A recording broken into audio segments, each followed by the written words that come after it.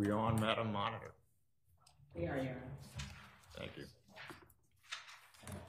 We concluded the last session with an offer of proof concerning the technology of detection of hemoglobin. Attorney Manning, have you concluded that offer of proof? Yes, Your Honor. I would just like to be heard on it if I can. Yes. Thank you. With respect to the presumptive test, Your Honor, Your Honor has already ruled that it is admissible. What I would like to clarify, um, I know Your Honor is uh, concerned with respect to the conclusive nature, if there's any on the direct examination. What I would like to reiterate is the state is in no way seeking out a representation from the witness that this is a conclusory test. Number one, because it's not. Number two, because I don't believe Detective Riley testified to that, nor will he. Um, what I would indicate is, uh, fall back on the many arguments that we had on Friday concerning the fact that it does not, it goes to its weight, not its admissibility, and would focus as well on the fact that it can be cross-examined, um, which I'm sure he, Attorney Schoenhorn, will Uh, cross-examine on that subject. Just because something is inconclusive does not mean it is inadmissible. Uh, with respect to the nature of the testimony, Your Honor, the witness was very clear that he had he was trained by the lab, that he did this test, I forget how many times, but for how many years, uh, numerous times. He was also very clear that it's a presumptive test, that it could be anything from human blood, animal blood, to also come out with radishes or uh, something that is not blood-related. All of that can go to before the jury, and they can make their own determination. It really is, in the state's view, up to the jury to determine, in light of all the evidence that's presented, whether or not what Detective Riley testified to is blood or radishes. So the state would offer it. Attorney Schoenhorn. Yes. Um, what the state has not indicated is that there was no confirmatory test whatsoever. I spent the weekend looking for it following when they took a swipe, when it went to the lab. There's no evidence this is even blood. So therefore, uh, not only has it no probative value, as Moody points out by itself, there's no confirmatory test whatsoever. But I'll go further. It was then sent to the DNA uh, department at the state lab, and they found no DNA of Jennifer Dulos in that sample. It was there was some unknown DNA that they found, but it did not apply to anyone connected to this case. So wholly aside, wholly aside from the fact that the court that this is not a matter, as the Supreme Court said, where it's inconclusive, the Supreme Court has said it has no evidentiary value, no probative value whatsoever. Your Honor allowed, a lim, as I understand it, the limited information because when it was collected on the floor, there was a suggestion that it was then part of the uh, blood. There was a visible, uh, there were some visible drops that were believed to be blood. And then Your Honor said it was sent on. But this now has to do with the Chevy Suburban. There is no evidence of blood, I want to emphasize that, that has that will be introduced. That was even, to my knowledge, tested. I was looking for a confirmatory test. Therefore, and it's not the DNA, there was no DNA of Jennifer Dulos in there. So the sole purpose is prejudicial. The sole purpose is to give the false impression, and I'll emphasize, false impression that uh, Mrs. Dulos might have been in the rear of that compartment. And it's going to be, I don't know when, somewhere down the road where I'm only going to be able to cross-examine to show that it was not uh, related to the case. So the state has, in my view, tried to introduce something that has zero evidentiary value, never mind getting to the weighing of probative versus highly prejudicial. It's to suggest falsely. It would be, in my view, it's as um, erroneous as putting on false testimony, perjured testimony, because it has no value even down the road. So the court made a ruling based on just what was presented at the time. We're going to allow a detective who collected samples now to testify as to its meaning when all he did, as far as I can tell, is he gets kits from the lab and is taught how to use it. I note that phenolphthalein, which is one of the things in the kit, you know, when I previously, I don't have one now, I had an in-ground swimming pool at my house. That's what you test for chlorine levels. Turns red. If it's too dark, it gets uh, bright red. If it's just if it's too little, it's pink. So that's what we're talking about. A little kit. You put you spray it in this case, or you put some on. You dab it on, and uh, I think what was the second thing? Um, peroxide. Again, I don't have that much familiarity with um, hydrogen peroxide other than it's used to for infection sometime. I guess some people bleach their hair with it. But the fact that he's going to then go on and explain what it is when he has no scientific acumen whatsoever, there's no training in that, when the jury's going to be hearing this based on what I submit as a lay opinion, and then later on at some point we're going to hear it didn't lead anywhere. So I don't even understand why it's being offered.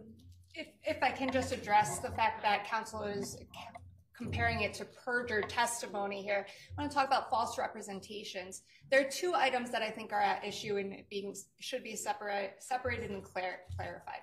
One, the presumptive test that Detective Riley talked about with respect to the tissues or the, paper towels, which I think was what at, what the objection came from. The other he is now throwing into that same argument and objection is the luminol pictures, which is the trunk of the Chevy Suburban. So to just to keep those totally separate here, with respect to the uh, paper towels in the presumptive test that uh, Detective Riley did on that, as well as numerous items in the garage that day, uh, the state will stand on its argument, but also reiterate the fact that a confirmatory test was not done at the lab and it's purely on a presumptive level, makes it even more clear to the jury the nature of this testimony. This is a presumptive test. It is inclusive. It's inclusive. It's not a conclusory lab test. It could be A, B, or C. Detective Riley is going to testify to that. It is clear. The jury can give it the weight it deserves. Switching to now the luminol, we can talk about false representations. Counsel indicated on Friday to the court that there was testing done on that trunk that came back that there was no blood in that um, Chevy Suburban. There was no testing that was done uh, with respect to blood on that trunk. So that representation is completely false. With respect to the luminol pictures, Detective Riley, when he testifies to it, and when we get there, uh, which I believe was Your Honor's ruling on Friday, they were admitted for ID only until the offer of proof would come with respect to those photographs, which the state was not able to elicit. But apparently we're talking about that now. Those, Your Honor, again, presumptive nature. It's a presumptive test. It is what it is. Just because it is inconclusive does not make it inadmissible in light of all the other evidences presented. Thank you. First, the court will address the contention that the jury will receive a false impression that the blood of Jennifer Dulos was found in the vehicle. The jury will hear the testimony from this witness and essentially is not testifying as an expert. He's testifying about his training as to what he was trained to conclude based on certain circumstances and results. If the jury hears testimony about a presumptive test, and the jury has to understand what the term presumptive means. Going to be up to the state or the defense or both. The testimony by this witness uh, and the wide open avenue for cross-examination, in this court's view, does not allow the jury to fall simply into a hole of false impressions. Court will allow the testimony. Bring the jury in, please.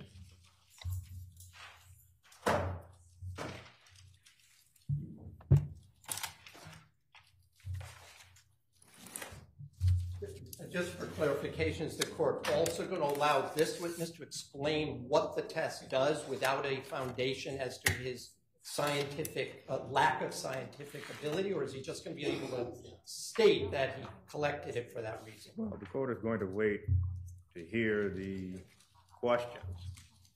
And counsel has the opportunity to object.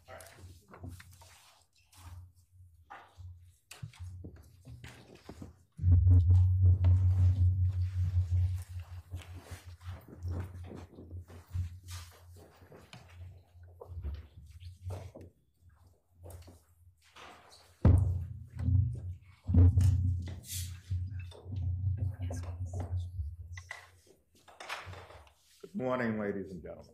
Good morning. The council stipulate to the presence of all of the jurors. Yes, Your Honor. Thank you. Is your witness here? He tonight? is, Your Honor. The state would recall um, Detective Riley. I may just inquire if um, everybody's television.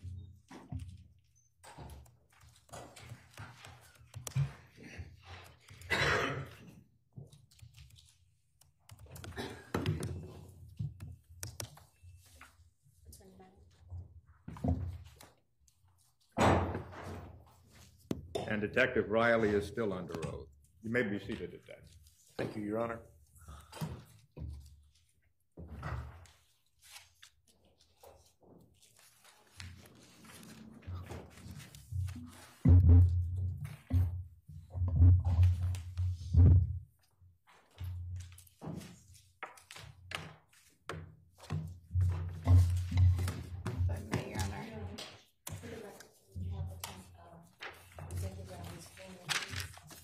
Detective, will you please just indicate, just for purposes of the record, your full name? Yes, it's Matthew Riley, R-E-I-L-L-Y. Yes, ma'am. If I may just have a moment, Your Honor, my wire got disconnected for the television.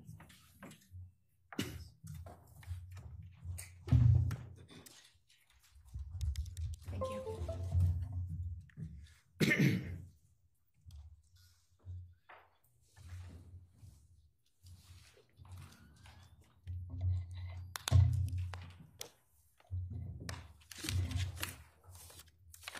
Your Honor, for the record, I'm calling up states nine. I believe when we left off, it would be on file three. And photograph um, eight.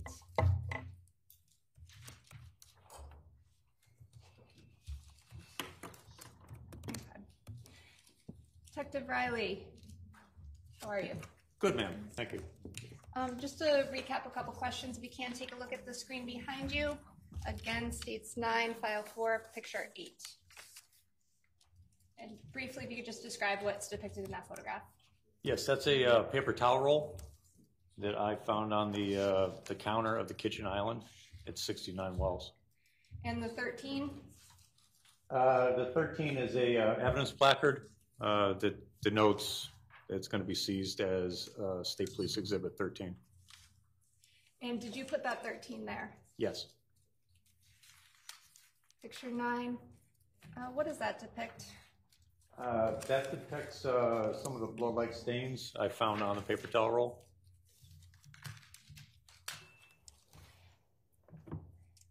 Now, sir, uh, did you do anything with that, uh, paper towel holder?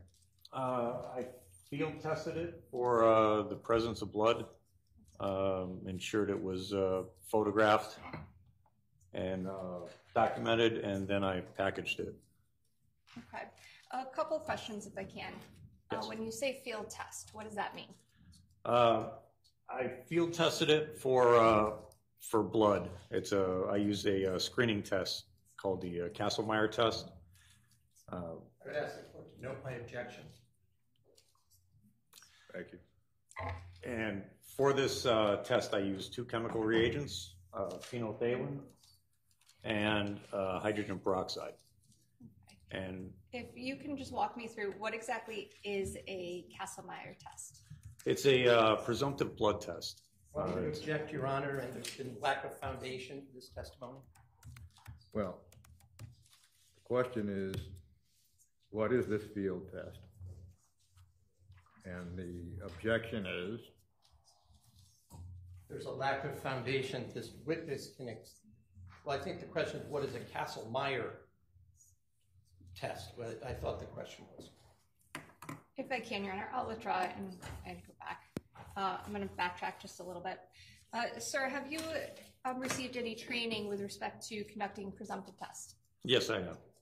What training have you received? I've received training both at the uh, State Police Forensic Lab on this particular test and in uh, uh, one of the crime scene courses I took at the University of New Haven on, uh, on other tests.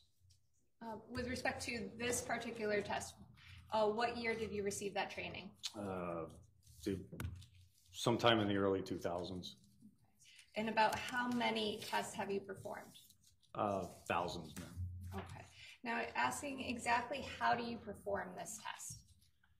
Uh, you perform the test um, by uh, taking a swab, one of those long handled Q tips, uh, taking some um, of the material, the suspect, the uh, suspected blood, onto the swab.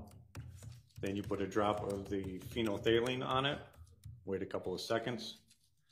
Then you uh, put a drop of the uh, hydrogen peroxide on it. And if you get an immediate color change, it'll turn a bright pink color. That's a positive test. Okay.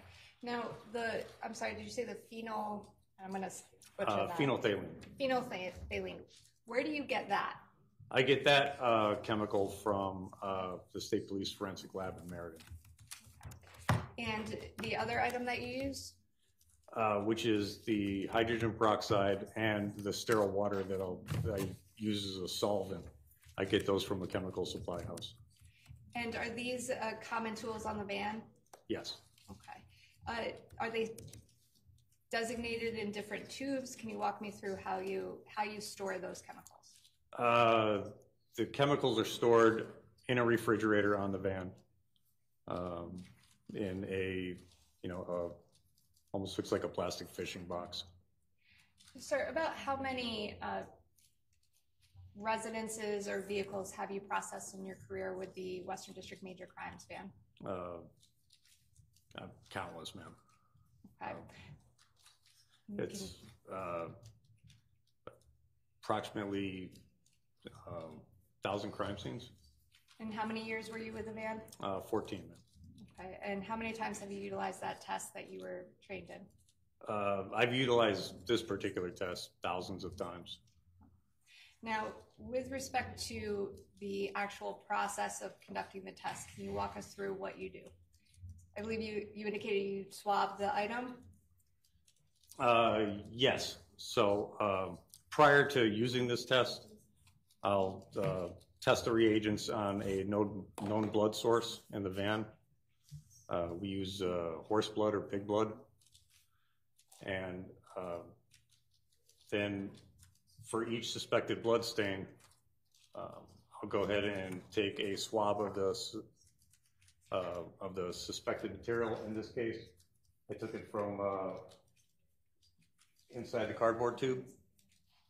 Uh, Put a little bit on the Q-tip, treated it with one drop of phenolphthalein, waited a second or two, then I uh, put a drop of the hydrogen peroxide on.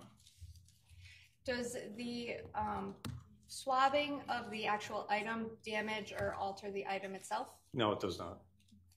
Now, you mentioned you did a, I guess, a control with uh, animal blood or horse blood? Yes. um, From the, do you keep that in the van? Yes, we do. Okay, why do you do that? Uh, It validates the test. Uh, It ensures that the reagents are working properly. Do you do that every time you use that same reagent? Uh, At the beginning of processing, yes. Okay. And if you were to open a new reagent, would you test it first? Yes. Okay. And did you do that test here on this day, on May 25th, 2019? Yes. Okay. Now, um, if it, it changes color, what color does it change into? It changes a bright pink. And what are the uh, results? What does it mean when it changes a bright pink? It's a, uh, it's a presumptive blood test. It just tells us that uh, the material is presumably blood, but it doesn't tell us whether or not it's human blood or animal blood. Uh, We will get a positive test result on any blood. uh, Your Honor, I'm going to object now. This goes into scientific uh, testimony, and his opinion as to the conclusion of what it shows is not based on his training or his uh, scientific acumen. Well, the response was, it's a presumptive test, and that the presumptive test is not, as the court understands the testimony, limited to human hemoglobin. And so the objection is overruled. Is it conclusory in any way? No, uh, um, further testing needs to be done by the uh, forensic lab. If I just may have one moment, Your Honor.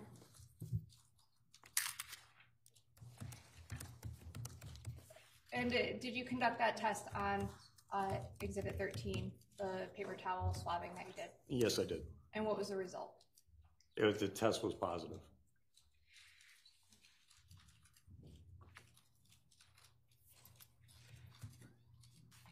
Actually, I should ask you this, sir, if I can. Um, With respect to the kitchen area of 69 Welles, uh, did you seize anything else in that area?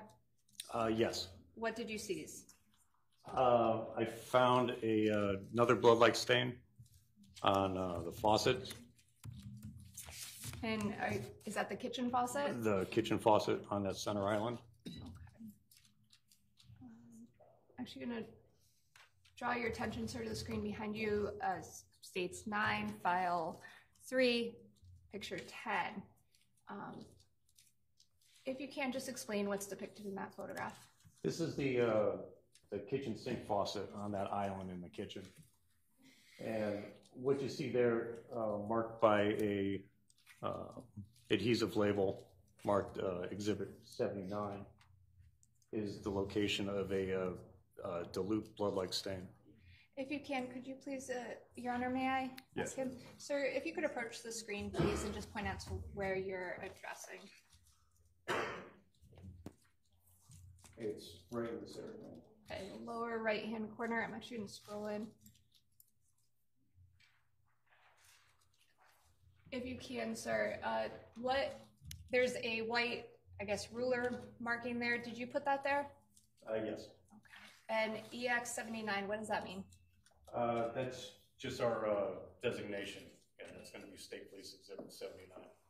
And the marking that drew your attention, is that located on the screen with it zoomed in? Uh, This area here, ma'am? Yes, please. Yes. Okay. And what did you do, if anything, with respect to that area? Uh, This area was field tested, again, using that Kastle-Meyer test. Um, And the area was marked as, uh, as an exhibit. And then I later uh, collected a sample of this uh, stain with two swabs that were moistened with uh, sterile water. Okay. A Couple of questions on that. Uh, You tested it utilizing the same procedure that you just testified to? Yes, it's always the same procedure.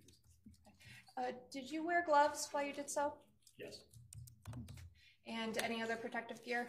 Uh, Just gloves. Now, with respect to the uh, Kastle-Meyer, can I, can I call it KM? Yes. Is that okay? With respect to the KM test, uh, did, what was the result? Uh, The test was positive. And you indicated you took two swabbings. Was that after the test or before? uh, after the test. And why two? Um, We take two swabbings just for more sample, to collect more sample.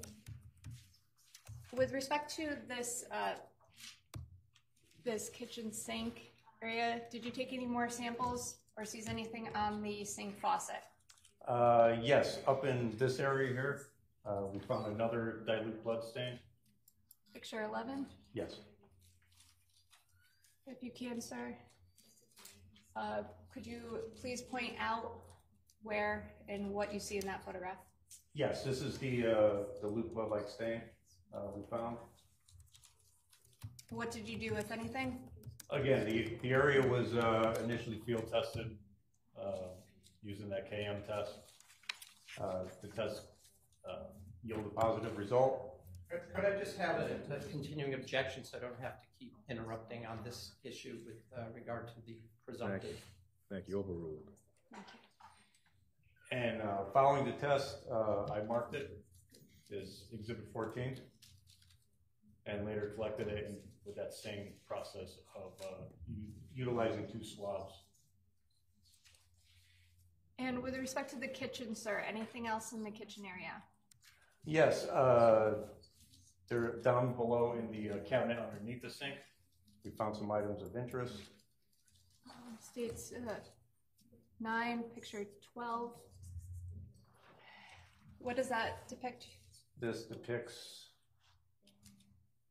uh, looks like exhibit, uh, fifteen, uh, which was a blood-like stain that we found on the handle. Sir, if I scroll in there, um, do you see, if you could point out, or is that blood-like stain shown on that? Yes, it's this area here. What did you do, if anything? Uh, again, it was field tested with, uh, KM. Uh, positive test result. It was marked, uh, photographed and collected with that same, uh, two swab process. And it it says EX15, what does that mean? Uh, State Police Exhibit fifteen. Thank you. Now, inside, I see a yellow, there's a yellow placard, 17, what does that mean? Um, we found two items of interest in there, Oh, Actually, inside the cabinet. if I Um, can, I'm gonna go back one, actually, if I can. Sure. Uh, Have a, I'll just show you 14. If I can, states nine, uh, picture 14, please, in file three. Um, You can explain what that photograph depicts, please? Uh, the two items of interest, uh, that we collected from underneath the sink were exhibit sixteen, which was a, uh, pair of latex gloves, and exhibit seventeen, which was a box of, uh, white plastic trash bags. Did you make the decision to seize 16? Yes. Why? Uh, the gloves had a texture to them, uh, they're dishwashing gloves. And I, um, previously on our walkthrough, we found a uh, blood-like stain pattern in the garage on the floor that appeared to be, uh, a uh, glove print. And the print appeared to have some sort of texture to it. It was, uh, somewhat similar to these clubs here. And the 16 is that, what does that delineate? Uh, again, State Police Exhibit sixteen. And 17? Uh, 17 is the uh, box of uh, hefty trash bags. Did you make the decision to seize those, sir? Yes. Why? Just because we found uh, what appeared to be evidence of cleanup inside the garage. So um, it was, you know, we assumed that possibly one of these trash bags uh, may have been used. And if found, maybe they could match it back to uh, that box. What day did you collect this evidence? This was collected on uh, May 25th of 2019. Thank you. Um, anything else in the kitchen that you Uh, seized or swapped that day? We found a, uh, another blood-like stain up um, on the edge of the uh, countertop. Can, states 15. What does that depict, sir? Uh, Again, that's the, uh, this blood-like stain here. That's discoloration. And what did you do, if anything? Uh, We field tested it for blood using that KM test. Uh, It was positive, and then we collected it using that uh, same swabbing method, Two swabs as well? two swabs. Okay. I want to show you what's marked as states 16. Uh, I'm sorry, it's actually states 9, file 3, states picture 16. Um, what is that? Uh, This is a toothbrush that I found in the master bathroom upstairs on the second floor. And there is a yellow placard 31. What does that mean? Uh, We seize that as uh, State Police Exhibit 31. Why did you seize the toothbrush? In uh, missing persons investigation, uh, we attempt to collect a pseudonym uh, or something that a pseudonym DNA profile can be developed from. Um, We do this by either collecting uh, the missing person's uh, toothbrush or razor, something, something of that nature. By missing person, do you mean Jennifer Farber Dulos? Yes, ma'am, Jennifer Beals. On May 25th, 2019, did you collect anything else from the house? Um, Yes, several, several other items. Um, you can have a seat, sir. Actually, I'm sorry. I'm going to show you what's been marked as 17. Uh, actually, it's 9, file 3, picture 17. What is that? That is a uh, hair that we found on the garage floor. Now, you indicated you did not process the garage on 525. Um, did you take this out of the garage on 525? Yes, I did. Okay, why this item? Uh, Because um, the hair was loose and it could have easily uh, blown away. If I can, I'm just going to scroll up. Is the hair depicted in that photograph? Yes. Now, with respect to, actually, I'll- apologize, strike that. And I'm going to show you what's marked as picture 18. What is that photograph? That is one of the seals that we use to uh, um, seal up the house at the conclusion of processing on the 25th. Uh, That is on the, appears to be the central garage bay. That red tape that's depicted in the center part of the photograph, um, did you put that anywhere else in the house? Uh, yes, on the, uh, on the, uh, garage bay doors and the front door. And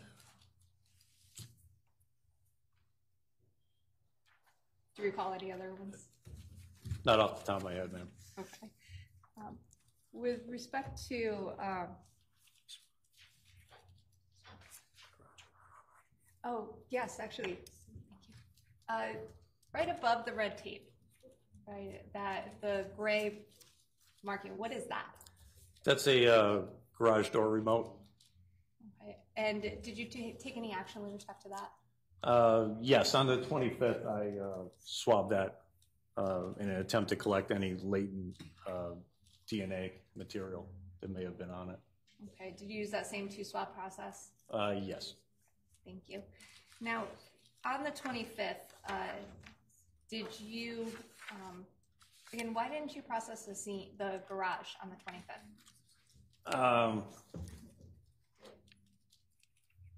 Our initial, our, our plan was to call in a uh, bloodstain expert uh, to uh, come in uh, to uh, process the garage with us. And who did you call? Uh, It was then Lieutenant Mark Davison. Okay. And what day was he scheduled to process the scene with you? Objection irrelevant with this witness. Well, And the question is, the question is, on what day was he scheduled to process the scene? And the objection is relevant, overruled. Uh, He was scheduled uh, to uh, come on the 27th, which was Monday. Now, did you go anywhere else on May 25th? Uh, Yes, I did.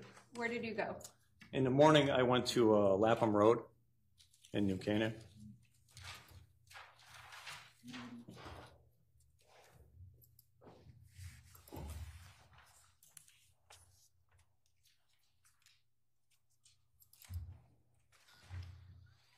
Okay, sir, I'm gonna have you take a look behind you.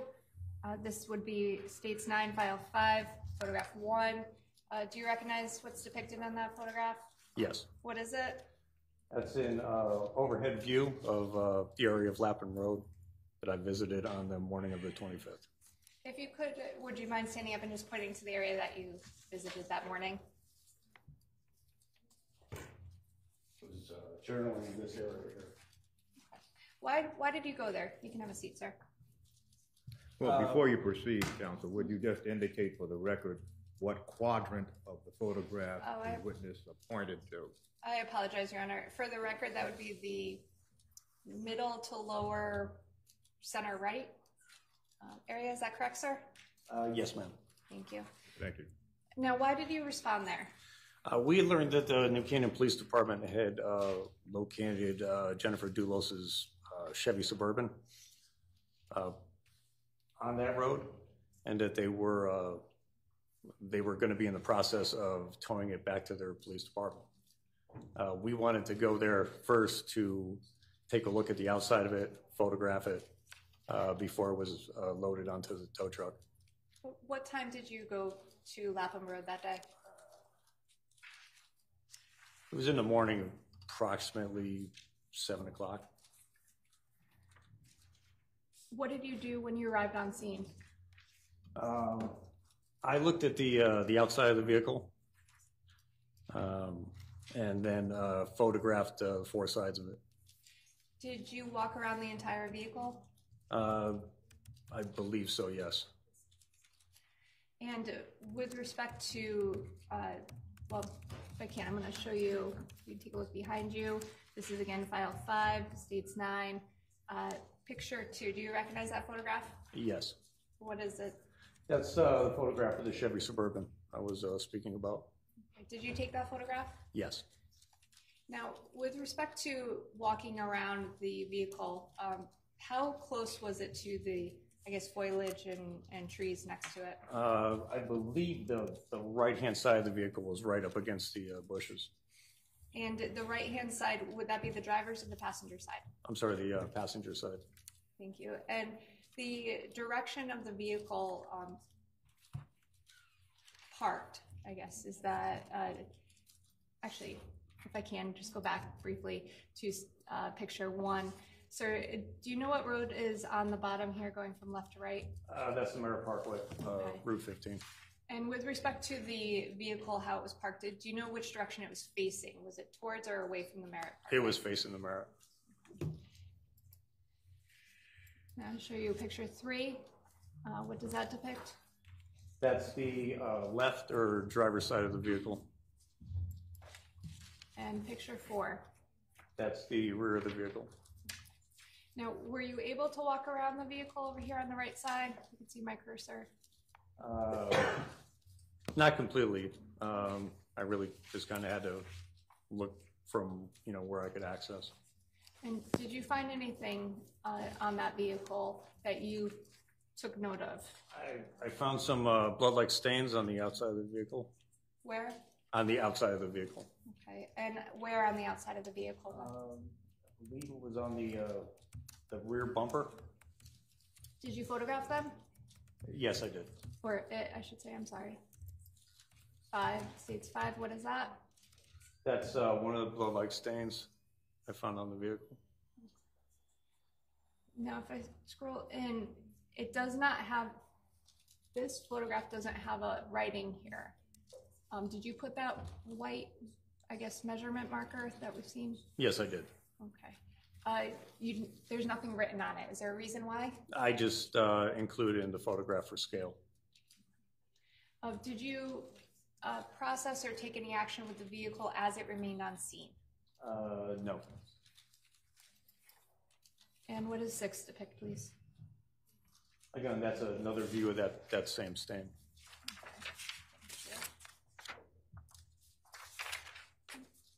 Now, sir, I'm going to draw your attention back to May 27th. Uh, Well, actually, before I go there, I'm sorry, strike that. Uh, The evidence that you collected on May 25th, I think we went through some of them, the swabbings, the 13 through, I forget the number now. Uh, What did, what happened to the evidence after you packaged it and gave it a evidence number? Um, The evidence was sealed, and I um, labeled them appropriately uh, per our uh, protocol. Uh, Some of the electronic evidence uh, was turned over to the New Canaan Police Department so they could um, pursue those, uh, those items, examine those. With respect to the items that we, that you were shown photographs of, what Yes. happened to those? Um, I secured those in the uh, major crime van, and at the conclusion of processing, I drove those up to uh, our headquarters in Litchfield, uh, secured them in the evidence room, and then um, on the 27th in the morning, I returned to Litchfield, took them out of the evidence room, put them on the uh, major crime van, and drove them back down to New Canaan. At Why the- did you do that? Um, Because they were still in our custody. Okay, and was it a state police case at this point? Uh, I'm not sure when that changed, ma'am. Uh, All I, and we just wanted, to- we wanted to keep the evidence together, and normally, um, we turn over evidence to the local police departments when we do do an assist all at once. And on the 27th, uh, did you drive the van to 69 Welles that day? Yes. And in the van, is there a place to store the evidence? Uh, We usually keep it in a banker's box on the floor. And when you arrived at 69 Welles Lane on May 27th, uh, who was there? Um, A lot of the same crew from uh, the 25th was there, with the addition of Detective uh, Jamie Pearson and uh, uh, Lieutenant Mark Davison. And between 525 and, well, strike that if I can, that photograph we showed you with the red tape Yes, on the doors, uh, was that in the same location when you arrived back on 527? yes. Was anyone from New Canaan Police Department on scene on 527? They had posted a uh, uniformed officer in the driveway. Did you see anybody from New Canaan Police Department go into the residence with you that day or not with you? Did you just see them? Uh, Yeah, they, they were just in the driveway, ma'am. Um, did they enter the garage? Uh, Not while we were processing it. Now, um,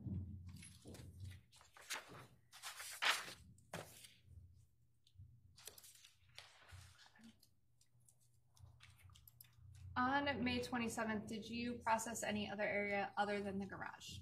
Um, Yes, Uh, we, again, continued to look through uh, the rest of the house.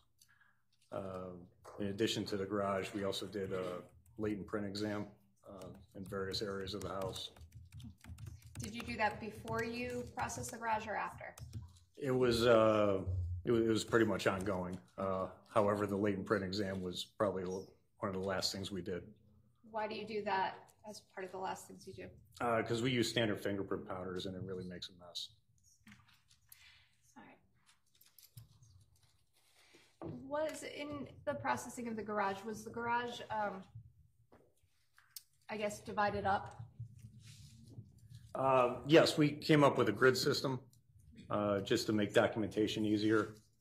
Uh, We laid out a uh, grid with um, um, yellow tape, similar to masking tape, that has uh, measurements on it. And we, uh, we gave them letter designations, A, B, C, D, all the way up to G. You mentioned uh, Detective Pearson was present with you on 527. What was her assignment? Her assignment was to uh, create a sketch map of the garage. Have you reviewed those sketch maps, sir?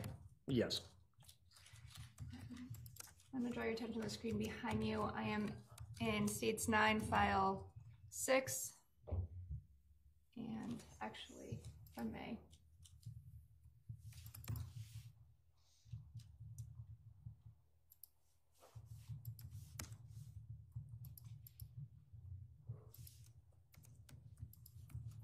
Do you recognize what's depicted on the screen behind you, sir?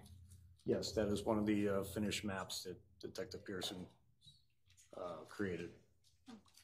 Did you have a particular process or procedure you um, conducted throughout the garage that day? Um, the, the garage was, uh, examined, um, you know, for evidence along with, um, the documentation done by Lieutenant Davison. Uh, we kind of, uh, worked it together. Now, I'm going to ask you a couple questions, starting with garage A, marked A, if I can. Do you recognize the um, map behind you, sir? Yes. Okay. Uh, With respect to the uh, letters and numbers that are uh, printed inside of A, for instance, A18, A17, A16, what exactly are- are those supposed to designate? Uh, Those numbers are for uh, individual stains that Lieutenant Davison uh, designated um, for his uh, examination. Um, And the EX numbers, or the EX letters? Right, so um, those were samples that I took for uh, DNA identification purposes.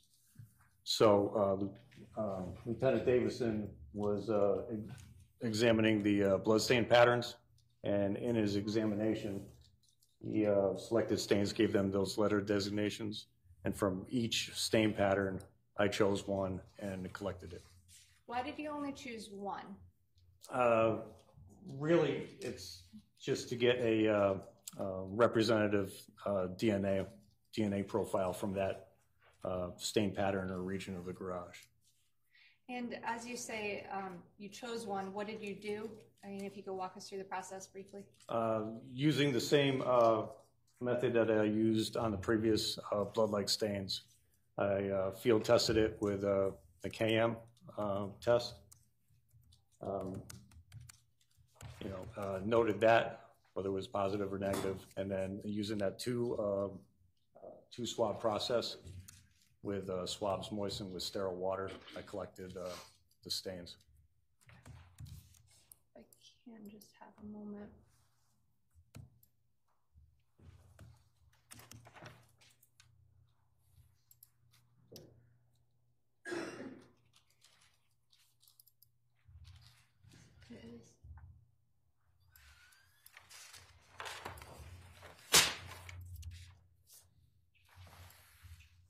Sir, just a couple questions if I can. If you can take a look behind you. Uh, Showing the map on the left, but on the right side, it's photograph two out of file six on states nine.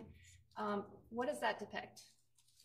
Um, That depicts the photograph, an overall photograph of Area A and um, corresponding overhead view on the sketch map of Area A. Was that prior to processing? Uh, This was in the process. Um, This was the beginning of that examination. And I can, I'm actually gonna bring that back down.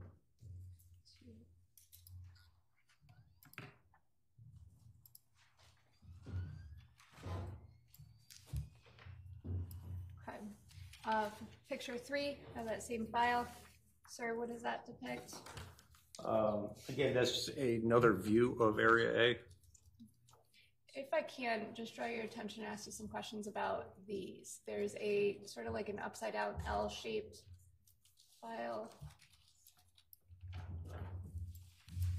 What is that there for? Uh, That's to help uh, give scale to, uh, may I approach the If you screen can, thank you.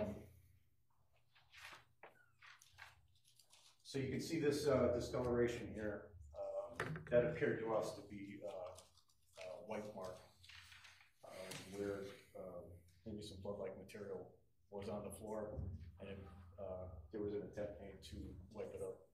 Can't hear. I'm sorry, sir, if you can, just move that microphone behind you, maybe up a little, It's behind you. the one. Thank you. And the yellow arrow up on the upper middle part of that photograph, what does that depict? Um, That's usually placed by the photographer to uh, denote the north. So it's directional? It's directional, right? And this yellow uh, marking, is that the yellow marking you were talking about That- before? Correct, that's that yellow masking tape I was uh, talking about. Okay. Now, with respect to these three items, did you put those down? Uh, No, I did not.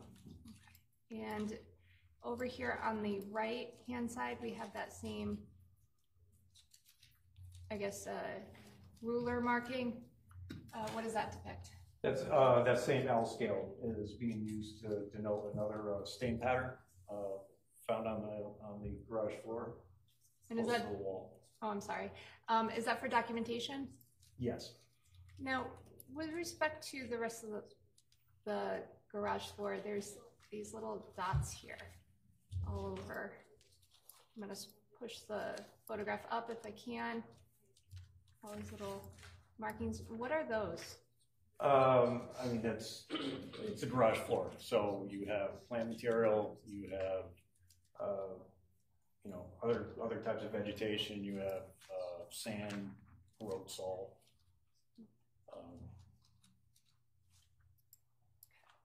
Now, I'm gonna show you picture four, sir. In that same file. What is this? Uh, this is part of uh, Lieutenant uh, Davison's uh, examination of the garage floor. Uh, Were you present when these markers were placed down? When they were placed down, no, but I was, uh, I, I observed these in place. And just to, and what do they read, please? Uh, they read A twelve, A thirteen, A fourteen, and A fifteen with my marking of, uh, State Police Exhibit forty. And this is, is this corresponding on the, on the map on the left-hand side of the screen? Yes, uh, in this area here. Okay. And with respect to states 40, uh, did you utilize that same uh, two swab process in swabbing it? It's the same process. It's, uh, first, uh, KM tested and then collected with the two swabs. And the KM test? Uh, was positive. And just to clarify, this is a, which one is the, what is this depicted? That is, uh, stained A twelve. Okay, if you can, so I'm just gonna show you a series of photographs. If you can, just point to the sketch map just to correspond where they are located. If you can, A12. thank you. Now state six, A thirteen, state seven, A fourteen, and states eight. it's A fifteen, where, uh, exhibit forty was sampled. And is that the area that you swabbed that day, sir? Yes. Thank you, that's states nine. With respect to these areas, uh, do you, did you mark these or delineate these in any way? I did not place those scales. Now, with respect to this area, uh, if you could tell me what this is?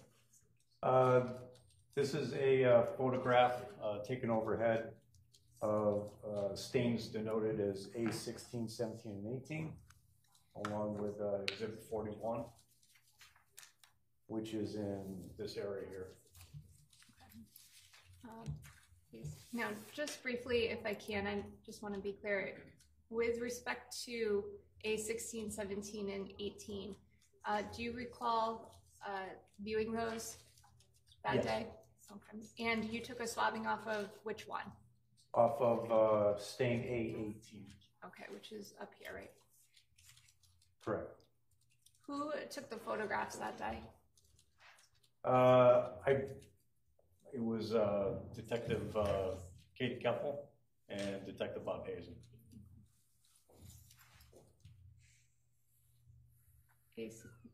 If you can, sort of same question, series of photographs, if you can just point to the screen where. This is, is. Uh, stain A16. A seventeen. And A eighteen. Do you recall, by the way, this is kind of leaning, I guess, angled one way? And then I'm going to draw your attention to the preceding two photographs, 17 and 16. Actually, I'm sorry, it's photographs 12 and 13, but A16 and A17. They're leaning the other way for the photographs, and the overview has them this way. My question is just which way are they supposed to be? Uh, the, the scales were not moved, if that makes things easier. Uh, the photographer was probably just standing on one side of the stain or the other. In the course of the photography and processing scene, do the scales ever move? Uh, not, in- not on the garage floor in this case. No. And I believe we went.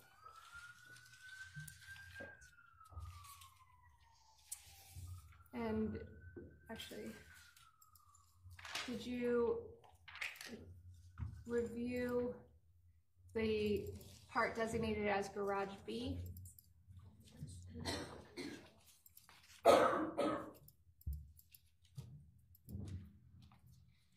And if I can, sir, do you recognize what is depicted on the screen there? Yes, that is, uh, another, uh, Oh, I apologize, I hit the wrong Sure. button. There you go. and that is the, uh, another part of the, the left side garage bay. Um, in the center of the garage.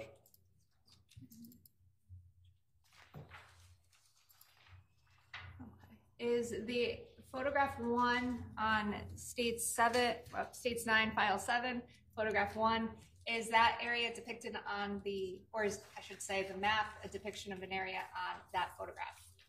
Uh, yes, If you could just point it out on the photograph, please. it's this area here. Uh, you can see the, uh, the B placard right there. And for the record, that was the middle portion of the The photograph? middle, correct. Okay, now, on this, we have, on the map portion, we have the numbers ranging from B three all the way up to B eleven. Um, is there a B one or two? Uh, that I don't know. Um, and states picture two, uh, does that depict an area depicted in the map? Uh, yes, And states three, yes, that's, uh, that's the right-hand side of the map. Okay. Stage four, what is on that photograph, please? That's a, a fragment of paper towel uh, that appeared to have blood-like stains on it uh, that we found in Area B of the left-hand uh, side of the garage. And it's located right there on the sketch map. It is Exhibit 42. For the record, you're pointing to the middle portion of the garage. Um, question about the, well, sorry, withdraw that. Uh, with respect to the forty-two, that, uh, paper towel, uh, there's a, can I ask you to describe some of the, I guess, dots that are contained in the forty-two? Uh, what exactly did that appear to be to you? Um, oh, um, yes, this material here uh, appears to be uh, plant-like, uh, part of seeds or, Did you take any swabbings of forty-two? uh, I did not. Why not? Um, because I just seized the entire uh, fragment of paper towel. How did you seize it? I put it uh, in either a uh, paper bag or a paper envelope. Did you seize anything else out of that area B? Uh, yes. What did you seize? Um, there were two uh, stains. Uh, B3, I took a sample of is Exhibit 38. B11, um, I took uh, swabbings as Exhibit 39. And uh, Exhibit 43, which I believe was another uh, paper towel fragment. Picture five. Uh, what does that depict, sir? Okay, that's uh, another paper towel, it's a larger paper towel fragment uh, with apparent blood-like stains. Uh, You can see this, this reddish staining here. What did you do, if anything, with the 43? Um, but yeah, I just uh, ensured it was photographed, uh, sketched into the map, and I seized in a similar manner as uh, 42. Did you take any swabbings? I did not.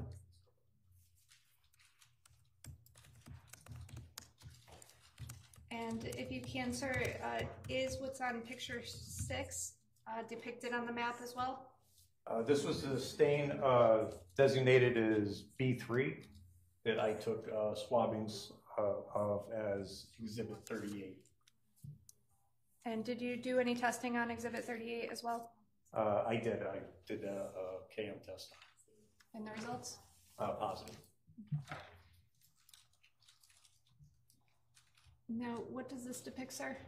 That is uh, stain B4, located there. And for, same questions for the next couple, if you wouldn't mind just pointing out where it appears on the map uh, corresponding with the picture. So picture eight, B5, Uh, B5 is here, picture nine, B6, uh, B6, picture 10, B7 and B8, B7, B8, picture 11, B9, B9, um, picture 12, uh, what does that show, sir? So that is uh, stains B9, B10, and B11, I which are up in this area here. A sample of B11 I swabbed as uh, Exhibit 39. And that is, if you, okay, and the same swabbing process, same every, Same swabbing process that was also tested with the, uh, the KM test and was positive. now, picture 13, what is that, sir? That is, appears to be one of those uh, flood-like stains, that swipe mark that we saw up in Area A. And is this depicted on the map in any way? Uh, I don't believe so. Was that contained in Area B at all? Um, Without seeing a- an overall shot, I really couldn't say that. Okay, let me see if I can.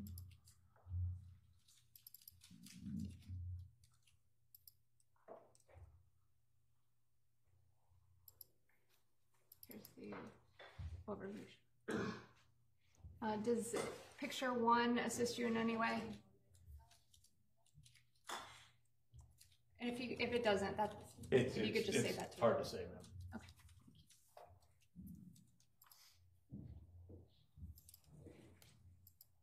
Now, I'm going to ask you if I can about the bottom part of that garage side. You could take a look. Are you familiar, familiar with Detective Pearson's map for C? Yes, this is the uh, portion of that left garage bay uh, closest to the door. And for the record, I'm going to say it's nine. I am now in file eight.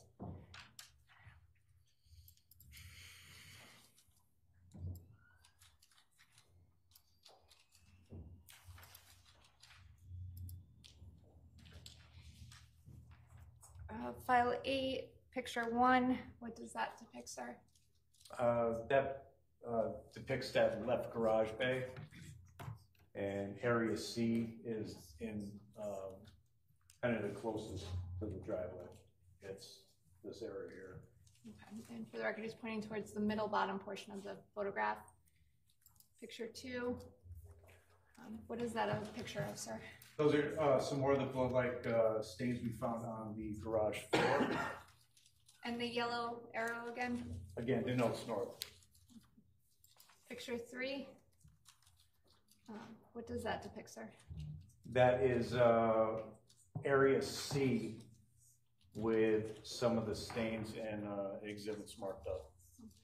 We have the um, 68 placard right here. What is that supposed to designate? That designates uh, another fragment of uh, paper towel. If I can just. Is that depicted on the photograph? Yes.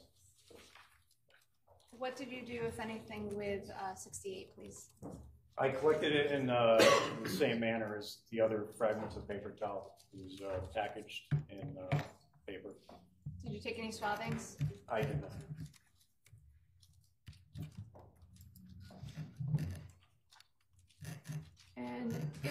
Insert uh, picture four. And if you wouldn't mind, the same thing, just to, if it is reflected on the map on the left side, if you Hold on, could. stop, please. Oh. Everything's ready. Oh, What has just happened, ladies and gentlemen, is that, of course, the entire proceeding is recorded.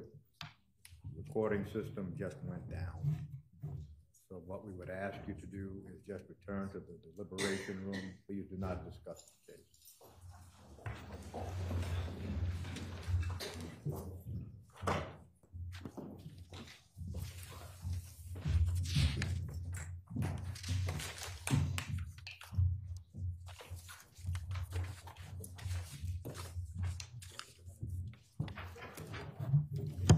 We're going to take our morning recess until eleven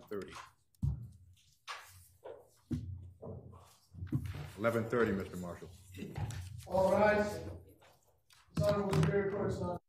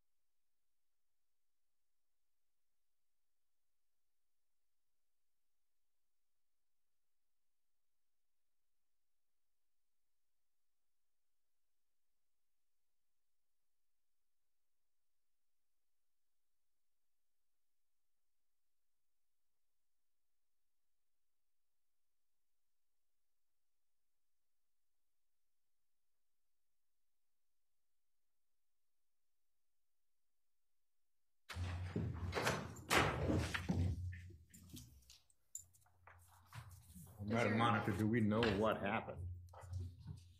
We do not know, Your Honor, um, but we were able to rectify whatever that problem was. Thank you. We can bring the jury in, please. Does Your Honor wish me to get Detective Riley outside? We can call him back in.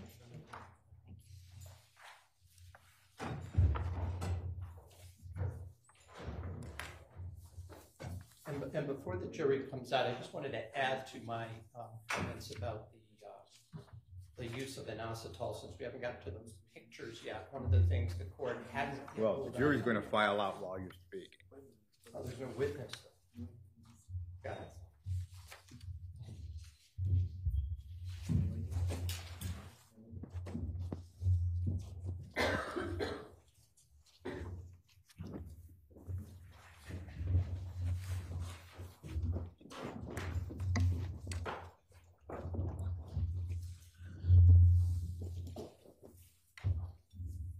Counsel stipulated to the presence of all of the jurors. Yes, Your Honor. Yes. You may be seated. Thank you, Your Honor.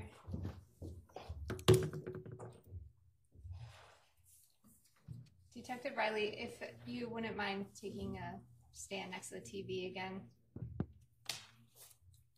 And just to back up a few of my questions, um, with respect to States nine, file eight, picture uh, four, I believe, um, if you could, could you just is what's con- shown in that photograph on the map on the left-hand side.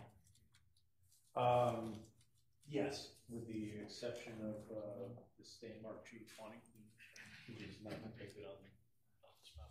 What area is that stain attributed to? Uh, area G.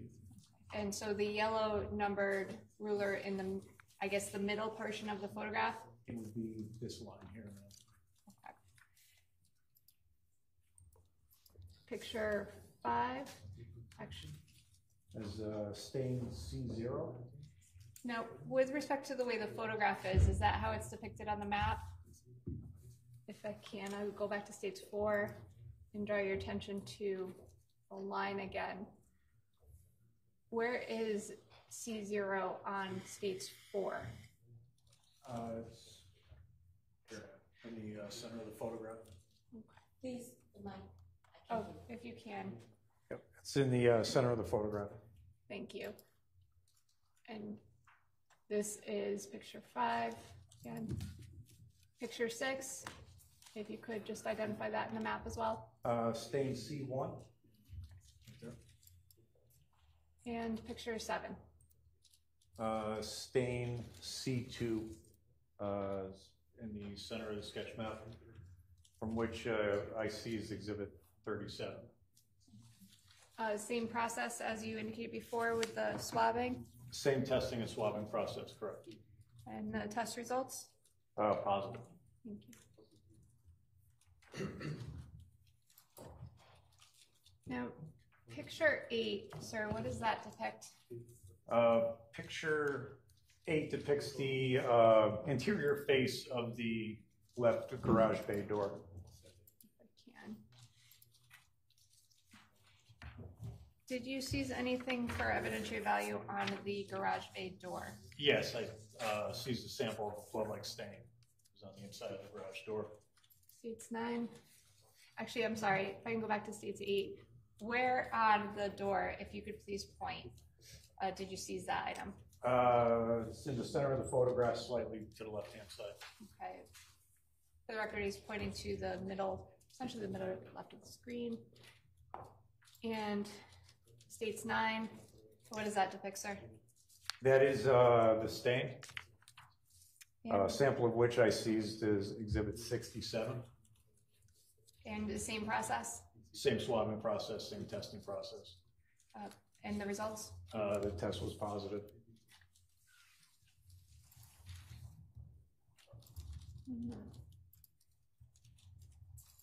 Did you, uh, process the right side of the garage in the?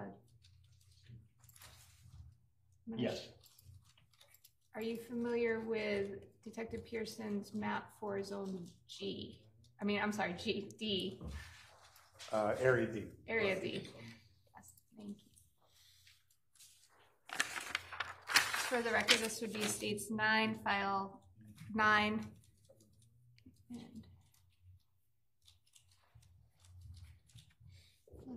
And photograph two, actually. Do you recognize what that is, sir? Yes, this is a overall photograph of Area D, the right-hand bay of the garage. Uh, Out of frame to the left would be the mudroom door. Uh, Give you a little uh, orientation. And are there areas below area D? Yes, you can see uh, the marker for Area E and Area F, which would be by the, uh, the overhead door. I'll Show you states one out of that file. What does that show, sir? That's uh, overall the uh, right-hand uh, garage bay with area D at the top of the photograph.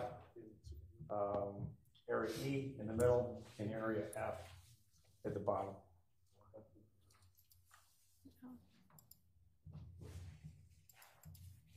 States three, or picture three, I should say. Um, what does that picture depict? That is a photo of a uh, blood-like stain we found in area D. And the fifty-six, what does that mean? Oh, I'm sorry. uh, So I designated this as uh, State Police Exhibit 56. However, um, it's the photograph, uh, the exhibit is going to be uh, the photograph of what we uh, thought was a uh, footwear impression or a shoe print. Uh, If I can, sir, uh, just a couple questions. Is that depicted, exhibit fifty-six depicted on zone D map? Yes, uh, Exhibit 56 is here in the approximate center.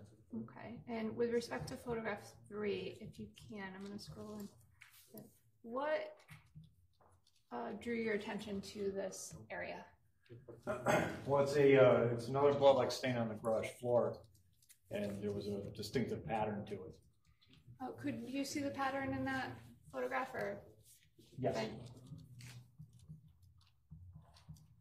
Here, I'll scroll It up. it appears to be, uh, see these hash marks here? And for the record, you, I would say the middle part of the photograph? Yes.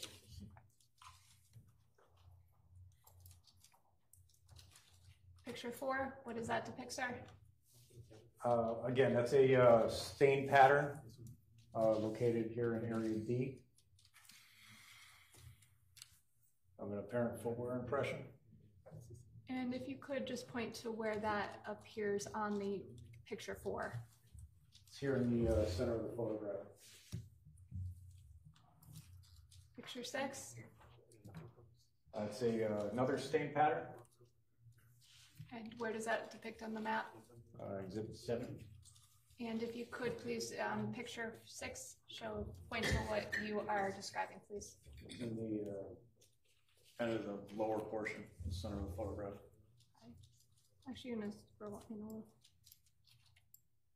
Oops, sorry, if I can go back to 70.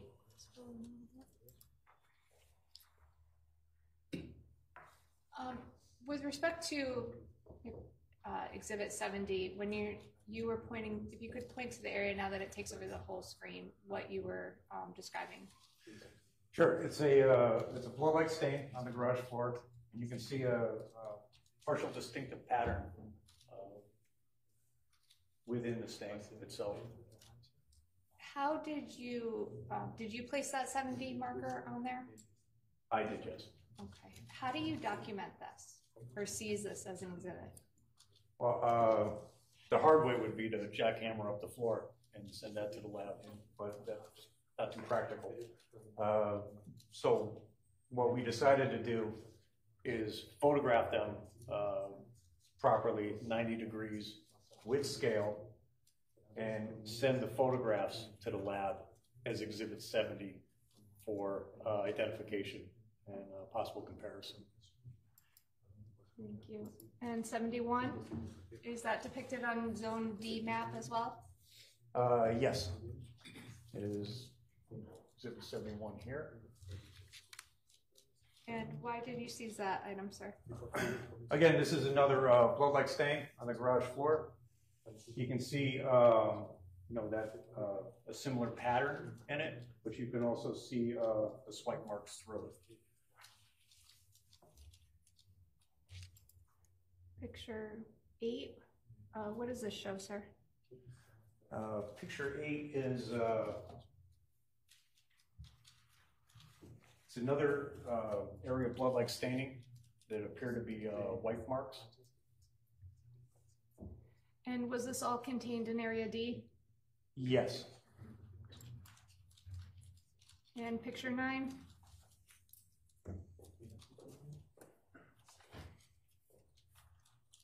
Yeah, it's a uh, additional stain pattern uh, found in area E. I can't, I'm gonna scroll, oops. What are you doing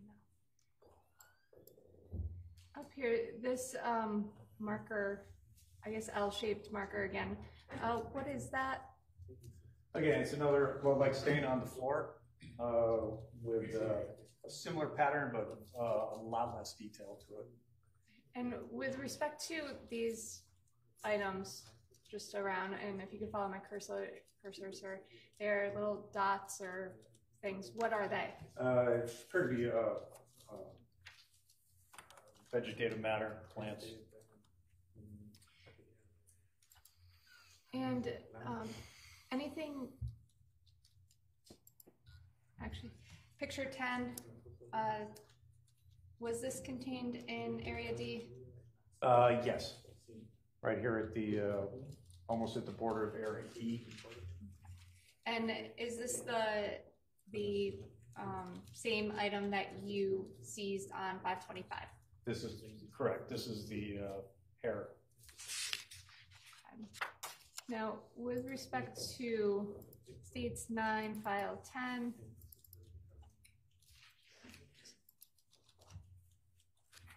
so are you familiar with Detective Pearson's map for Area E? Yes. Um,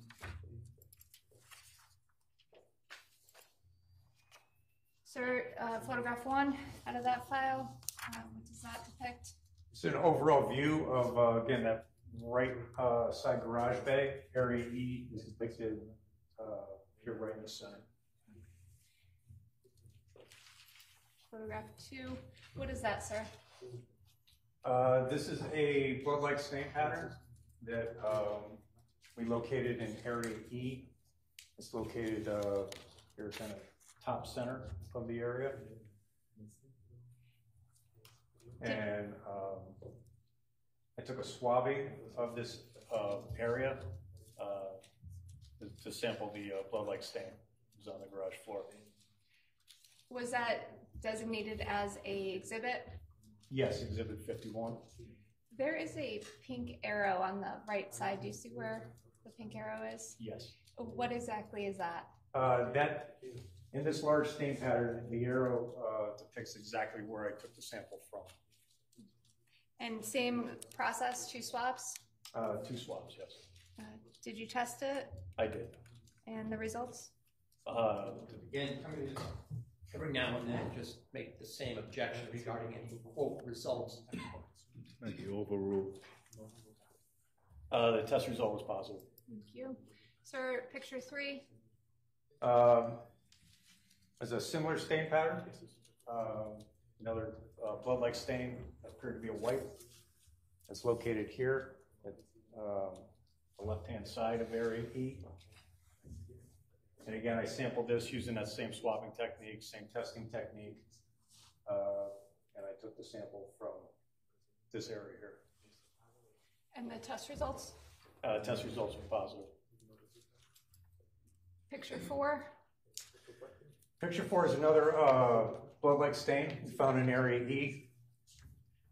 Uh, And the stain pattern itself uh, appeared to us to be a uh, textured glove. If uh, you can imagine uh, three fingers here. What exhibit was this marked at? I marked it as State Police Exhibit fifty-five.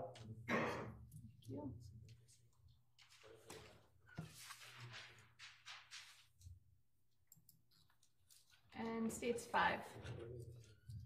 What does that show? Uh, that's an overall view of Area E taken from, um, kind of with your back to the mudroom door. So you can see, uh, exhibit fifty-five here. That, uh, swipe mark. And picture six? It's a off kilter view of, uh, Area E. And the right-hand side of the garage. Thank you. I'm gonna draw your attention now to states nine, file eleven. Are you familiar with Detective Pearson's map concerning zone F?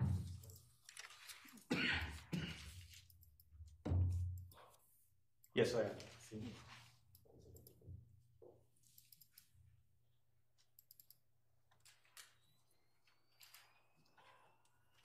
Uh, Picture one off of states nine, file eleven. Sir, what does that depict? It's an overall view of the right-hand side of the garage. You see area F is down here. This is the, uh, kind of the threshold of the overhead door. And area F is up in this area. Uh, Takes up, uh, center all the way down to the bottom of the photograph. Thank you. Picture two. It's, uh, another, uh, blood-like stain pattern we found on the, uh, garage floor. Again, this is the threshold of the overhead door. Actually, I'm gonna scroll in a little bit. So that yellow arrow again, what does that depict? That, uh, denotes north. Picture three. That is, uh, again, another uh, blood-like stain pattern we found on the floor. Again, there's uh, more detail inside this pattern. So we designated it as State Police Exhibit 54, photographed it in a similar manner as the others. And is that depicted on the um, map? Yes, it's located on the left-hand side of Area F. Picture four. Picture four is a, uh, another blood-like stain pattern found on the floor. And picture five. that is uh, uh, blood-like stain that I uh, tested and sampled as Exhibit 52. And with respect to the swabbing process, same swabbing process? Correct, same testing and swabbing process. And the test results of this one? Uh, um, I referred my uh, report. Would it refresh your recollection to take a look at your exhibit report? Yes.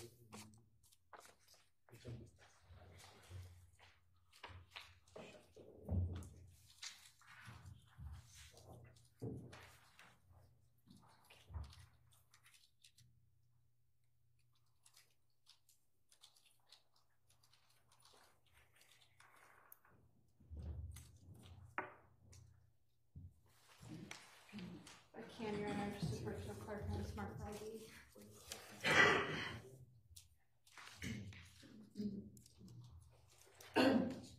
Eleven for ID, please.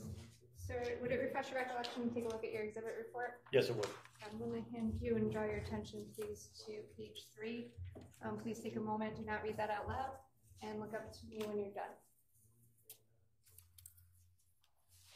Did that sufficiently refresh your recollection, sir, as to uh, the results of the test? Yes, it did. And what were the results of the test? That KM test was negative. Thank you.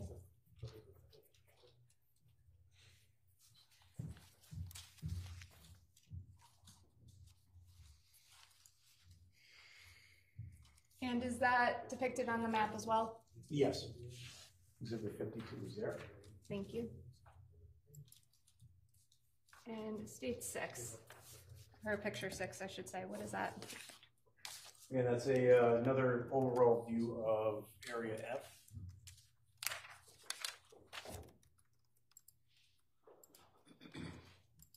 Are you familiar with Area G, sir? Yes. And now states nine, file twelve.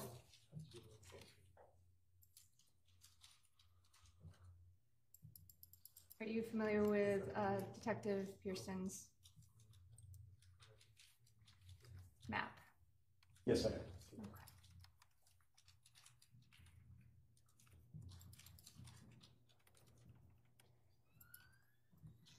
Uh, Photograph one, sir, what does that depict? That is a photograph of the center garage bay, 69 Welles. And is Area G contained in that photograph?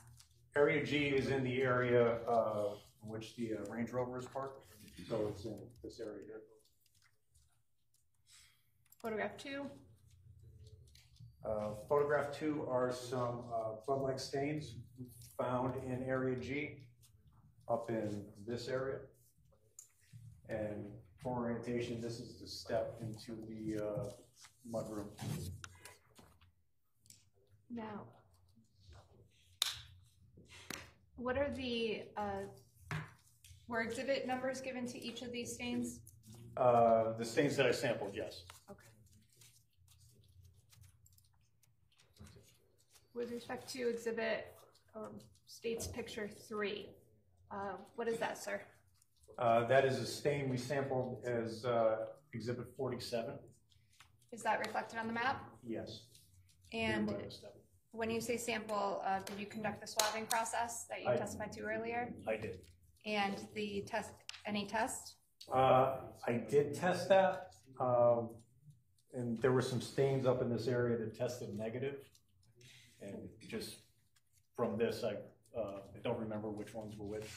Would it refresh your recollection, take a look at your exhibit report again, Yes. if I may?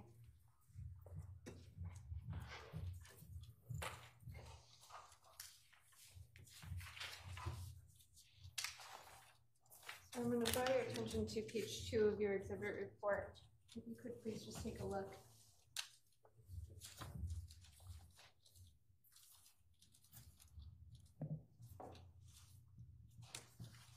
Sir, did that refresh your recollection? Yes. And with respect to the presumptive test that was performed on exhibit forty-seven, do you recall what the results were? Uh, the KM test was negative for this stain. In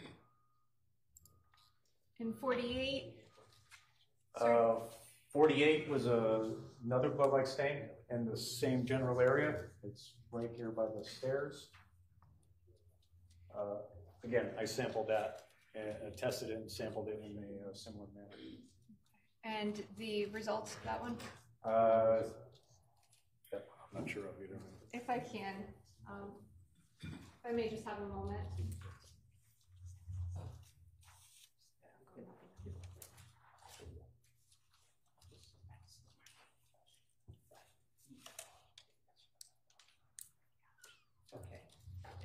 Your Honor, if I can, I'm just gonna provide counsel, or provide Detective Riley with, uh, eleven A, or I'm sorry, eleven for ID, which is his exhibit report. Sir, if you can just take a minute and take a look at that, if you can, um, to refresh your recollection with result, with respect to the results of any testing performed on exhibit forty-eight on five twenty-seven. Yeah, the K, the KM test for exhibit forty-eight was positive. Forty-nine, Uh, forty-nine, another blood-like stain, uh, located up here in the same general area. It was, uh, tested and swabbed, collected in, uh, the same manner as the others. And and the test result for this stain was negative. and picture six, Uh, Again, another uh, blood-like stain on the garage floor, uh, located here. I sampled it, uh, tested it, sampled it in the, in the same manner when the, uh, and the test result was negative. picture seven, Uh, Picture seven is a fragment of paper towel found under the left front tire of the Range Rover. See it, uh, it's located here. Did you take any action with respect to that? Um, After it was photographed, I just collected it, ma'am. Picture eight, uh, is a photo of a low-light stain. Uh, Again, it appears to be a swipe located in area, uh, area G. A sample of which was seized as Exhibit 45. Was And- uh, tested and collected in the same manner. do you recall the results? Uh, The test result for this stain was positive. Picture nine, That is a stain pattern. uh, It was uh, designated G20 for a blood-like stain. uh, A sample of which I see is is Exhibit 36. I tested it and swabbed it, collected it in the same manner, and the test result for this was positive. picture ten, As uh, is a stain marked as G19, uh, located in Area G, that I tested, swabbed, and collected in the same manner. The KM test result for this was positive.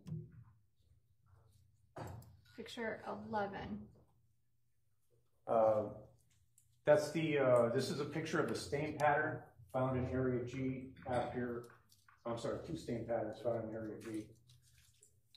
And this photograph was taken after uh, the Range Rover was removed.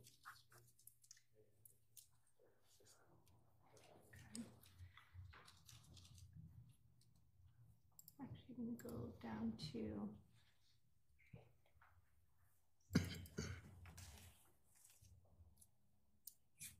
And what does this photograph depict? So it states eighteen. Uh, This was a photograph at, um, along the process of Lieutenant Davison's examination of the uh, blood-like stains on the floor.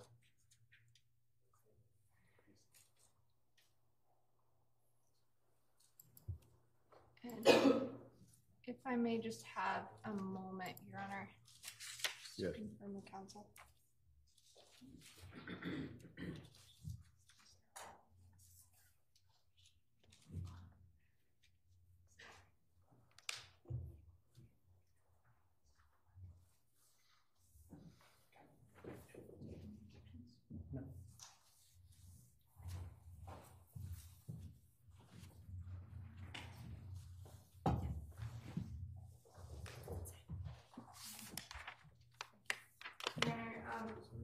have on a separate disc ten, states ten, I believe, uh, there's no objection to it, if I may just have a moment to switch it out.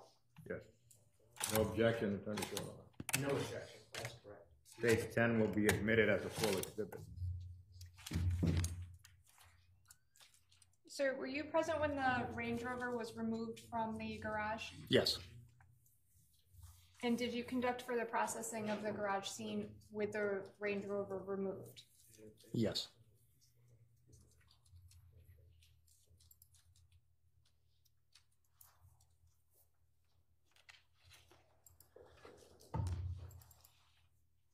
If you can, just take a look behind you, sir. This is states ten, filed sixteen. Can, um, what does that depict? Uh,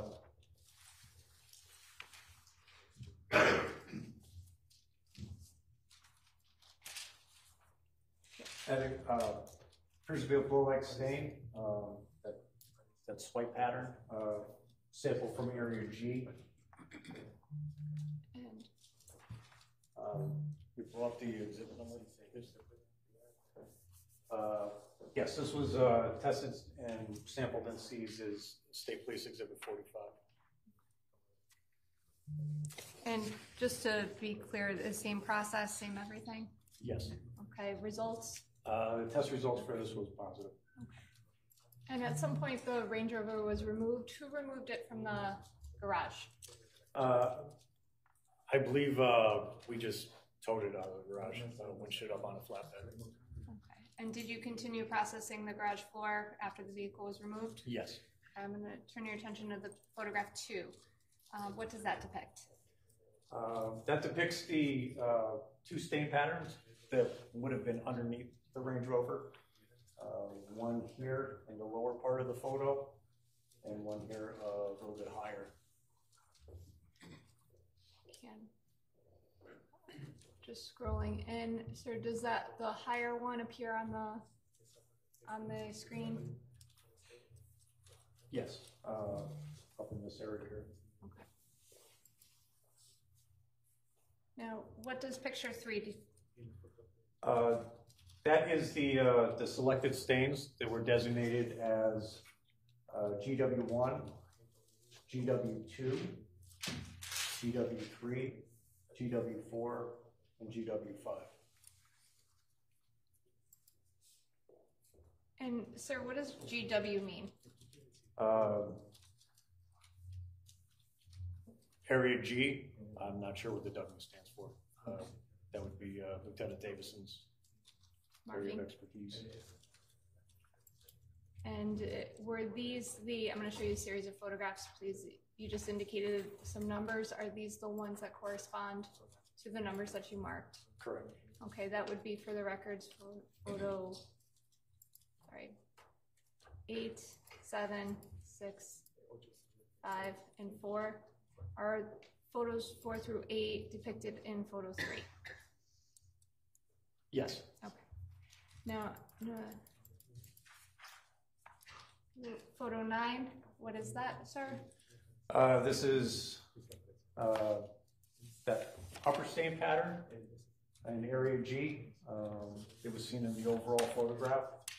Here you have uh, stain uh, GE1, GE2, GE3, GE4, and E GE5.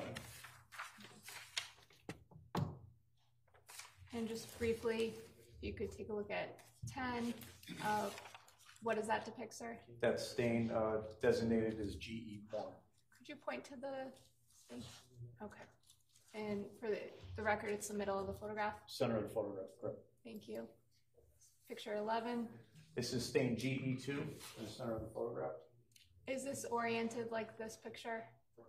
Sir, if I can, um, go back to.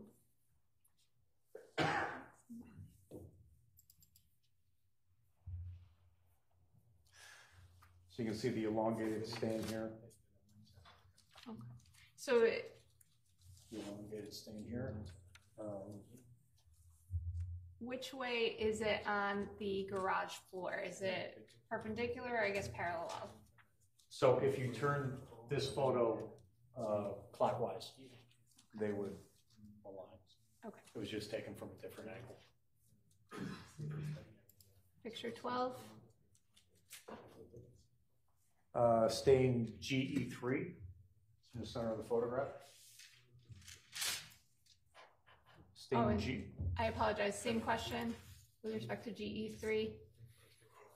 And, uh, similar, the, the scales did not move. okay, and GE four, GE4, uh, again, the stain in the center of the photograph. And the scale did not move from the overall. and GE five, G5, um, similar. Is this elongated stain here? And again, it's oriented, the, the scale's in the same position in the overall photograph. just safe to say it's the way the photograph was done. Exactly, it's just the way the frame was taken. And picture fifteen, please. Uh, 15 is a uh, photo of a stain on the garage floor.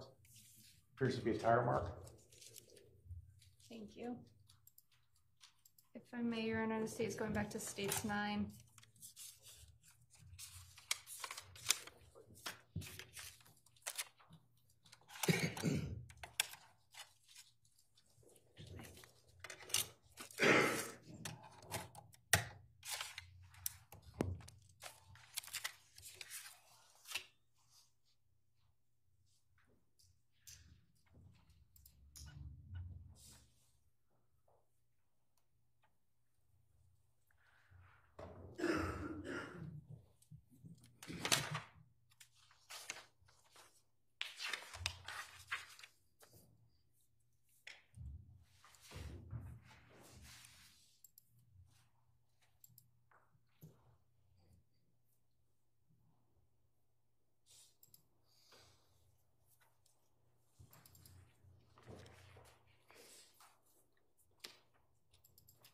States nine, file thirteen.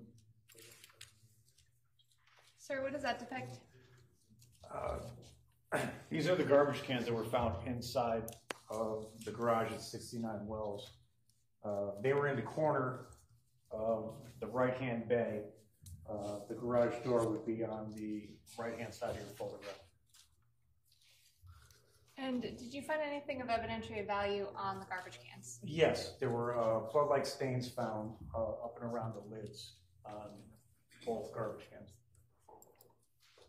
Photograph two, what is that? That is a photograph of uh, the left garbage can. And photograph three.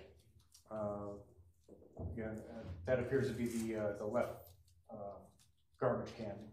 And you can see the blood-like stains both here and here. Photograph four. That is a photograph, uh, may I refer to my report to get left to right? If it would refresh your recollection, Yes. please.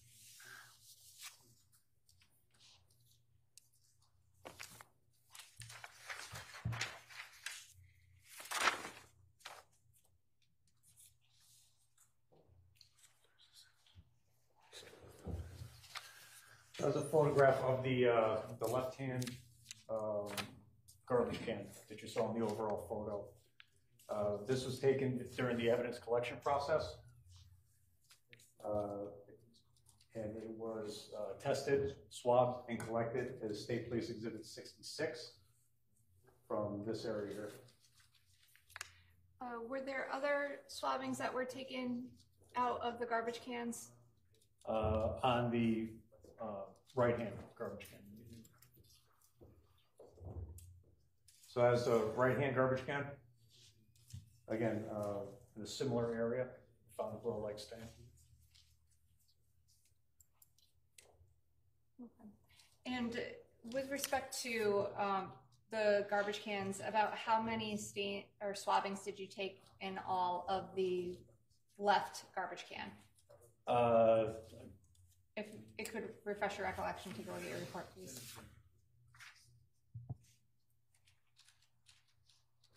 Still the same, uh, two swabs. And with respect to the um, right side garbage can, Uh, Two swabs. and were those also tested Uh, Yes, and the results? uh, positive.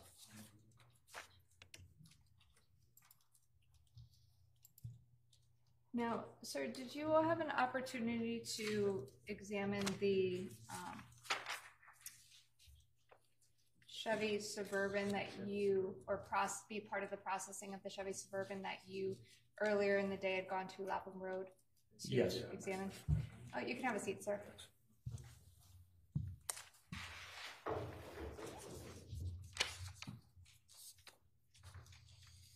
When was that? Uh, That was on June the 28th, so it would have been the Tuesday after Memorial Day. And actually, prior to uh, leaving 69 Welles that day on May 27th, 2019, uh, you testified earlier about latent prints. Did you conduct any latent print um, documentation? Yes, we did. I'm I'm actually going to go to States 9, File 4. Where did you uh, take latent prints from? Uh, Well, we, uh, we searched for latent prints uh, around the points of entry. Um, I'm going to object as non-responsive. Okay. Well, the question is, where did you take latent prints from?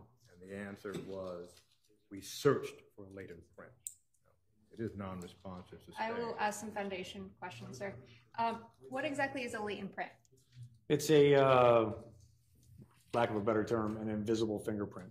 A fingerprint uh, that's deposited on a surface that needs some sort of development to make it visible. And is there a process that you utilize in searching for these? Yes. What is that process? Process is uh, uh, visual observation, uh, utilizing uh, side light, side lighting, different lighting techniques. And then in this case, it was the application of uh, just standard fingerprint powders. And how does fingerprint powder allow you to search for latent prints? Uh, The fingerprint powder is extremely fine and it adheres to the fingerprint residue and makes the print visible. And did you conduct that process at 69 Welles? Yes. At what locations? Uh, Various locations throughout the, uh, the house, the first floor, uh, and around the points of entry, around the mudroom door, around that, the kitchen, the kitchen island. I'm going to show you some photographs, sir, if I can. If you could take a look behind you. States nine. This is file four. What do you see, uh, sir, depicted in that photograph? That's an overall photo of the uh, door leading into the mudroom from the garage uh, after uh, latent print processing and prior to uh, the collection of the prints.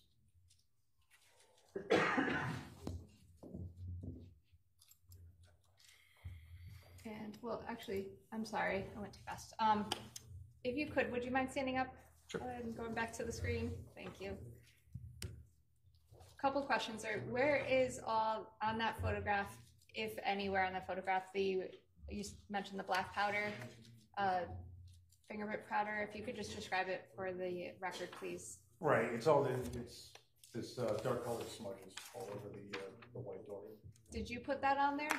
Uh, yes, I was one of the, the people, uh, who, searched for latent fingerprints with, with. with the Uh, I'm going to object as non-responsive. It's either he did it or it was one of the people.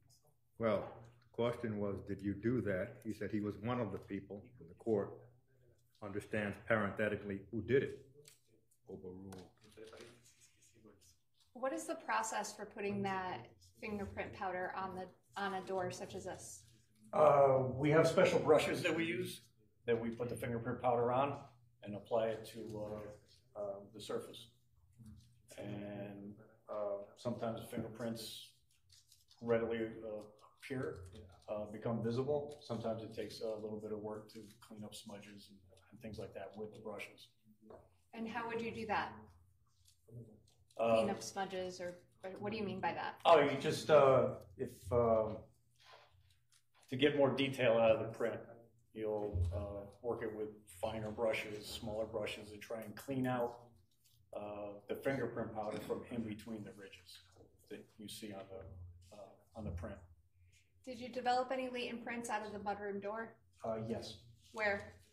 uh, right here above the, uh, lock cylinder. Show you what's been marked as states. Picture two. Sir, what does that show? So this is the, uh, the latent prints, uh, prior to collection, prior to lifting them. And what do you mean by that?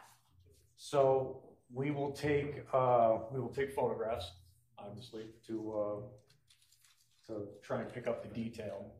And then once that's completed, we'll go ahead and take, uh, adhesive, uh, lifters. Usually there, it's, uh, adhesive clear acetate, almost like tape. Uh, in this case, uh, down here, uh, we used a uh, gelatin lifter, which is, uh, a a layer, a thin layer of gelatin on a rubberized backing. Uh, It's just used for different surfaces. And the markings on the measuring tape or the white, white stickers, I should say, uh, what exactly does that mean? So uh, the LP stands for latent print, uh, so we keep, we run them sequentially, so this would be Your latent Honor, again, I'm going to object unless he's referring to himself in the plural. I would ask that he at least clarify whether he did this or someone else did it, just for clarification. Well, the question, as the court understood it, is not whether he did it. He was asked to explain what those designations mean, if the court understood it correctly. That was the state's question, Your Honor. Overruled. So uh, this is my handwriting on the markings. So um, LP stands for latent print. Latent print seven, which is also designated as State Police Exhibit 82. Here, uh, LP eight, latent print eight, State Police Exhibit 83. Uh, did you go anywhere else in the house uh, and conduct this process? Yes. Where? Um, The, uh, the kitchen of the residence,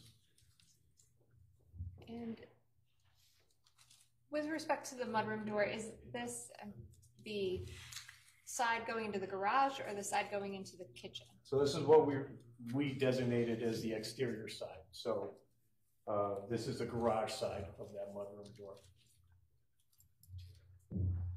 Picture three, uh, do you recognize what's depicted in this photograph? Yes, this is the, uh, the area around the inside face of the mudroom door. You can see down here where the- I had removed the, uh, the doorknob. So this is the, uh, one of the casings. You see uh, LP one, latent print one, exhibit seventy-three. Above that, uh, latent print two, exhibit seventy-four.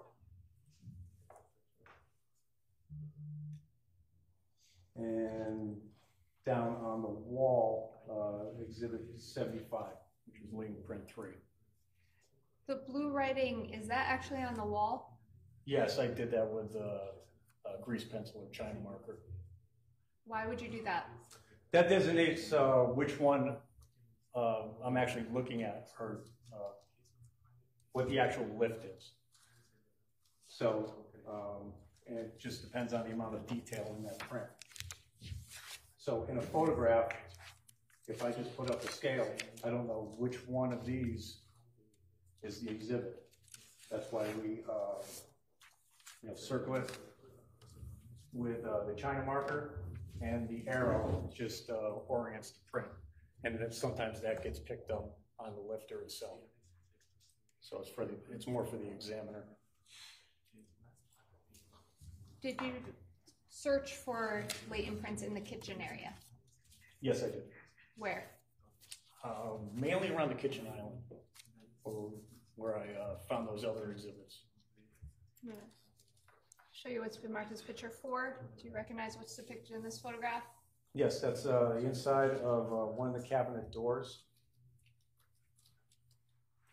And if you can, uh, that same blue writing is on there. If you could explain that, please.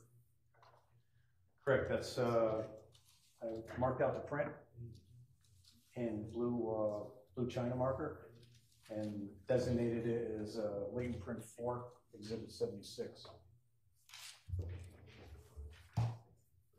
Show you what's been marked as states five. Uh, what does this photograph depict, sir? That is on one of the, uh, entry doors. Um, May I refer my report to, If it would refresh your recollection, Thank you. please.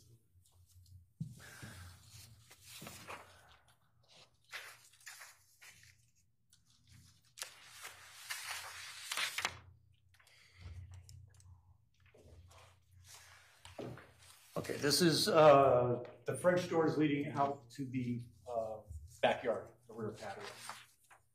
And if you could walk me through, did you do this one?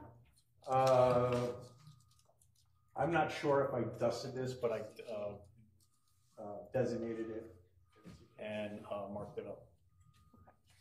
And if you could just walk me through what you did. Okay, so after uh, the latent prints were developed, uh, I go around, uh, people tell me where they found prints, and I will go around with a magnifying glass, pick out the prints with the best detail, um, mark them, and label them in a similar manner, then uh, notify the photographers to, uh, as to their locations so they can be properly photographed prior to collection. And picture six, please. That is off of a exterior door handle. And if I could refer to my report, I can get you the correct door. If you can, thank you.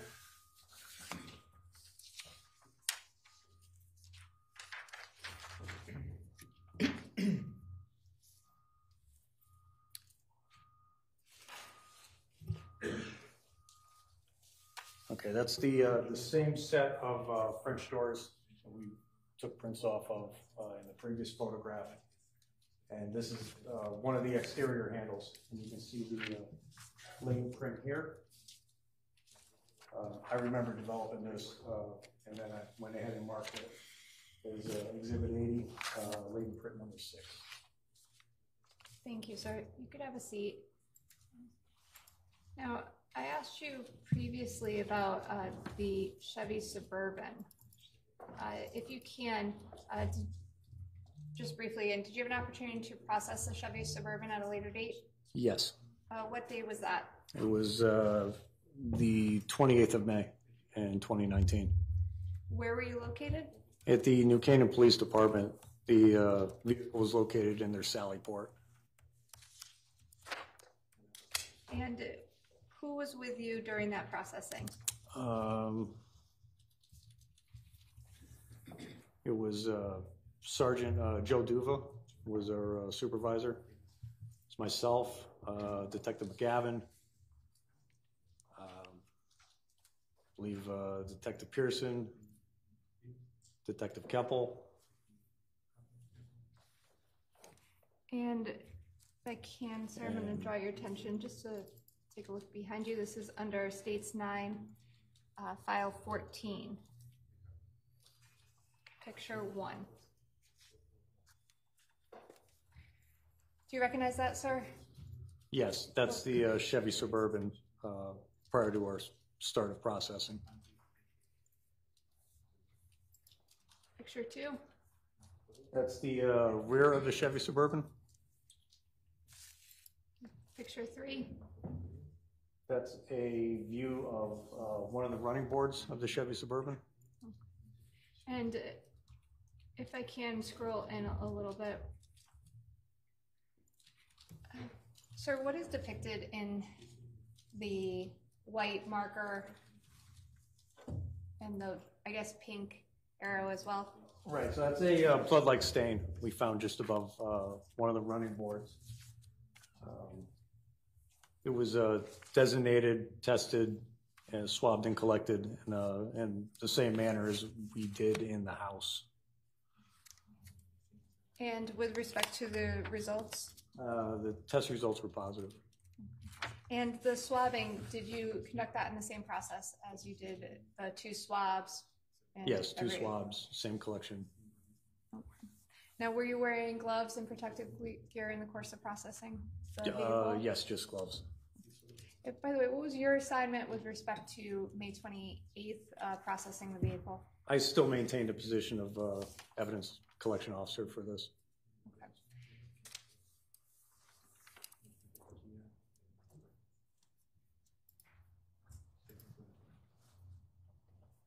Picture five, sir. That is a blood-like stain pattern found on the uh, lower edge of one of the doors.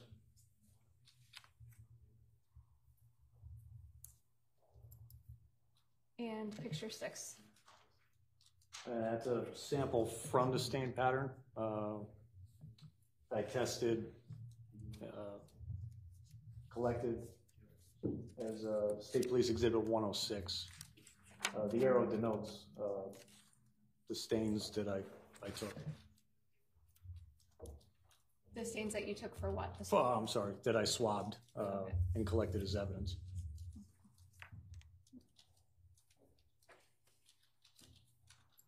State seven. Uh, Again, those are uh, additional stain patterns found on uh, the door of the Suburban. And states eight. And that's a, a- another blood-like stain pattern. And same questions, same. Uh, It was um, tested, collected, and marked in a, in a similar fashion, collected with the two swabs. States nine. That's the, uh, the blood-like stain that I first saw on the bumper on Lapham Road. Um, And again, I tested it, um, collected it, and marked it as uh, State Police Exhibit 105, and uh, the test results were positive. States ten. Uh, That is uh, blood-like stains that were found on the steering wheel of the Chevy Suburban. And uh, same question, sir. Did you uh, Same, same collection method. It was uh, tested, uh, test results were positive. It was uh, swabbed and collected as uh, State Police Exhibit 118. Um, were there also any swabbings done further of the inside of the vehicle? Uh, yes.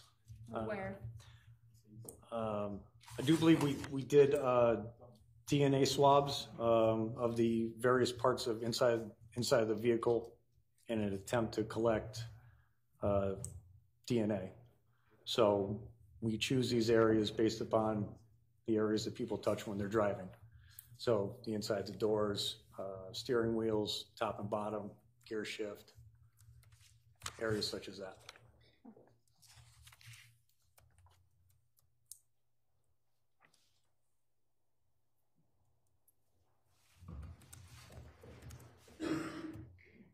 States 11.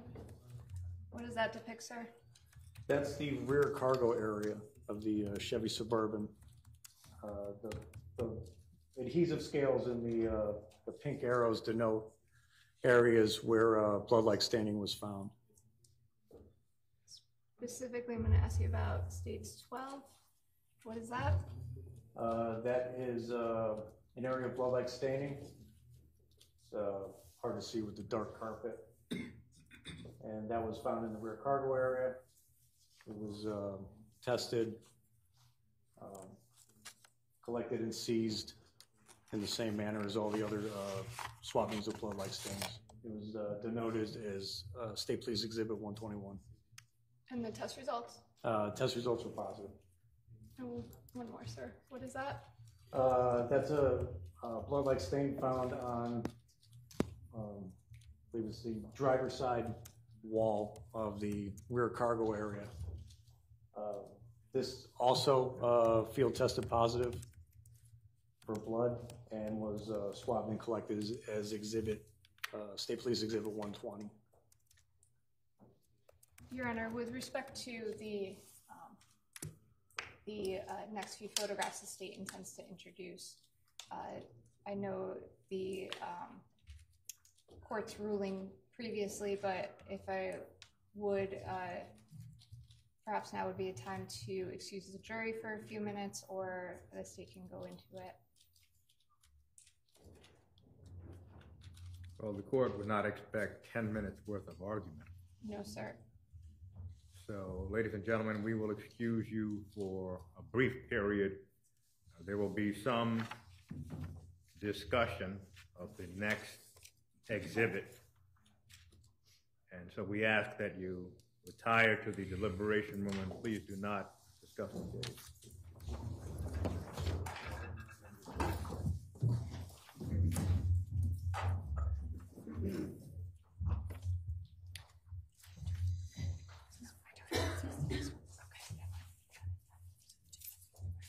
Oh, there's three. Okay. Next. Yeah, Please be seated, thank you.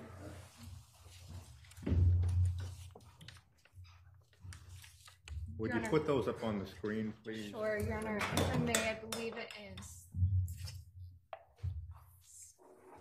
This would be picture 14, picture 15, and picture 16. Thank you.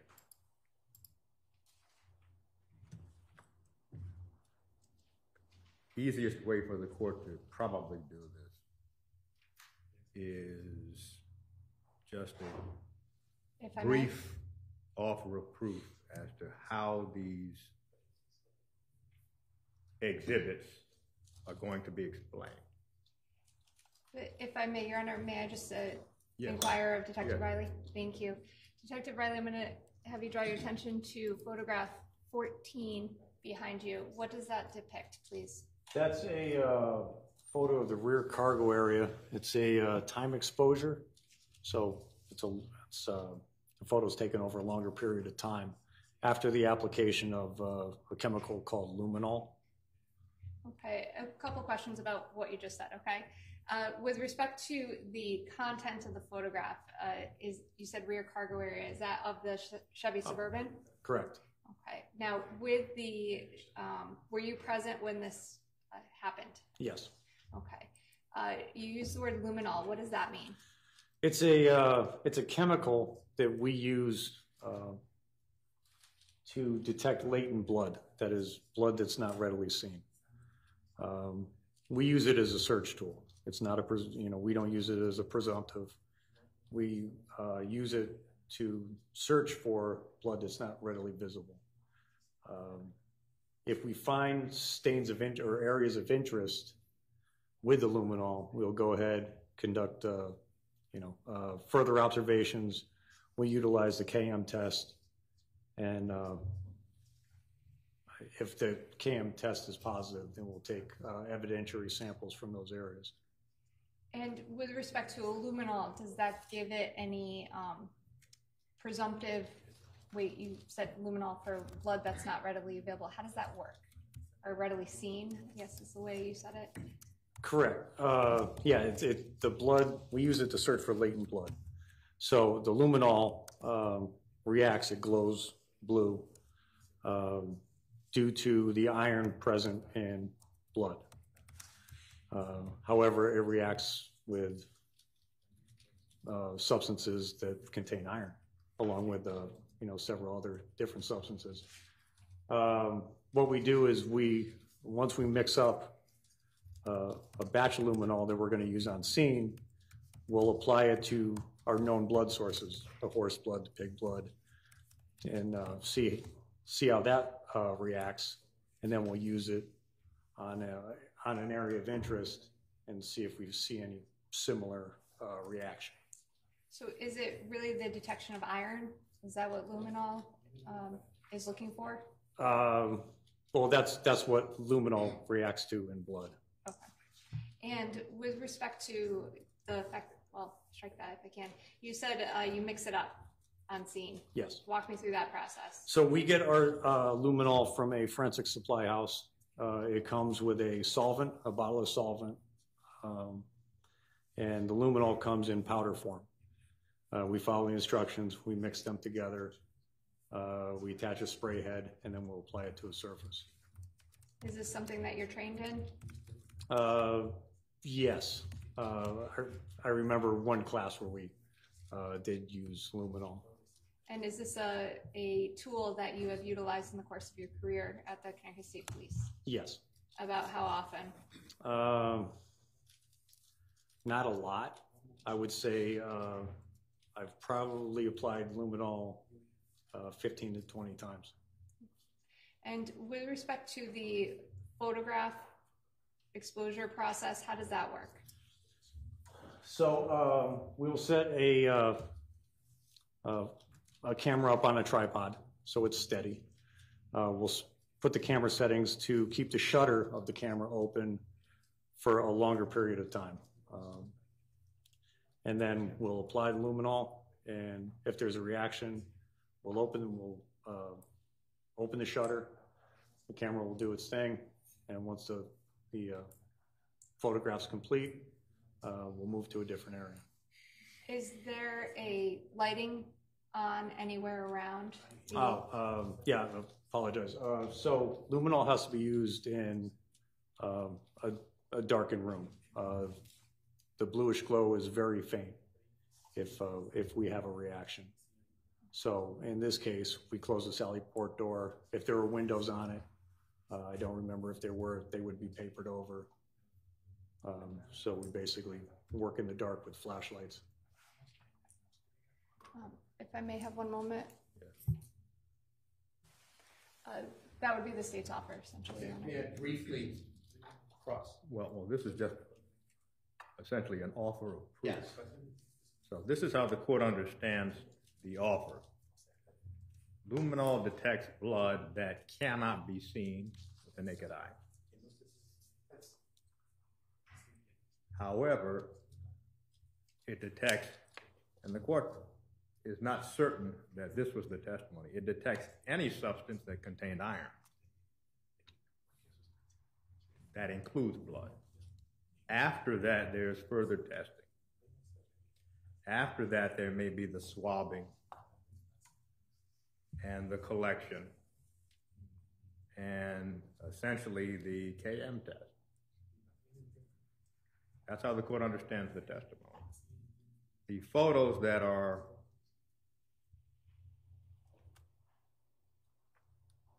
viewed at this time are time-lapse photos. In other words, this isn't a snapshot, as the court understands it. It's a time-lapse photo. The blue as it appears on the screen, as the court understands it, is bluer than what would be seen typically because the testimony and the offer was that the blue is very faint. Here on the screen, the blue is not very faint.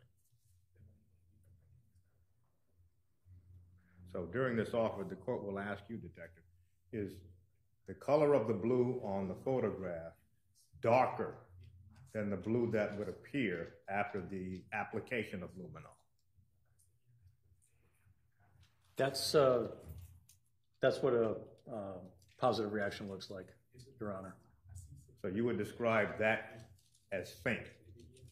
Uh, It's faint where if it was in natural daylight, you wouldn't be able to see it.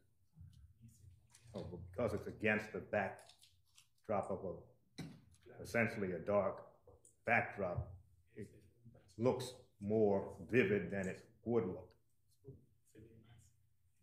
No, That's fair, Your Honor. Well, the defense is concerned, uh, Attorney Schoenhorn, you may indicate. Yeah, very briefly, uh, the latter comment by Your Honor, this isn't how it would appear even in a, uh, uh, in the detective's visual uh, appearance of the back of the vehicle. But my bigger concern is uh, there wasn't, uh, this luminol is not a detection for blood, it's a detection for iron. This is the back of a vehicle. It detects steel, iron. I understand it also can detect copper. It also can detect any vegetables or uh, that have uh, iron, such as turnips and horseradish, those kind of root vegetables, and a number of um, uh, any other kind of, of uh, food that might contain like meats and whatnot, or uh, hamburger if a, if a child was eating a hamburger in the back or it spilled a little bit in the back. So more so my concern than the, more so even than the concern I have about the Kastle-Meyer test, where there's an observation, it was a, um, a test was performed, a presumptive test, and then it was passed on. Here, there was no confirmatory test whatsoever. Therefore, and uh, when there was a when the DNA from these areas was uh, later tested, there was no DNA that uh, was determined to conform to the DNA of Jennifer Dulos. So, in addition to the concern I have about it being misleading, the additional concern I have is that in light of what is going to happen later, there is no uh, relevance to it whatsoever. And, um, and I'll just note as an aside, my other concern is that um, the court allowed in the, the Kastle-Meyer multiple times, suggesting that, well, I can take care of that in cross-examination. My concern, Judge, is that's shifting the burden to the defense to go over each and every time there was a, claimed presumptive test when it's going to determine that many of them uh, turned out to be negative when they were tested at the lab. But my concern here is different, at least in the other, um, my other objection. There was at least, as I understand it, the court said there was a visible item that was being tested and that was why the witness did what he did. Anything else here, he's already testified up until this point that there were items he swiped. He can simply testify that he did take additional samples in the back without getting into what luminol is, what it does, and since it doesn't test for blood, it tests, and I left out bleach is another uh, substance that, that glows when uh, luminol is applied. I, I don't know how that's going to, I don't even know if the state would then uh, not put on evidence of the, what was done in the back of the car, and therefore that leads to the defense having to call laboratory people to say, no, it was negative. It leaves a, a false impression that this was in fact somehow blood, when I think the court is correct it only tests for things that have iron in them. And I would note copper as is a is, is not iron, but it also tests for copper. But in a motor vehicle, all of those things, especially in the cargo compartment, would likely be found. And I'll just incorporate my prior um, arguments so I don't have to repeat any. If- Well, If I the- can the just court- clarify. The court can, can address this right now. The, again, issue of false impression, essentially uh, giving life to what may be considered to be misleading is not evident here. Not only is the luminol application far from conclusive, it is not even at the level of presumptive. It detects many more things than blood. It detects iron. Then there's further testing to get it up to the point of even being presumptive. So the court sees no danger for unfair prejudice or misleading evidence. The court is going to allow the evidence. Could the court uh, what I'm not understanding, the court's, I'm, I'm not understanding your Honor's ruling because what the court said is it has essentially no evidentiary value and then the court rules that it's admissible. I'm not, could the court at least articulate how it gets to that position? I'm just trying to understand down the road since we're going to be having this uh, happen more often than you think.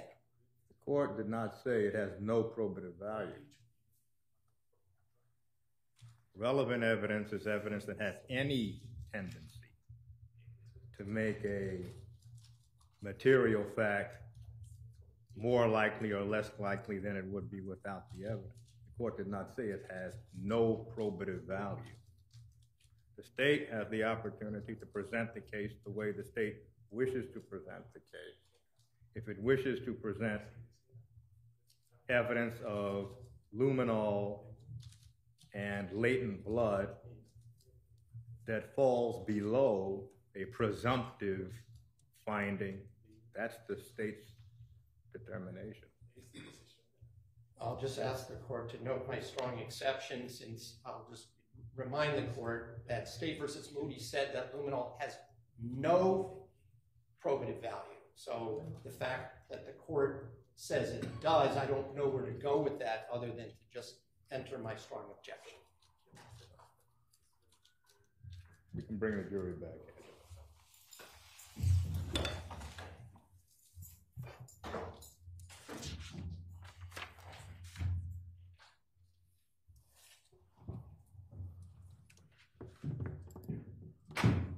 Just prior to the jury coming out, Your Honor, those three photographs are still ID only. Um, May I just inquire, are they moved to be full exhibit at this time?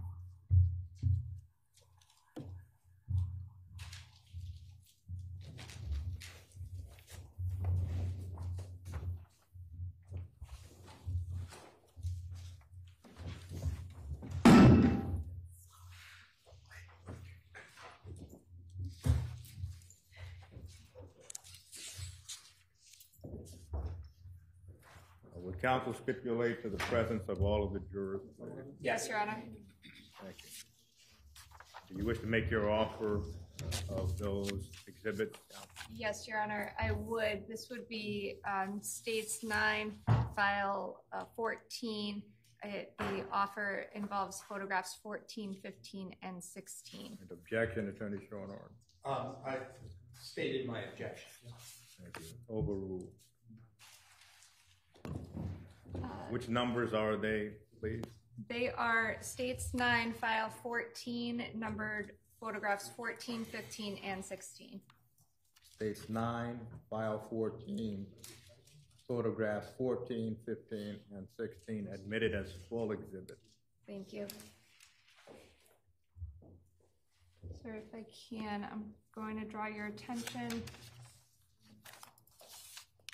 Here. um,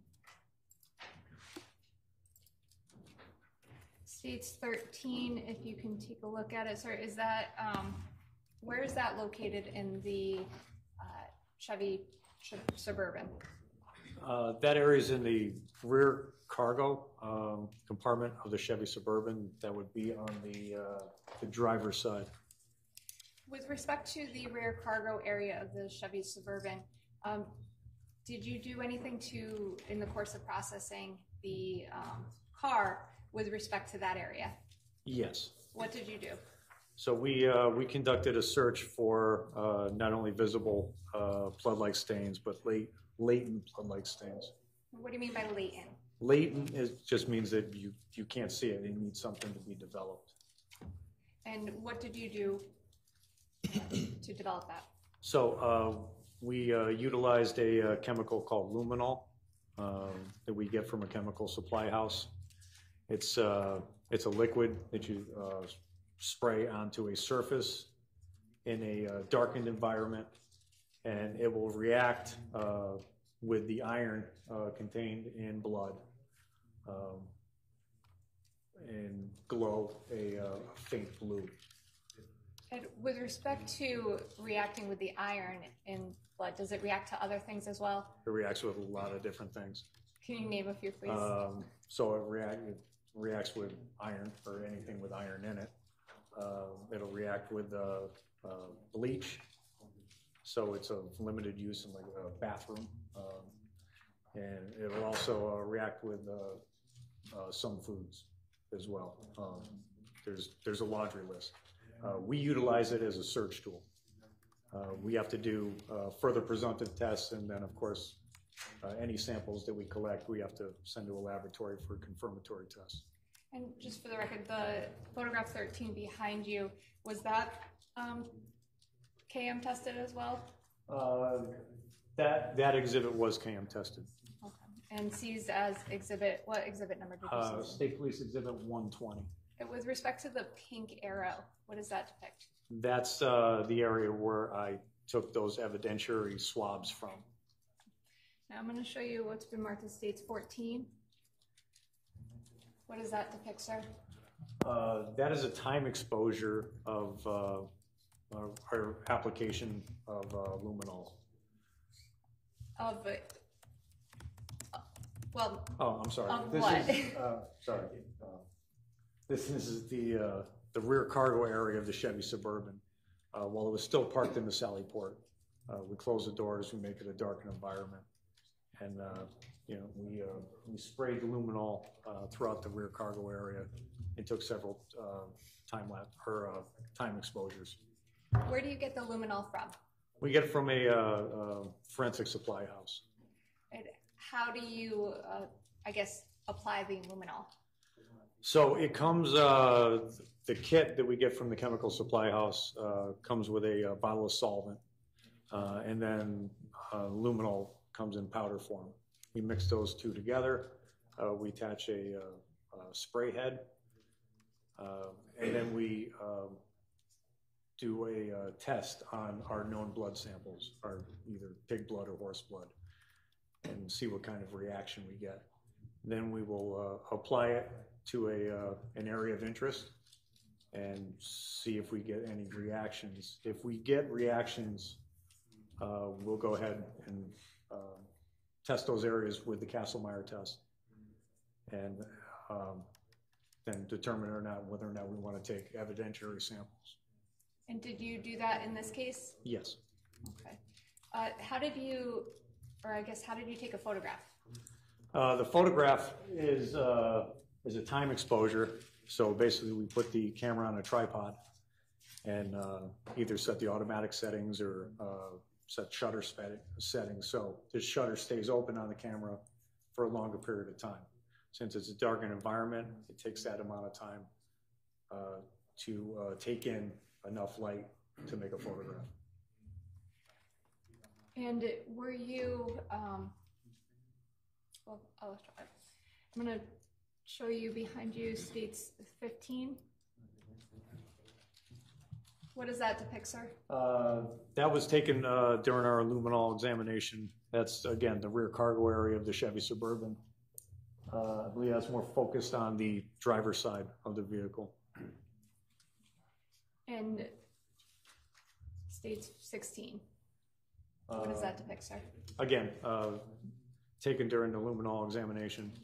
uh, and that's the passenger side of the rear cargo area.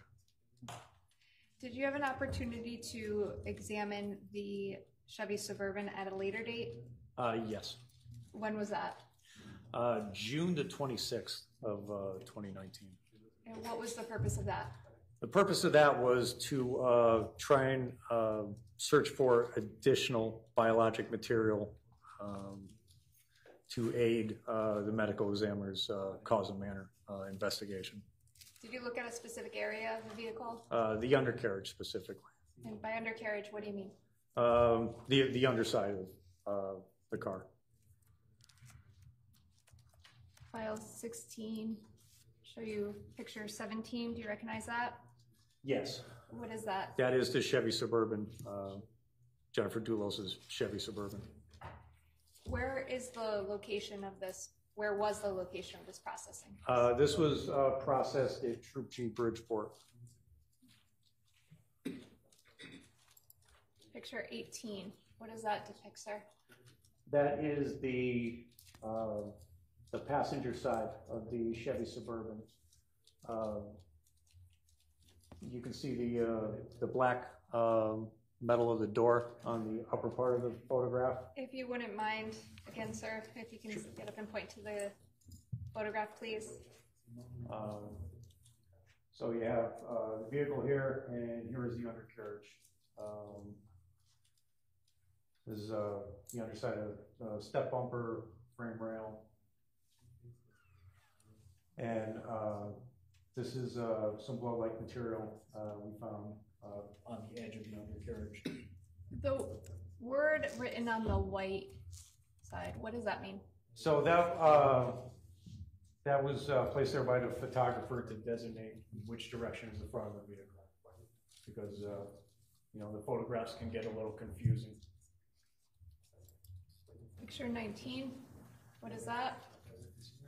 Okay, this is uh, um, uh, an item of interest that we found uh, during examination of the undercarriage.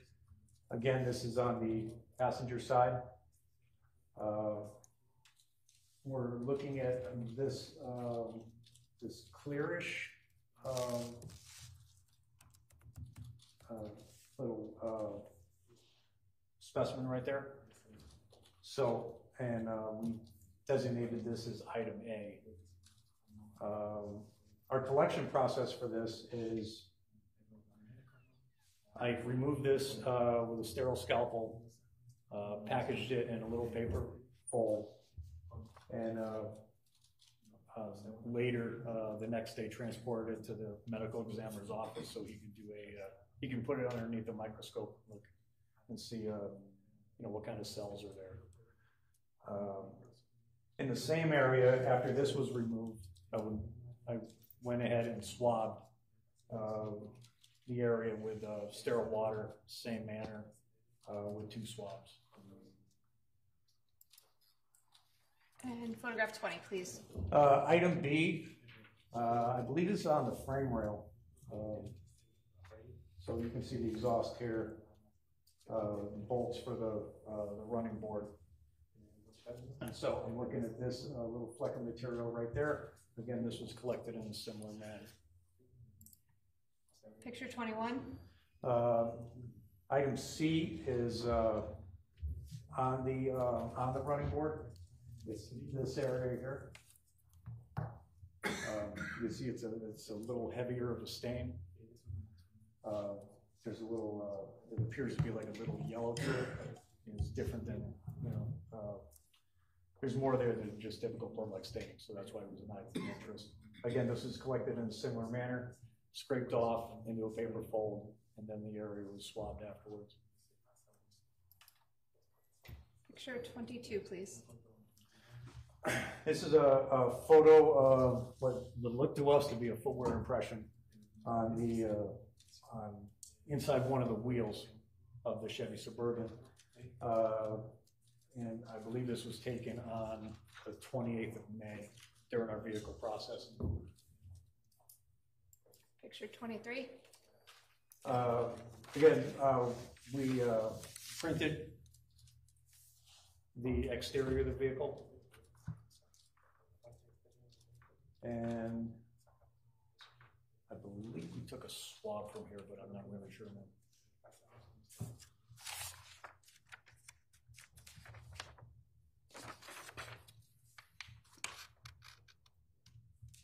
Would it refresh your recollection to take a look at your exhibit report? Yes.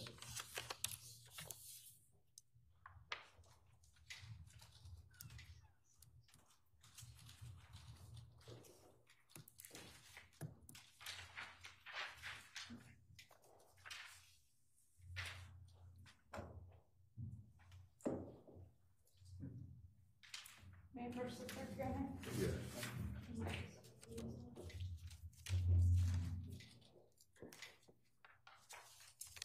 Sir, I'm gonna show you what's been marked as ID states twelve. If you can, just take a look, and please don't, um, read from it, let me know when you're done.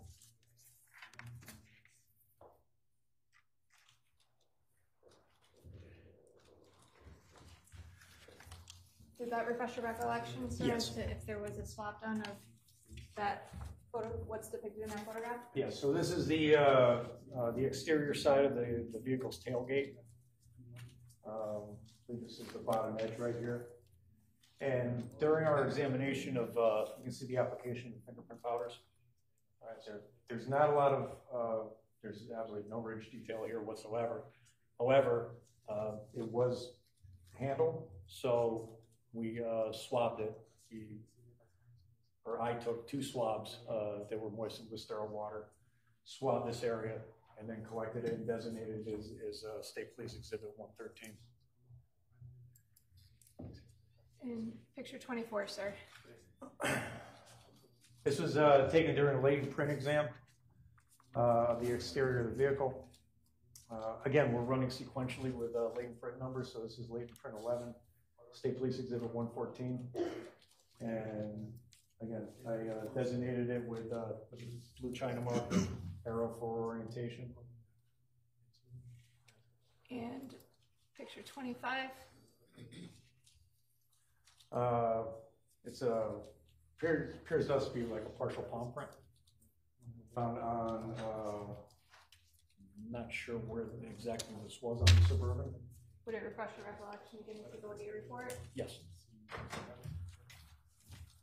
And just for the record, I'm almost done with this section. And one more question after this.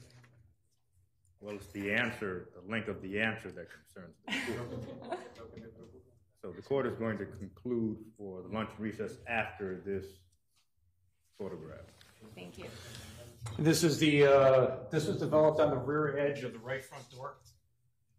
So, um, kind of near the, the window, okay? And so, uh, again, uh, designated as latent print number twelve, exhibit one fifteen, uh, marked and lifted in the same manner. Thank you. Okay, thank you. Ladies and gentlemen, we approach our lunch and recess. We plan to resume at two o'clock. Please do not discuss the case. Thank you.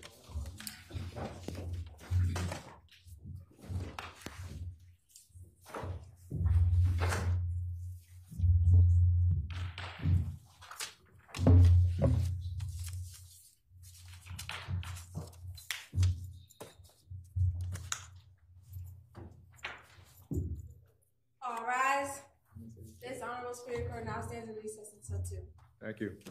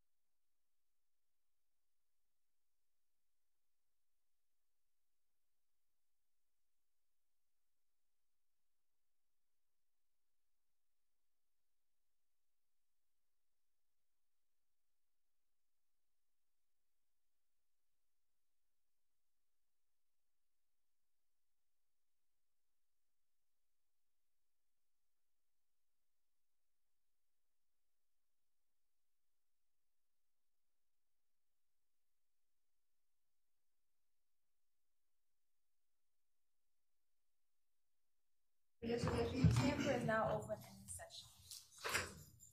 For a back session. Please be seated, you.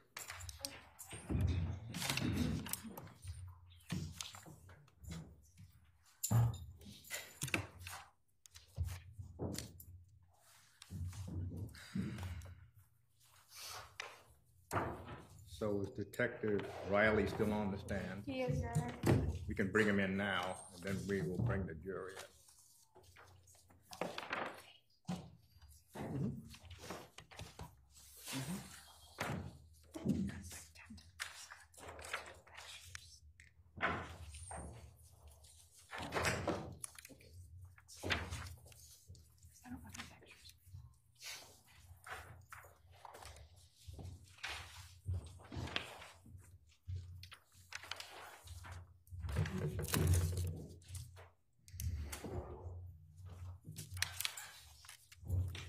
And Detective Riley can be seated. Thank We you. can bring the jury in.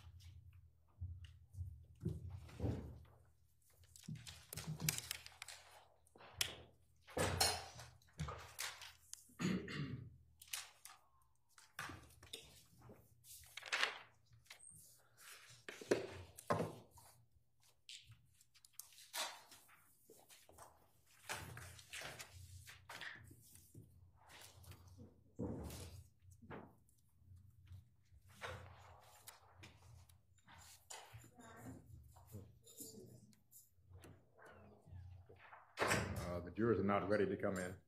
They're on the, they're coming out of the uh, jury assembly room. So we will just take a brief recess.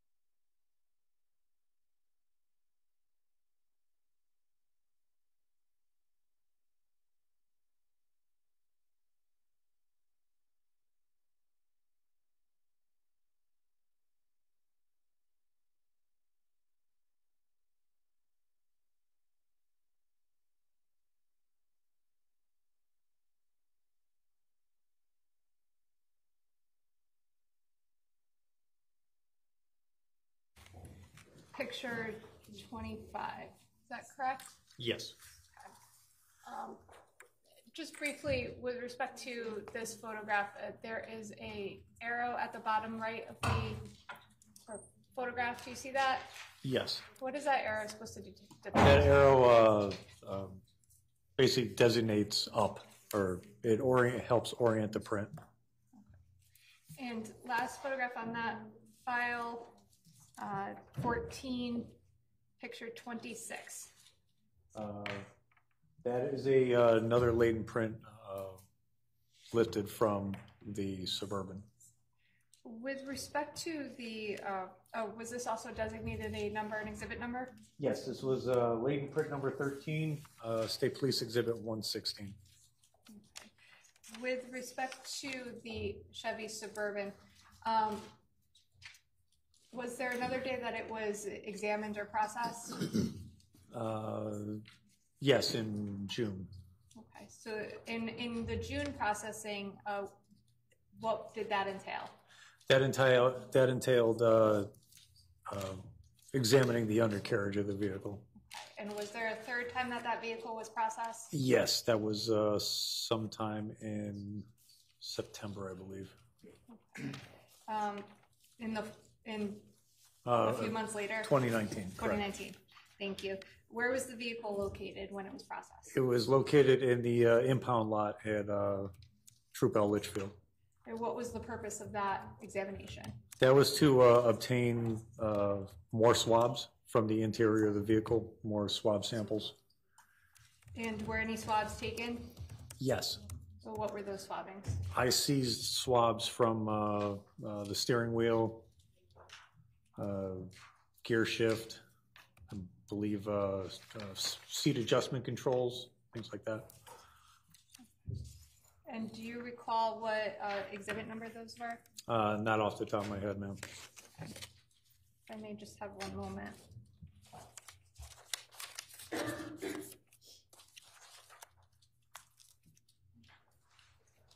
Don't have the box up here. Never mind. If I may just have one moment, Your Honor.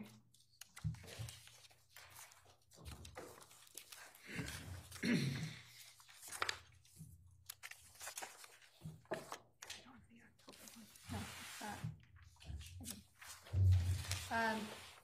I'll withdraw that, Your Honor. I don't have my file for that one.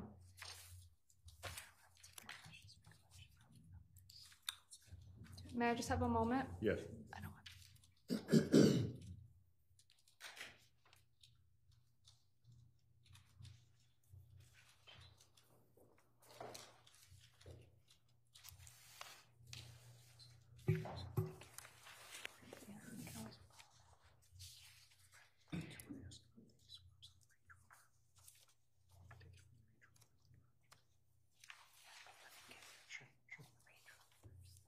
Okay, so with respect to the other vehicle that was inside the garage, the Range Rover, I'm gonna draw your attention specifically to States nine, file fifteen. If you can, take a look behind you, sir. What does that vehicle depict, please? Or, I'm sorry, what does that picture depict? That's the, uh, the front of the Range Rover that was parked in the garage at 69 Welles.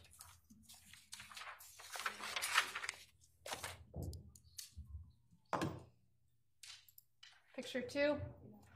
What does that show? That is the uh, driver's side of the Range Rover. And I'm gonna draw your attention actually down to and scroll in to the here where there's a pink sticky and a marking. It's a little blurry, but can you see what that depicts, sir? Um, I can't see, ma'am, but it's marked up uh, in a similar manner uh, of a swab being taken. Do you recall what swabbing that was? Uh, Can I take a closer look at the screen? Yes, and would it also refresh your recollection and take a look at your report? That would be better. If I may just approach the clerk, Your Honor. Yes.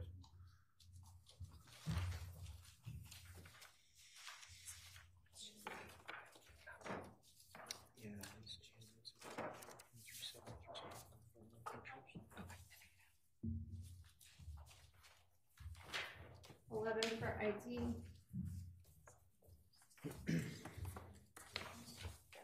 Thank you.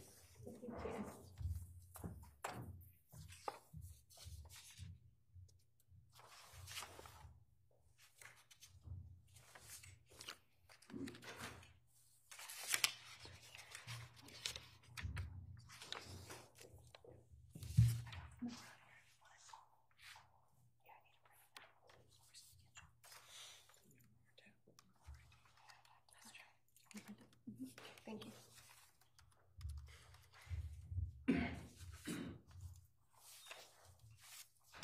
Did that refresh your recollection, sir? Yes. Uh, if you could, if you wouldn't mind, uh, what, if you wouldn't mind getting up and pointing to the screen again, I apologize. And could you please identify, if you could, to your knowledge and recollection, what uh, markings those are?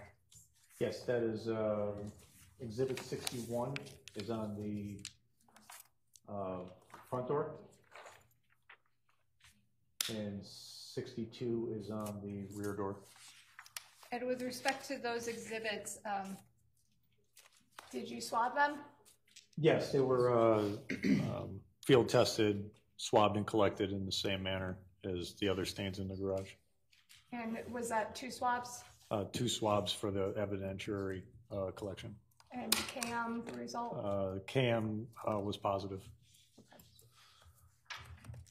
Uh, state picture three. What is that, sir? Uh, that is another, uh, blood-like stain, uh, found on the Range Rover. As far as location, I would have to refer to my report. If you could, sir, please.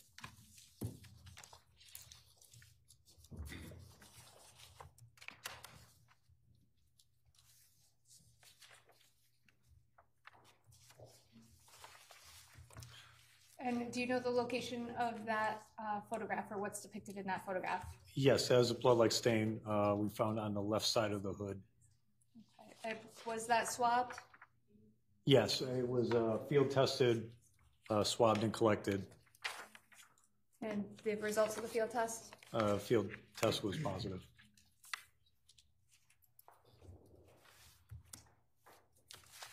Sir, uh, picture four out of file uh, 15, I believe. What does that picture depict, sir? So that's the, uh, um, exhibit sixty-one I spoke about, uh, before on the, uh, front door of the, excuse me, left front door of the Range Rover. Uh, And you can see the, uh, the apparent spatter pattern that the stain was, uh, collected out of. And same questions with respect to the, the seizing of it as an exhibit, please. Yeah, so that was, uh, that, um, field tested, it was field tested positive, and then it was collected in the usual manner. And that's uh, two swabbings? Uh, two swabbings, correct. Thank you.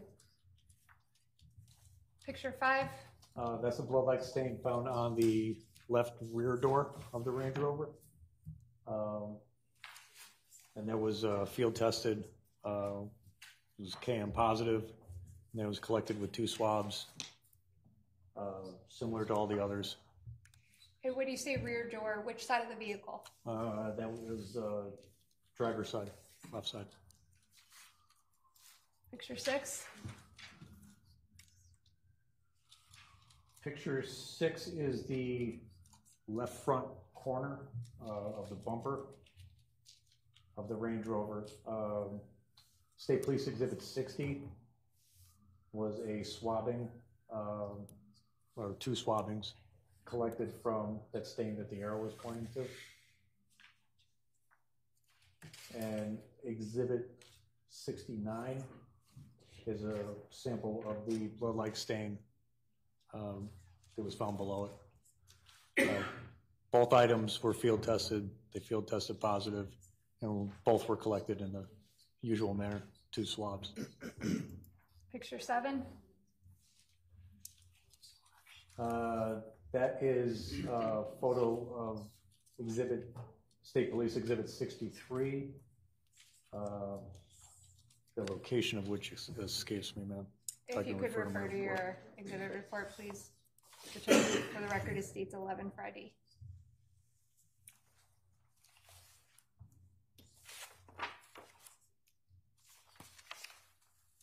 Okay, that stain is on the left rear fender of the Range Rover. Um, It was also field tested uh, positive with the KM test and was collected with two swabs in the usual manner. Picture eight, Uh,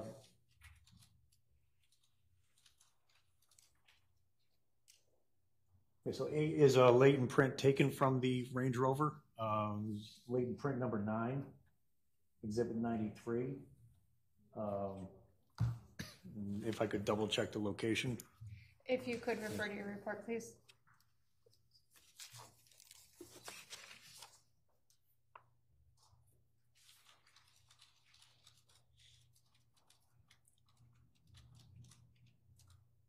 And latent print number nine was lifted from the uh, front fender.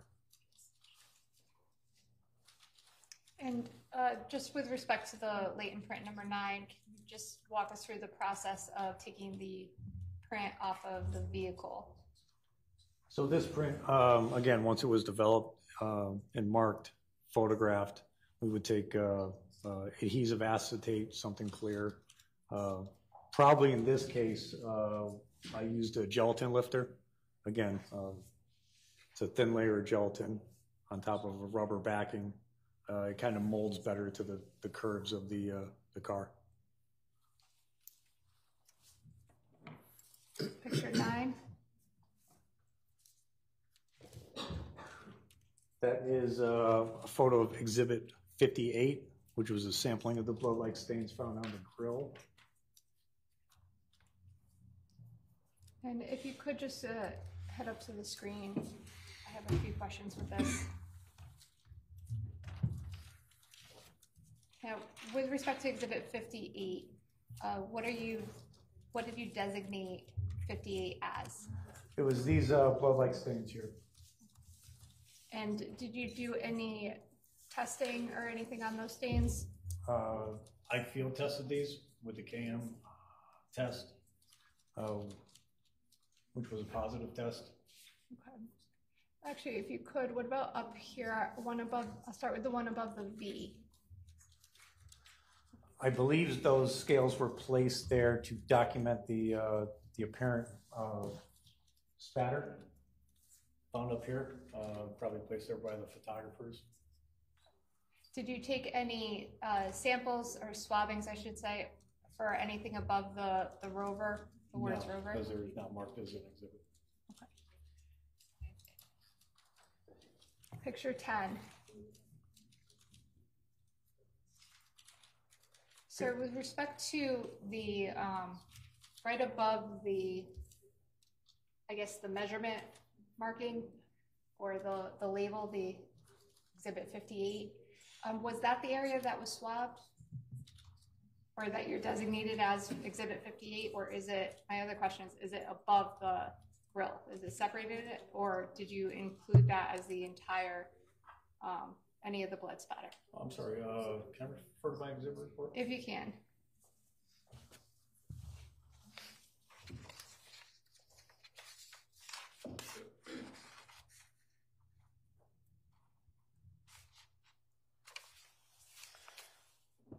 Okay, I was mistaken. Uh, This wasn't a blood swab. Uh, We were treating this, uh, this apparent uh, impression or a print and blood-like material that we found on the grill. Uh, We photographed this in the usual manner, I mean, in a manner similar to uh, the, uh, the way we did the prints on the floor. So uh, these were photographed, and then later the photographs were designated as Exhibit 58. So just to be clear, there was not swabbed in this? I did not swab this. Okay, and it was not tested or it was tested? Uh, I believe, um, Objection. I'm just asking to Well, clarify, Your Honor. The question is, was this swabbed or was it not swabbed? And the response was going to be, I believe. Well, there can be a follow-up question. Court will overrule the objection. I can't say for sure. And with respect to any, uh, any testing on it, do you recall if there was any testing on Exhibit 58? Uh, nothing beyond photography. We on to photograph 11. What does this depict? Uh, that is more blood-like stains on the grill of the, uh, Range Rover. And picture 12.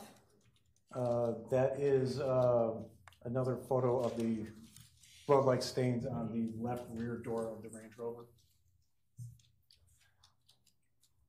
And what about this marking from, I guess, in the middle And of so- And um, along the side of the car, you can see in this road grime here, uh, you know, salt, dirt, sand, uh, you can kind of see it like a swipe mark through there.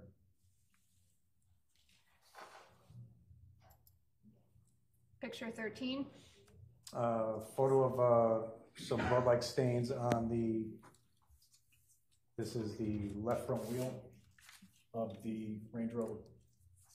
Now, with respect to the Range Rover, was there also a uh, additional processing?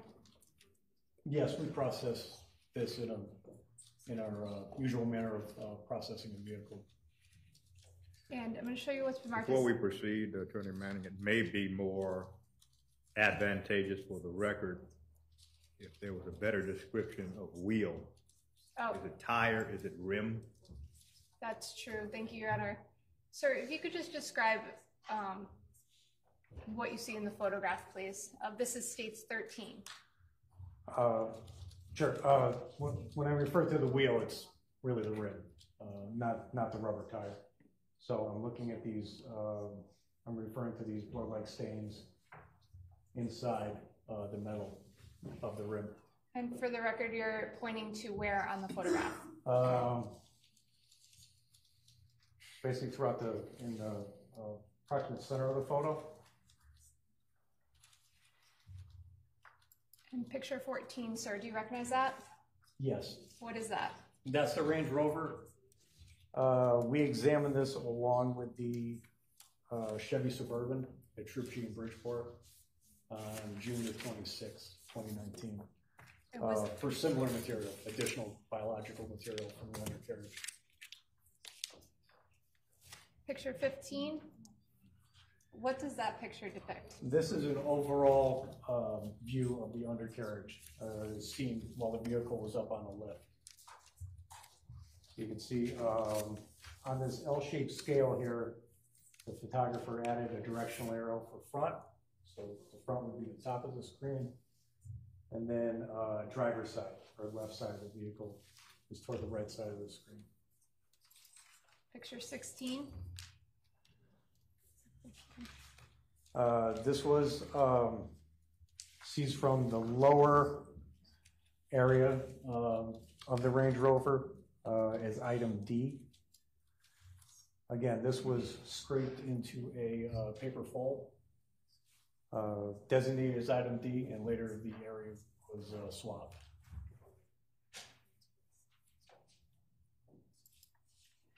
And item E. Uh, I'm sorry. Picture 17. With respect to item E on picture 17, Yes, this is is on that? the left side of the Range Rover. Again, uh, kind of around the rocker panel. So um, item E is designated by the arrow. This uh, material was scraped into a paper fold and later the, uh, the area was swabbed. and picture 18, please. Again, just a- another photo of uh, item E. Thank you, sir. You can sit down. I want to go back and ask you a few more questions about that October, um, October processing of the Chevy Suburban. Um, Do you recall how many exhibits you took, if any, out of the car that day? Uh, Not off the top of my head, ma'am. If I can. Would it refresh your recollection you go to your report? Yes.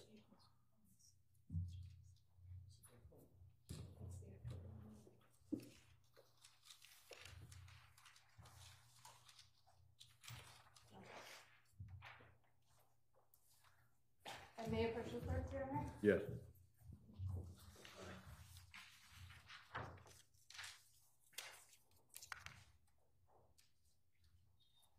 So I'm going to show you what's been marked as 13 for ID. Please take a minute and take a look at it.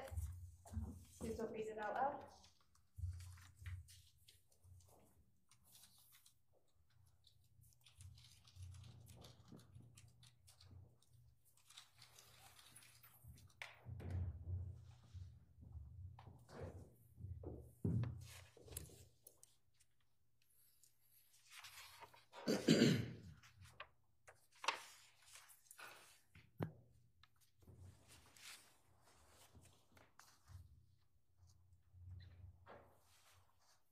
Okay, ma'am.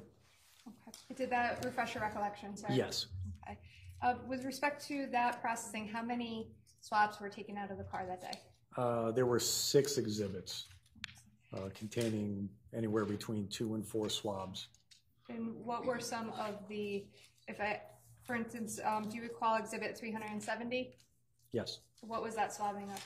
That was a swabbing of the uh, steering wheel, um, and that um, was complete with uh, four swabs. And are you utilizing a report to refresh your recollection on this? Yes. Okay. Exhibit 371? Uh, 371, again, uh, four swabbings from the steering wheel. Uh, These were from the um, areas with visible blood stains. Uh, The item before that, 370, was taken from unstained areas or apparent unstained areas.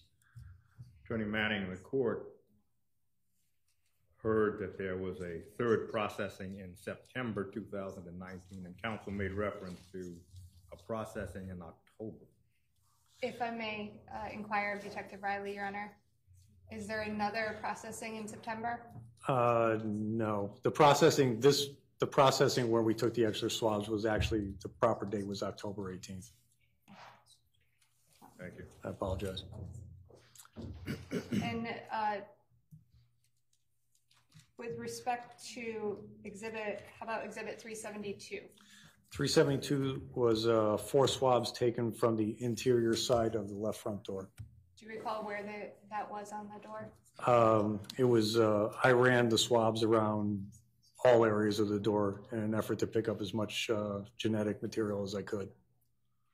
And Exhibit 373? Uh, That was taken from the, uh, the left front seat adjustments. Uh, This was two swabs. And by front seat adjustments, just what do you mean by that? So they're the uh, side buttons on, uh, on the driver's seat used to adjust, um, adjust the seat for the driver. And 374? Uh, 374 was uh, swabs taken from uh, the rearview mirror. And 375? And 375 um, was swabs taken from the rear seat controls in the cargo area. If I may have one moment, Your Honor? Yes. I have nothing further, thank you. Cross-examination, Attorney Shaw.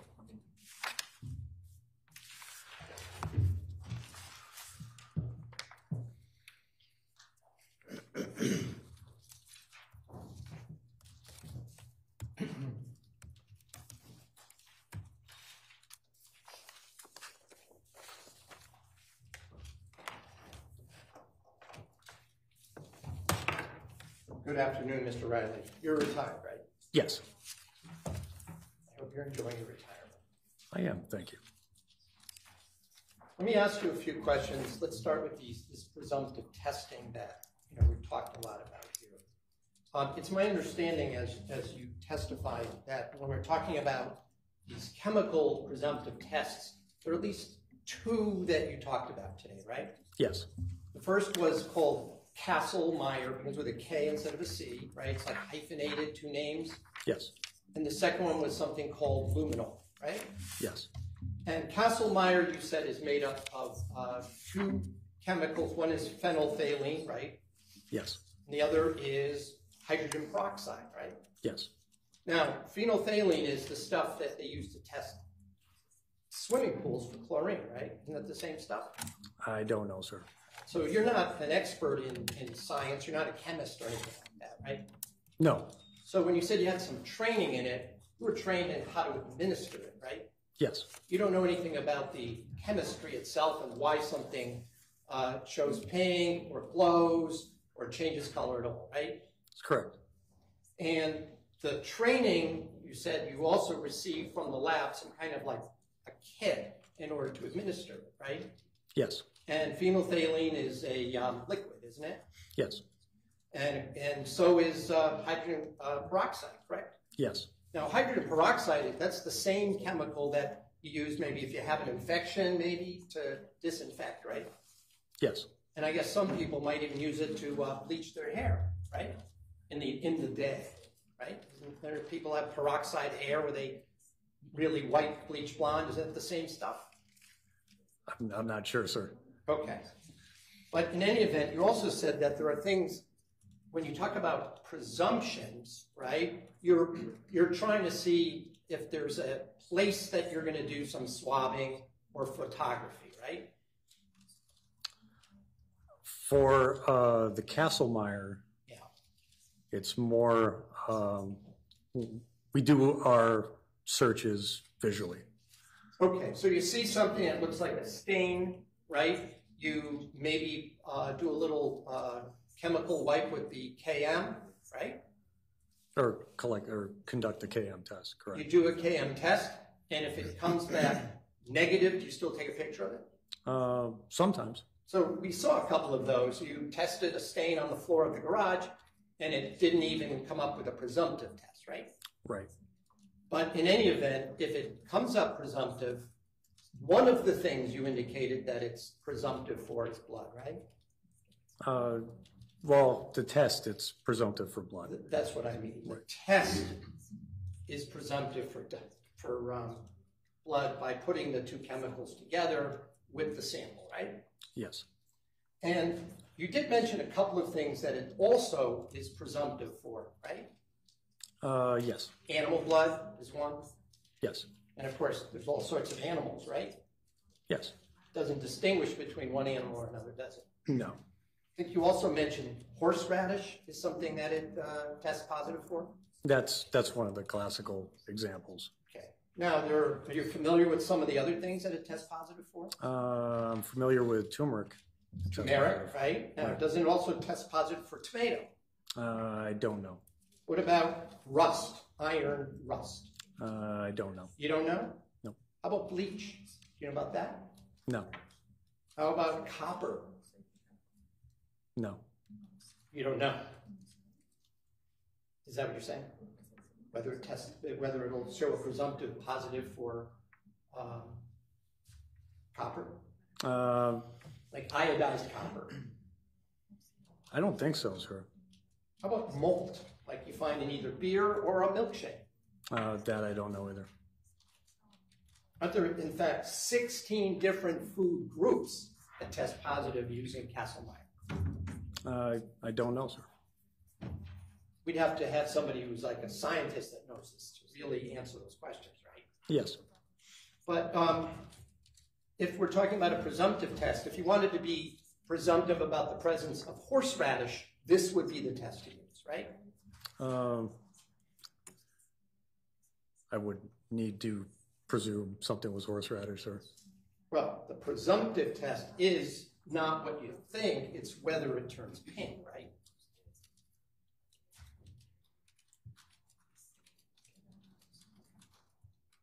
Yeah, I'm not sure I'm following your question, sir. I mean, it does react in a positive manner with horseradish. So I'm saying if I wanted to presume that a stain on my kitchen cabinet was horseradish, I might use this test? If you really wanted to. Exactly. And so let's say a, um, I don't know, spilled hamburger, piece of hamburger juice, that would test positive, right? I don't know. I've never tried it on hamburger, sir. Well, hamburger is basically animal meat, right? Yeah, but I've never tried it on hamburgers. Fair enough. But it would also test positive for, I don't know, a cat, little blood from a cat, right? Oh, yes, animals? Absolutely. Mice, right? There's a garage, right? If, you had an injured mouse, yes. But you would also agree, would you not, that you would need a confirmatory test done by a lab to see whether the presumption or assumption turned out to be correct, right? Yes. And you know that in your, ex- never mind this case, but in your experience, some of the things that you show a positive presumptive test turn out not to be uh, blood at all, correct? Um, I've never had that experience. Well, you don't do the actual testing, do you? No, I mean, when I learn of the results, I've never had that experience. So you don't know that in this case, that was in fact, several of these items turned out not to have any uh, evidence of blood in it? Objection, Your Honor. Sustained. You didn't even test all of the spots that we just saw pictures of, did you? Me personally, no, Yeah. I didn't. Let me ask you a few questions about luminol. We saw some pictures in the back of the, uh, of the Suburban, right? Including a couple in the dark where you see this little purple glow, right? Blue glow, correct, sir. Blue, purple. Um, Those were kind of like, with those photographs were taken with a um, time-lapse photography, right? Uh, yes. So they appeared brighter than they might with the naked eye, correct? Uh, I can't say for sure, sir. And you use that in order just to choose where you might take another spot, right? Yes. Now, you said that um, luminol tests for the presence of iron, right? Yes. So you know that a car is made out of steel, or most of them are, right? Yes, it is. And steel is an iron alloy, is it not? It is. So it would stand to reason that in a uh, motor vehicle, there might be some exposed metal places that might test positive using luminol, right? Uh, correct. So if you wanted to um, see if your car was rusty, you might spray some luminol on it, and you would have a positive glowing result, right? Uh, it, it would even glow on the non-rusted parts. Right, but you're, it would glow on even the non-rusted parts because you're in a car, right? Uh, yes. And if you're talking about, let's say, a car where there are children that have been passengers in that car, there might be all sorts of other things that will test positive for the presence of iron. Isn't that true? Uh, possibly, yes. You know that um, I think turnips also test positive for luminol, don't they? I don't know that for a You know, a lot of root vegetables have iron in them, right? No, You do know that. I do right? know. And it's, it's actually they're good for you to eat, right? Am I right? I'm going to object, Your Honor. Well, the question's not relevant, sustained. If you wanted to see if you maybe dropped a turnip on the ground in the back seat of the car, you might lose use luminol and it might glow, right? Objection. Ground. Irrelevance, and I assume it's facts, not in evidence. Well, the line of the cross-examination is a number of substances or fruits or vegetables contain iron.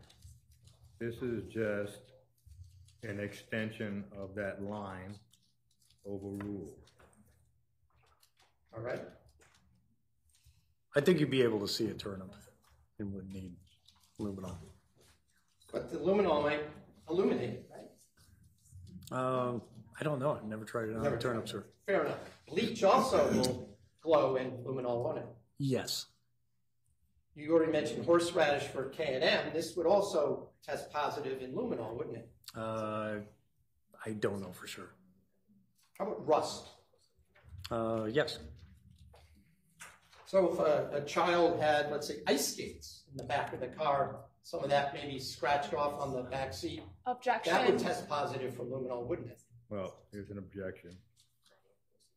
And it calls for a hypothetical, but the hypothetical isn't developed in such a way as to aid the jury. Essentially, what the question is, is since there are ice skates, ice skates have metal, probably steel. Steel is an alloy of iron. In other words, it's an extension, but the extension is becoming very thin. So the court is going to allow the question. And I will then move on, but if you want to just answer that question, I'm not going to go into a million hypotheticals. Yes, it's possible. All right. A lot of these photographs that we've seen were various angles of the very same spots that you tested, isn't that right? Uh, yes. So just by looking at these photographs, you have to look very carefully to see whether or not uh, three, four, or maybe even five photographs were of the same location that you did a swab, swab, isn't that right?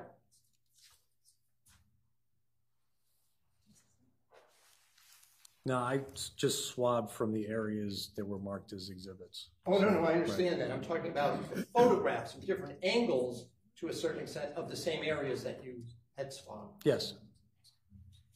I also want to be clear about the, uh, the measuring tapes that are in many of these pictures. The white tape is in centimeters and millimeters, correct? And I believe it's inches on one side too. Well, the yellow, isn't the yellow uh, the inches? Uh, you, you said the white tape, sir? Yeah, doesn't the white tape tape say metric on some of them in those pictures? Uh, I don't know. I would have to look at the pictures. All right, fair enough, but if, if you're familiar with the fact that there's a distinction between the metric system, which uses centimeters and millimeters, and the American measuring system that uses inches and feet, right? Yes.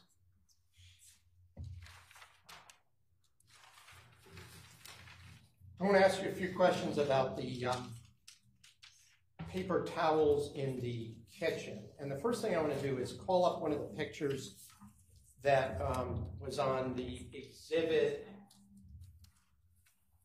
that was introduced through you, and if I could have eight one three nine. For, for your edification, this is the image where you put the, the state police uh, exhibit number thirteen on. If you would look at that screen behind you, sir.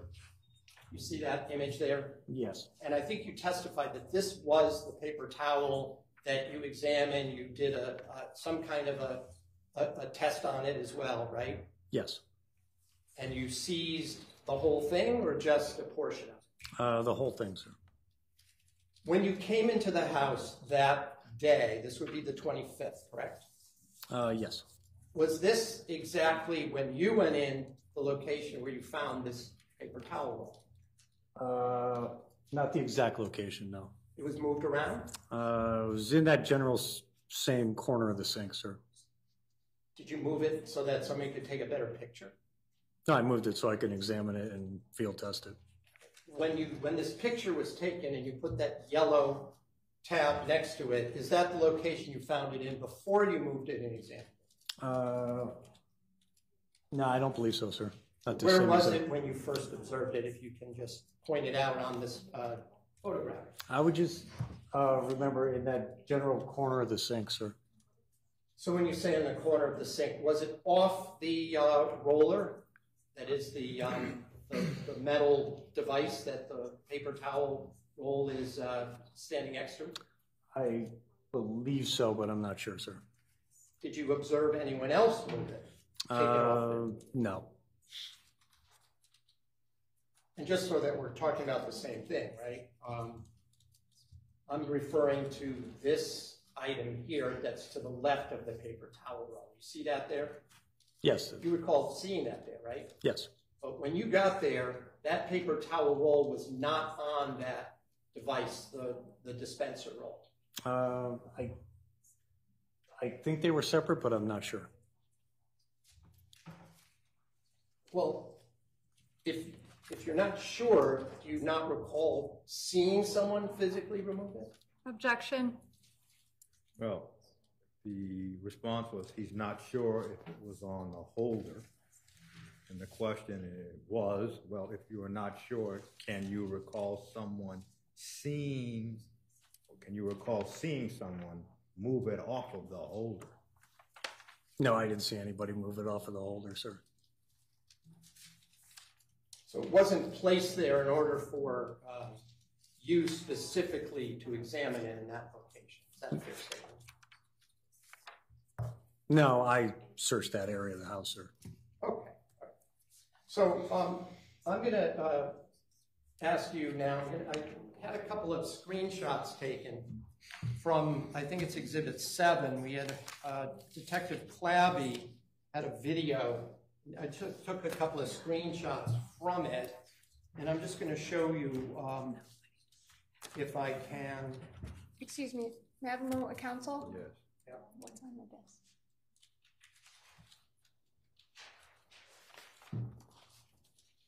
Tell you a second.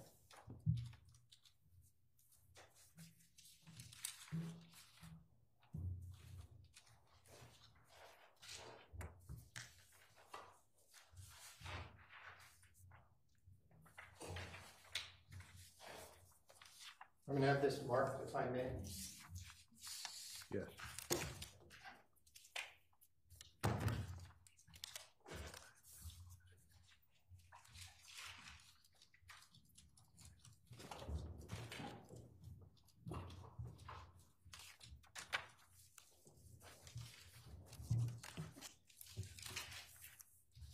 So I'm gonna show you, is there any uh, objection to uh, Exhibit That's those, A? Those two? that's this one, or this one? Yeah, that's, This one, that one. A. No objection, thank you.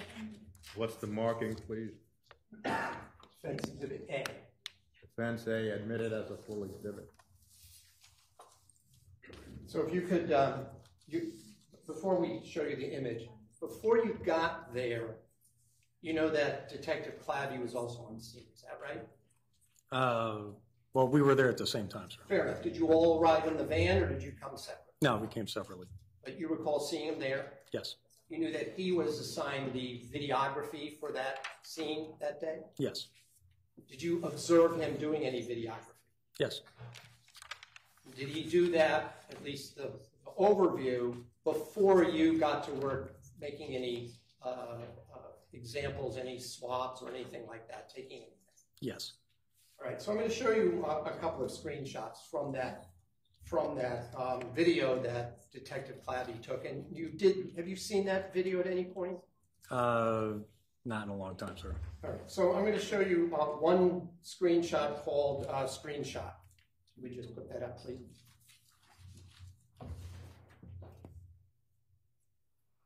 Now, looking at the uh, video screenshot that I've just put up here, you see that the paper towel is on the dispenser in that image, correct? Correct.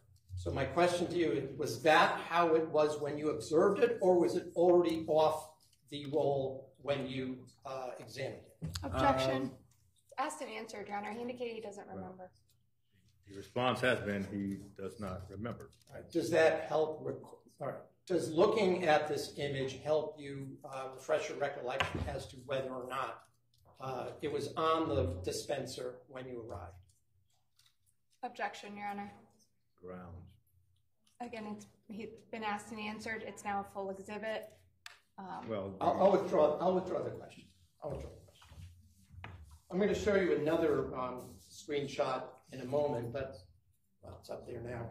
This is from the pantry. Do you recall looking in the pantry at the, uh, in that kitchen, between the kitchen and the mudroom? In, uh, Between the mudroom and the dining room, sir? Yes. Um, Yes. All right, so if you would just put up that image, this is also from the same exhibit. Do you recall that this was the view of that uh, pantry when you looked at it? Um, Yes, that's consistent. Did you take any swabs or collect any evidence from what's shown in that uh, image? I did not.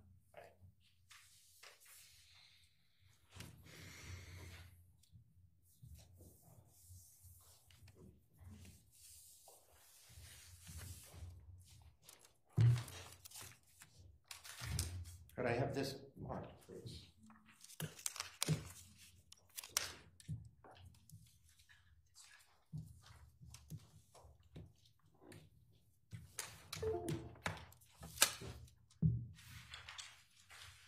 That's these two. wait, oh, that's the PDF. Mhm. Okay. I would uh, offer exhibit, defense exhibit B. No objection? No, sir. Offense B admitted as a full exhibit.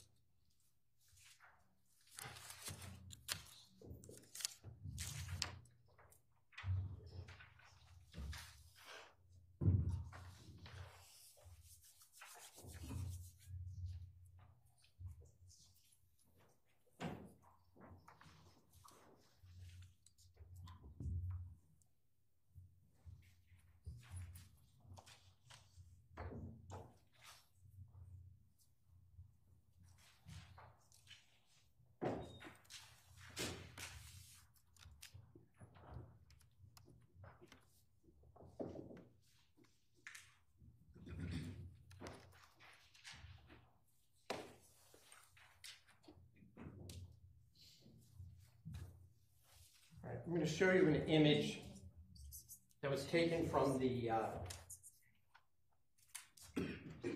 by the officer who arrived at New Canaan Police, uh, from the New Canaan Police Department on the evening of May 24th, 2019, all right? So we could have that.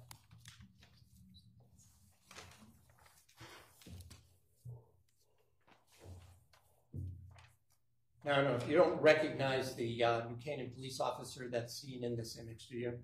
Uh, no. And I'll just note the time is indicated at 5:24:19 at um, 19:57 and 33. This is from State's Exhibit uh, 1, I believe, which was the video that was from the body camera of the, one of the patrol officers that was there that night. Okay? Okay. So again, I'm just going to ask you to um, note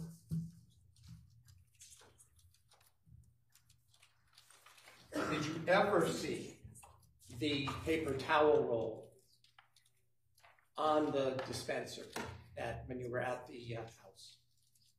I don't remember. Now, I'm also going to show you two other images. Um, I think uh, they're also from this exhibit. X8, please. It's image 0064 from that exhibit.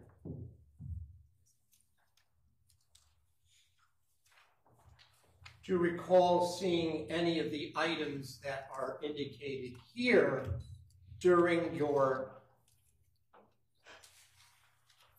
your investigation on May 25th, 2019, inside the home? Uh, specific items?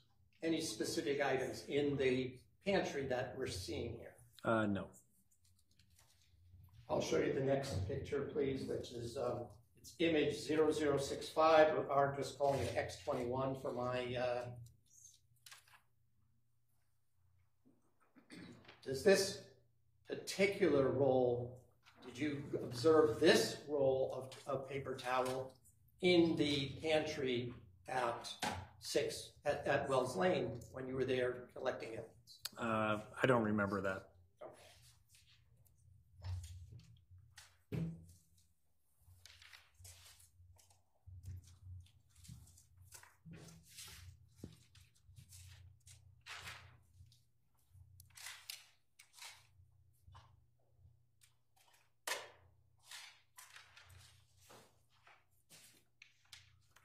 I'm going to show you a couple of pictures from the uh,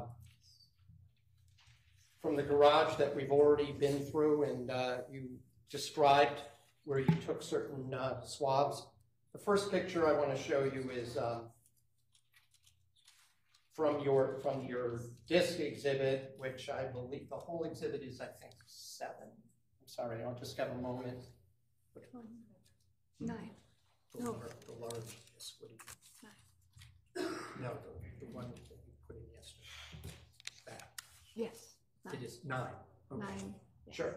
I'm going to show you some images from, from uh, Exhibit 9, if I may. And um,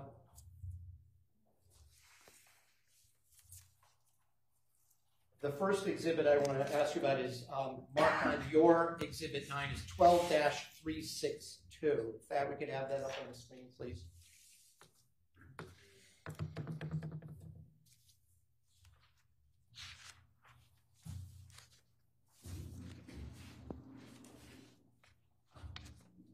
You recall, this is the exhibit that you marked as A16, or somebody marked as A16, correct? Uh, I don't think that was an exhibit. I think that was just for documentation purposes. All right, so let, let me also get that clarification. If there's a yellow placard, then it was, then it was seized as some kind of an exhibit for your purposes of your investigation. Is that correct? Or it was marked on a, on a similar label with EX, whatever. So the A no- letter, was, was that your writing on this document, on this image? No. This would be something that the, whichever detective was placing these markers down would have noted. Is that right? Yes. And I asked you this when we were first putting some of these pictures up. If we look at this image here, when you saw the, um, this particular marker, did you note the, um, the marking on the sticker itself?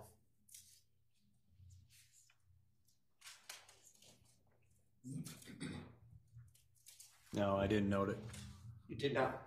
No. Okay. So you don't know how that got there? Specifically, no. Okay.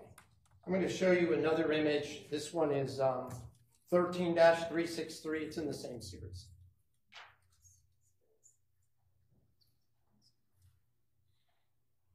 And um, this is also one of the images that you testified to yesterday, correct? Uh, yes. And I'm asking you specifically about the mark on the middle of this document here. Was that present when you were examining that particular uh, spot on the, on the ground? I, I don't remember it. You don't recall seeing that? No. And you also testified, if I'm not mistaken, that there was also a fair amount of, you called it vegetative matter, seeds or leaves and whatnot on this garage floor, correct? Yes. And did you gather any of those? No. Um, show you one more uh, in this series. This would be uh, 14-157.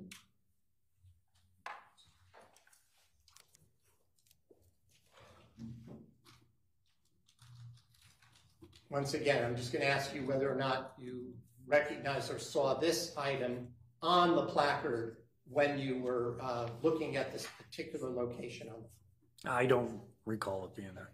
and when you talk about other items, whatnot, seeds and whatnot on the floor, are we talking about, if we look at this picture, are we talking about all of these other specific items, dots and whatnot that we see on the cement floor in a close-up? Is that what you're talking about? Um, yes.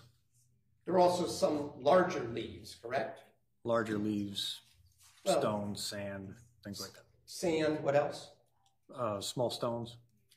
Before you, All proceed- just on the, what you might expect to find on a garage floor. before you proceed, counsel, the court needs to clarify something that is quite subtle.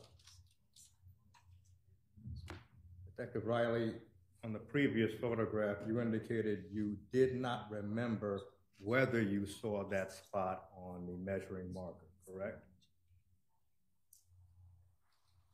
Uh, that's, that's what I said, yes, Your But then you said, I don't recall seeing it. Now, it may sound the same, but there's subtle differences. I don't remember whether I saw it. To this court means I don't remember whether it was there or not. I don't recall seeing it means, in this court view, I don't remember that it was there. Which one is it? It was the former. I did not take note of it, Your Honor. Thank you. With regard to the um, search of the um, Chevy, you said that you were sent back to take additional uh, samples in October of 2019. Is that correct? That's correct. And as I understand from your testimony, it was from additional samples of the steering wheel, Uh, yes, from the interior of the left front door, yes, from the front seat adjustment control, yes, from the rear view mirror, yes, from the cargo area, yes, from the rear seat controls, Uh, Weren't those one and the same, sir? Well, that was gonna be my next question. Were those separate places, or did you take them from the rear seat controls in the cargo area because the seats were down? Uh, Yeah, I believe, what I remember, the rear seat controls were in the cargo area. Because the back seat, the second row of seats were not up, they were down. Is that why you entered that way? I don't remember whether they were up or down, sir. You were sent back to do additional swabs because the first set didn't produce any information of value. Is that true? Objection. Well, the question is, you were sent back to take additional swabs because the first set didn't yield anything of evidentiary value. And what's the objection? It's a mischaracterization of evidence, assumes facts not in evidence, um, and, uh, Well, and it calls for a hearsay answer, Your Honor. well, let's take them one at a time. The Question was, you were sent back. That's one segment. Because what you swabbed the first time did not yield anything of evidentiary value. Well, whether you were sent back or not is not material. The second segment. Because what you recovered the first time was of no evidentiary value. Well, that assumes, in this court's view, facts that can be interpreted differently, but in this court's view specifically, it's misleading. Sustained. The purpose of going back in October was an attempt to get biological material from those locations in the, in the suburban, correct? Yes. And whatever you did, you made uh, the same kind of swipe type activity that you've described earlier. Uh, Yes. And then you sent that on to the, to the state lab at some point, right? Uh, Me, I don't know if I did personally, but um, that's the usual process. All right, Well, well, let me just, I'll, I skipped a step, all right? So you gathered it, and it was then sent into evidence, right? Uh, Yes. And then at some point, it was, that was done for the purpose of, at some point, having it examined by the state forensic laboratory, correct? I believe so. Not sure though, sir. Well, whether these particular items were then sent on or not, that would have been the purpose of collecting it, right? Oh, yes, absolutely. Just have a moment.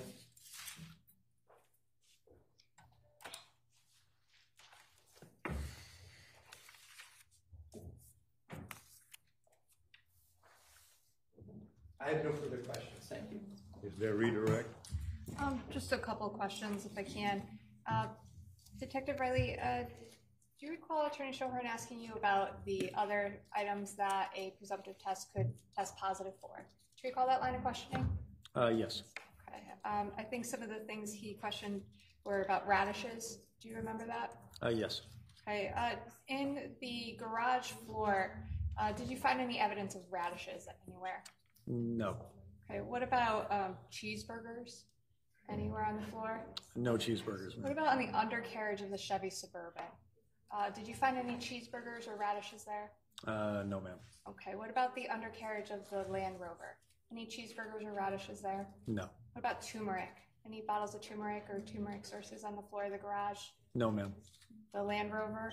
No. Uh, the Chevy Suburban? No. All right.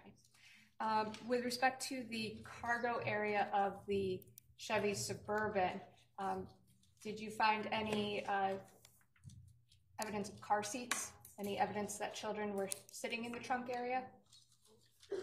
In the back? No, ma'am. Uh, with respect to that cargo area, did you see a lot of exposed steel and rust areas? Uh, No. Uh, with respect to, actually, that's all I have. Thank you. Just a couple of questions. In any of those areas, starting at the garage, do you find evidence of rust stains? Not that I remember, sir. Do you notice if, whether or not under the undercarriage of the vehicle, there was some rust? Um, Yes. No further questions. Nothing further, thank you. Thank you. Detective Riley, you may step down. Thank you, Your Honor. The time is now three ten. You have another witness for this afternoon, do you? We not? do, Your Honor. Judge, we do, Well- we have to take up a couple of matters. Correct. In advance. So what the court is going to do is allow uh, the jury to take the afternoon recess now. Well, how long do you anticipate uh, your argument on the matter that we have to take up? Think probably fifteen minutes, Your Honor. So we'll allow the recess now. It may be that the recess, ladies and gentlemen, will be a little more extended than usual. We hope you're not disappointed. We'll stand in our uh, afternoon recess.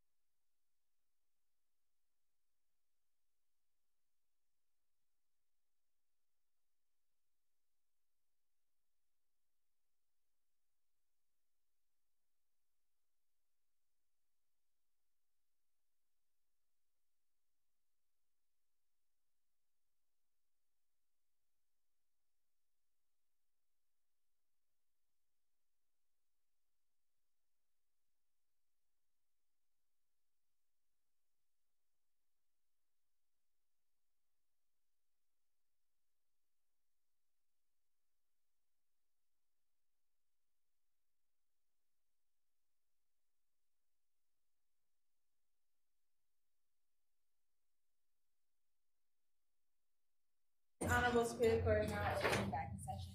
Good Honor. Good afternoon. Four A, back in session. Please be seated, thank you.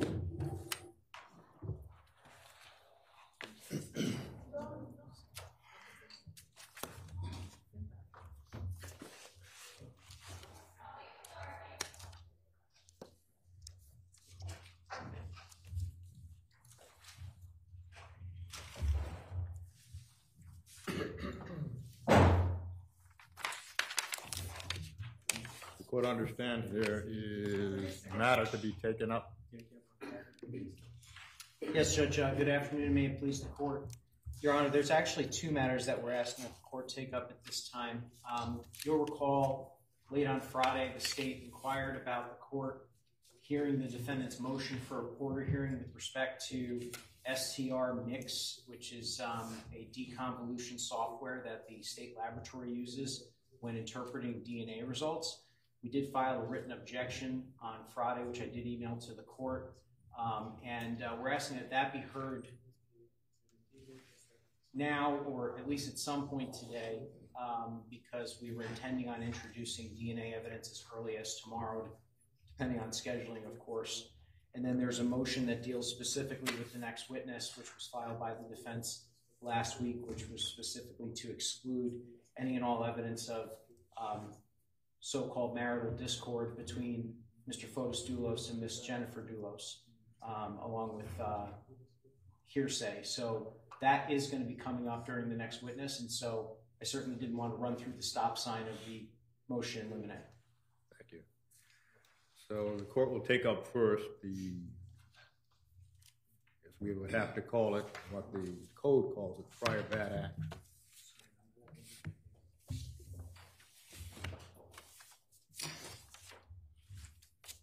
I just have a moment, Your Honor.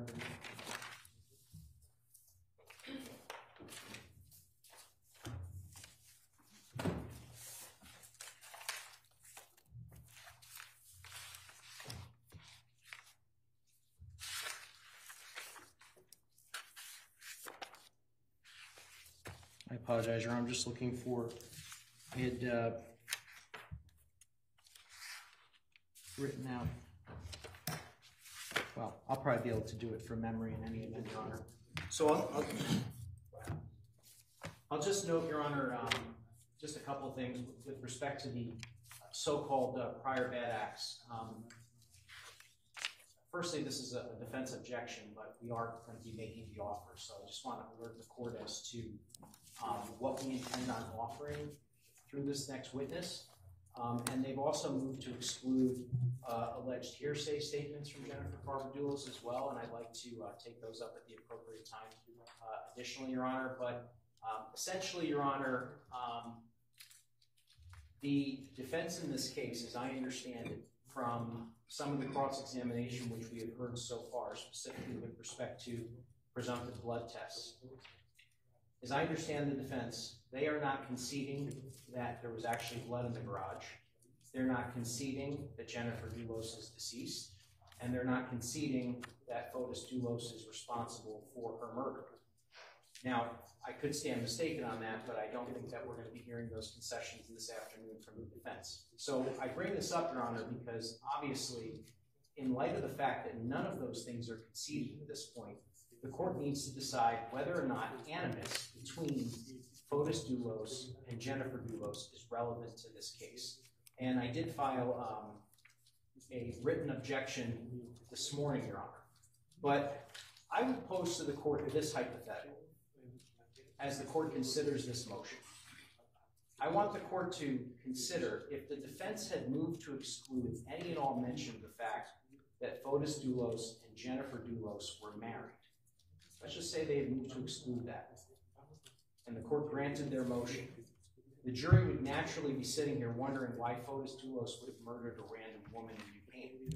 It is the story of their marriage and the story of their discord and the story of their divorce that served as the motivation that culminated in the death and murder of Dulos. That is our theory of the case. And Miss Lauren Almeida is going to be testifying on behalf of the state in just a moment. And what the evidence is going to reveal, Your Honor, is that she was the li- uh, nanny for the Dulos family from 2012 until 2019.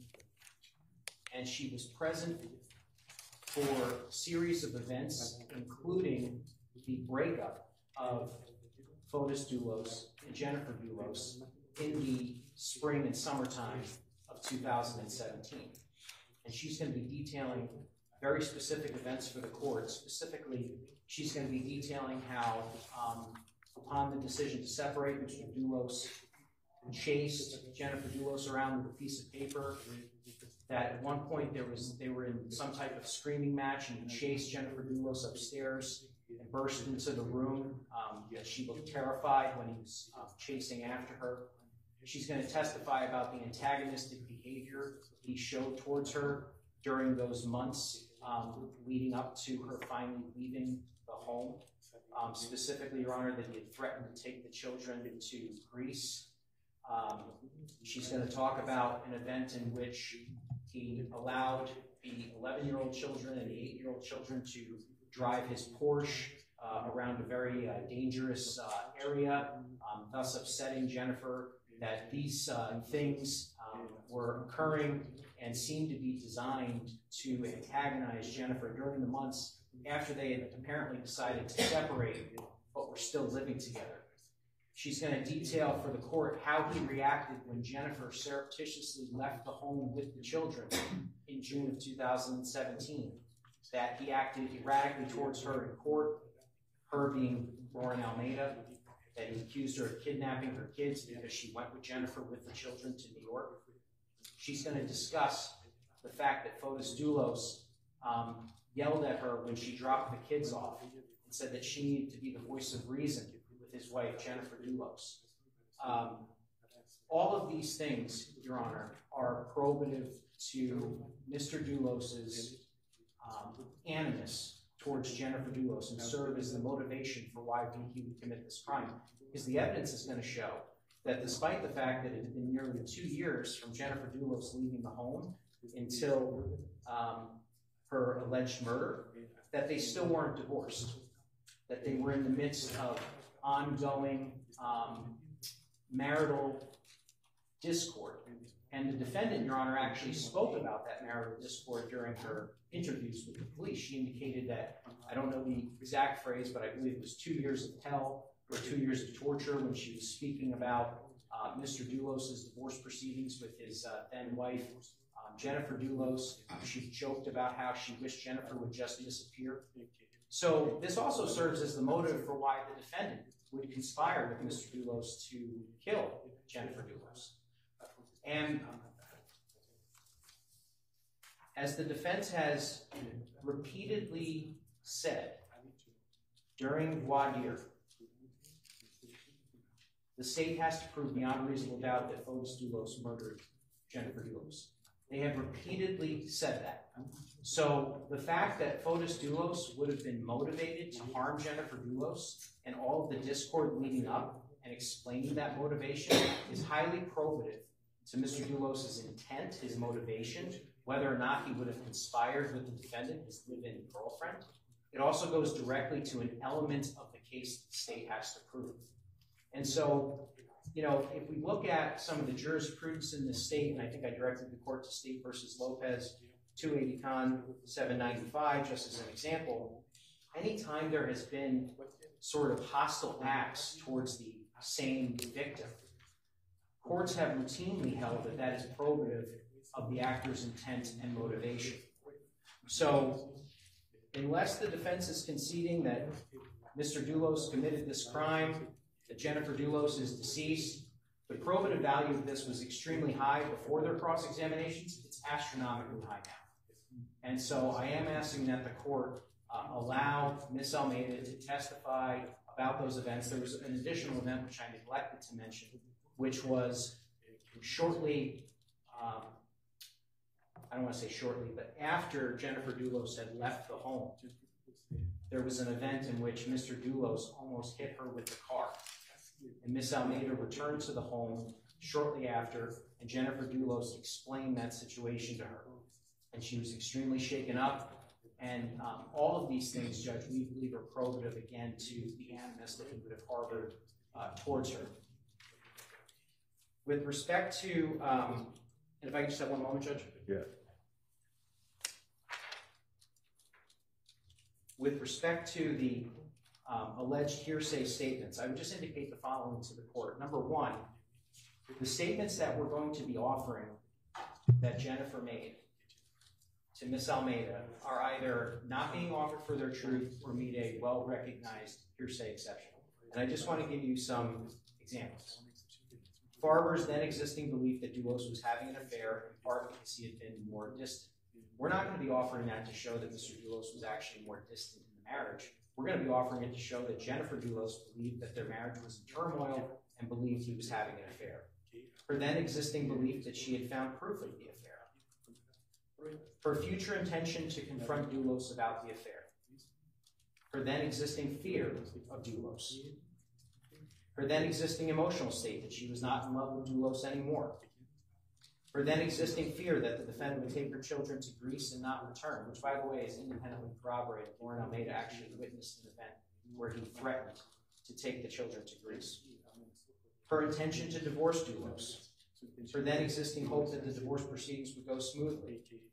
Her intention to leave the defendant, including her future plan to surreptitiously leave the house, and her fear that Dulos would find out.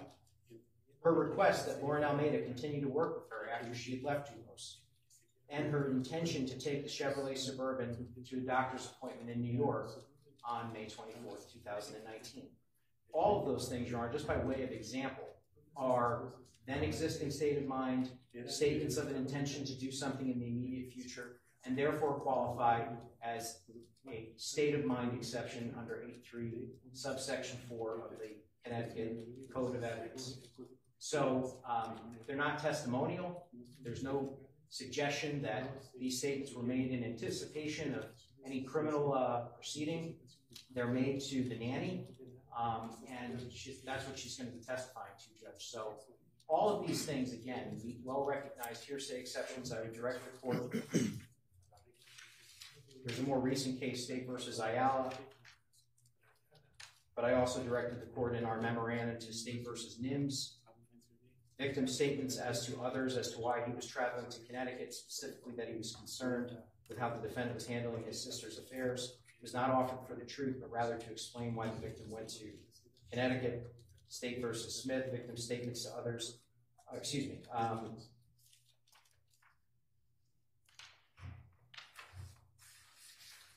with respect to the statements about the event with the car, Your Honor, we're offering those as spontaneous utterances. And um, I would just indicate that State versus Smith, which is 275 Con at 217, quote, it is well established in our jurisprudence that where a marital or romantic relationship existed between a homicide victim and the defendant, evidence of the victim's fear of the defendant suggests a deterioration of that relationship, which is relevant to the issues of motive and intent. Now, what I'm gathering from the defense, even though they're apparently not conceding that Mr. Dulos is even responsible for this crime or that the crime occurred at all, is that there's somehow spillover prejudice to the defendant. Um, but again, um, this is highly probative evidence as to why Mr. Dulos would commit this crime. We're going to flush out later on in the trial why it was also probative to why the defendant would conspire with Mr. Dulos. So we're asking that the court allow this evidence. We think it's very probative. Thank you. Attorney Schoenhorn.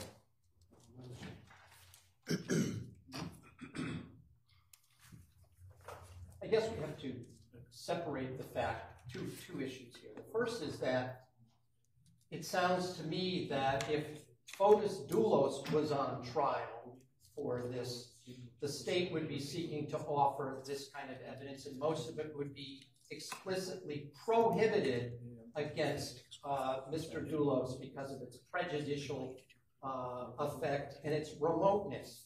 This court, early on, when before we started uh, evidence, I attempted to get certain documents from the divorce file because it sounds to me that the state wants to litigate a dissolution action that never reached its conclusion.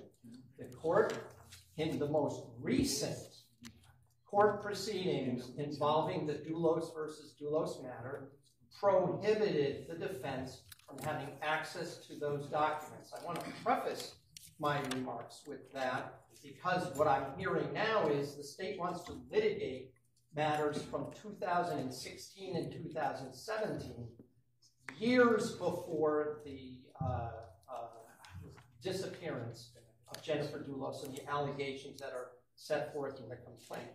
So, first, there, there are a number of, of issues that apply here.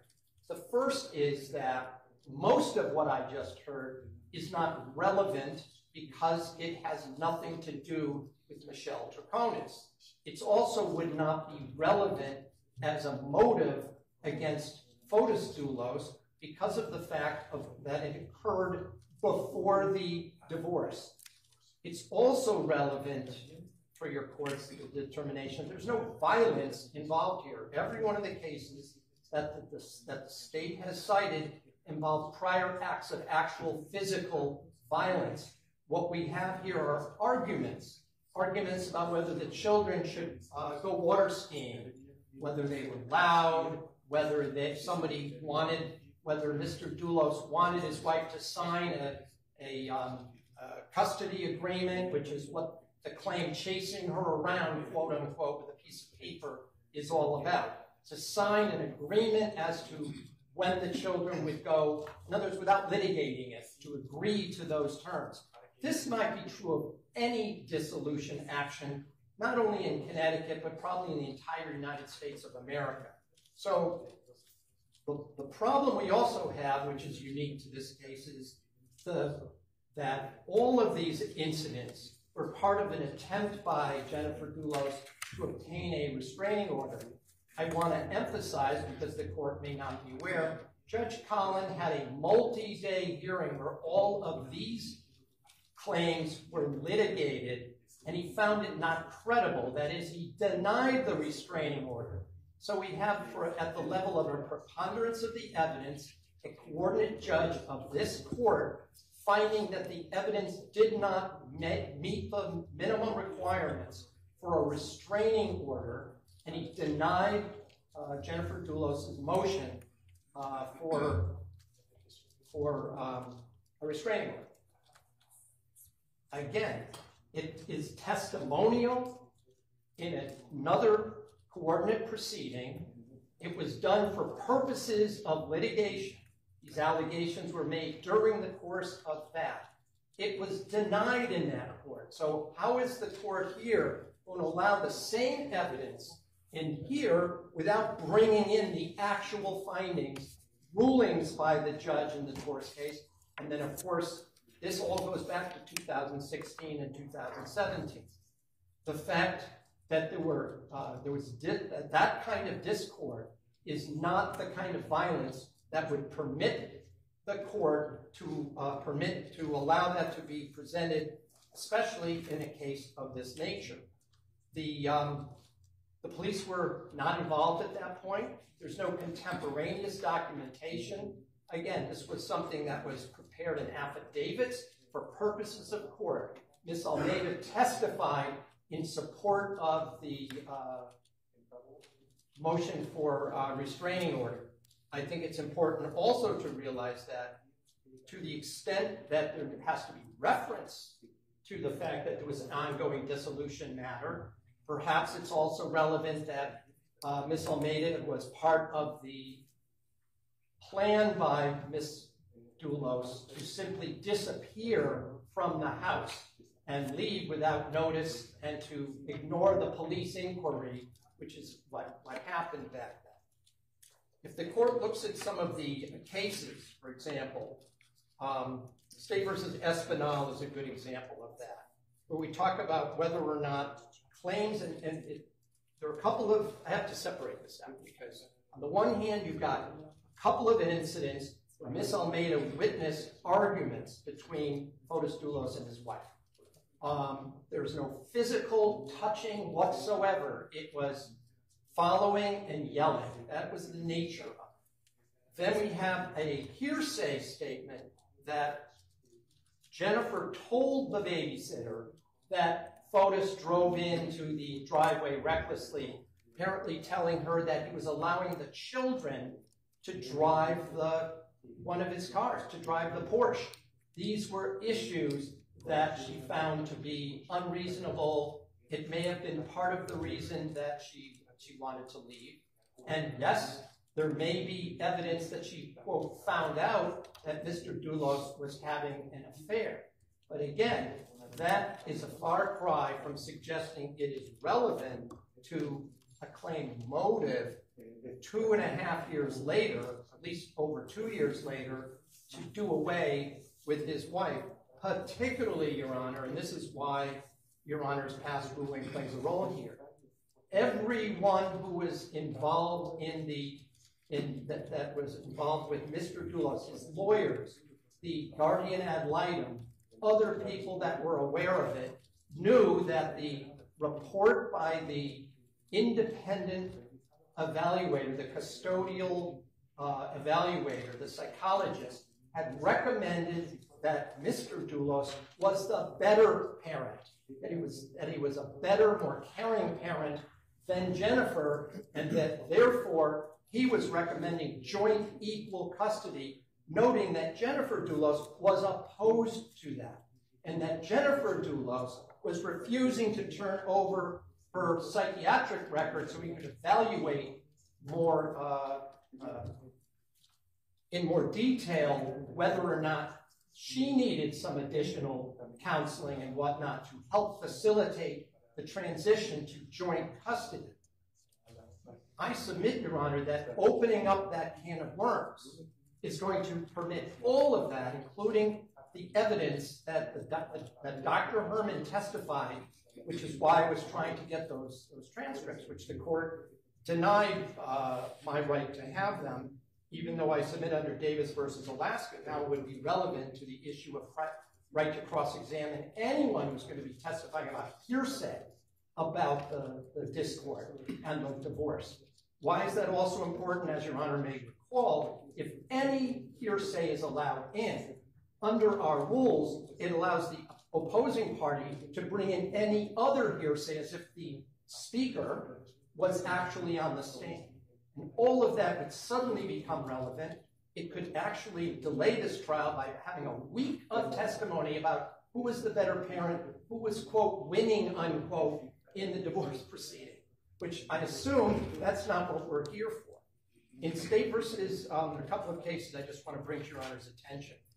In State versus Espinal, for example, there was some evidence about the, um, the marriage being uh, discord, but in that case, there was actual violence, and it was relevant because it showed the current state of fear of the spouse when the when there was when she disappeared. This is something again that goes back years, and there is no evidence, none of recent discord. In fact, Your Honor will, will hear at this trial that there was a party two days before at the New Canaan House. I don't know if Your Honor is even aware that this occurred, but there, there was a party at the house where Mr. Dulos was present, the children were there, the independent uh, evaluator was present as well, and uh, there was a sharing of food between Jennifer and her still husband at that time. So that that's going to come in no matter what. That comes in. But to suggest that the babysitter should be allowed to say, well, they were arguing, they were screaming, whether or not uh, he, at one point while they were still married, threatened to take the children to Greece. That has nothing to do with what's going on at the time where an evaluator, within three to four weeks of the disappearance, had concluded in an 80-page report, which I'll note I have, that says that Mr. Dulos would be the better parent for these children, but he was recommending equal uh, sharing of custody in this case. There's also the case, Your Honor, State versus um, Reynolds, where even though the court allowed in a narrow, narrow amount of evidence regarding the uh, uh, a claim of seeking a restraining order that never was filed, was only application of, its, of itself. None of the affidavit, none of the specifics of it, and the court was required to give a very, very specific um, cautionary instruction that could not be considered for the truth of the matter. But as I hear what Mr. McGinnis is saying, he wants this all to be about a claimed motive that he was yelling at his, there was argument going on years, a few years before, not in the interim. It's not, it wasn't like it was ongoing. Two years before, before she filed for divorce. And then everything else went through the court. They were using the court process the way it was intended to. She made claims, they were denied. They were in the process of trying to work out issues such as finances. They were working out uh, the custodial arrangement. Mr. Dulos was meeting with, was seeing his children, albeit, albeit at that time there was an order that he had to have a, uh, an independent supervisor because he had apparently told one of his children, according to the file, had told one of his children to uh, not mention uh, the fact that he had uh, Ms. Troconis moving into the house with her own daughter. And so as a result of that, they had issued an order that he could, for a period of time, that he could only see his children with an independent evaluator present, which was done, which was documented, which occurred on a regular basis. So I'm not suggesting that the, state can't bring up that there was an ongoing divorce. Number one, the only thing that Miss Almeida knows about it is hearsay. She might have read some documents. She might have talked to the lawyer for Miss Dulos because she did testify at that hearing. But again, that's an out-of-court statement, testimonial in nature. Therefore, all of that is both a not only hearsay, but it's a, a denial of right to confront and cross-examine because it was testimonial in nature. That is, for purposes of legal process. And it doesn't matter, it's not this case, it was for a divorce case that was in litigation at that point. Let's see if I've covered, there might be one more point I wanted to make. I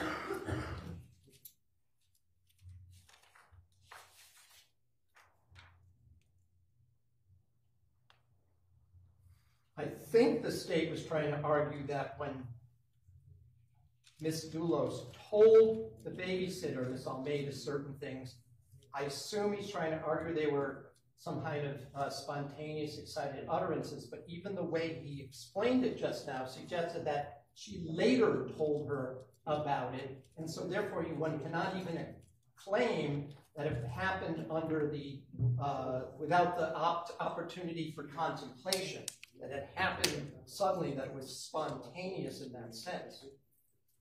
Um,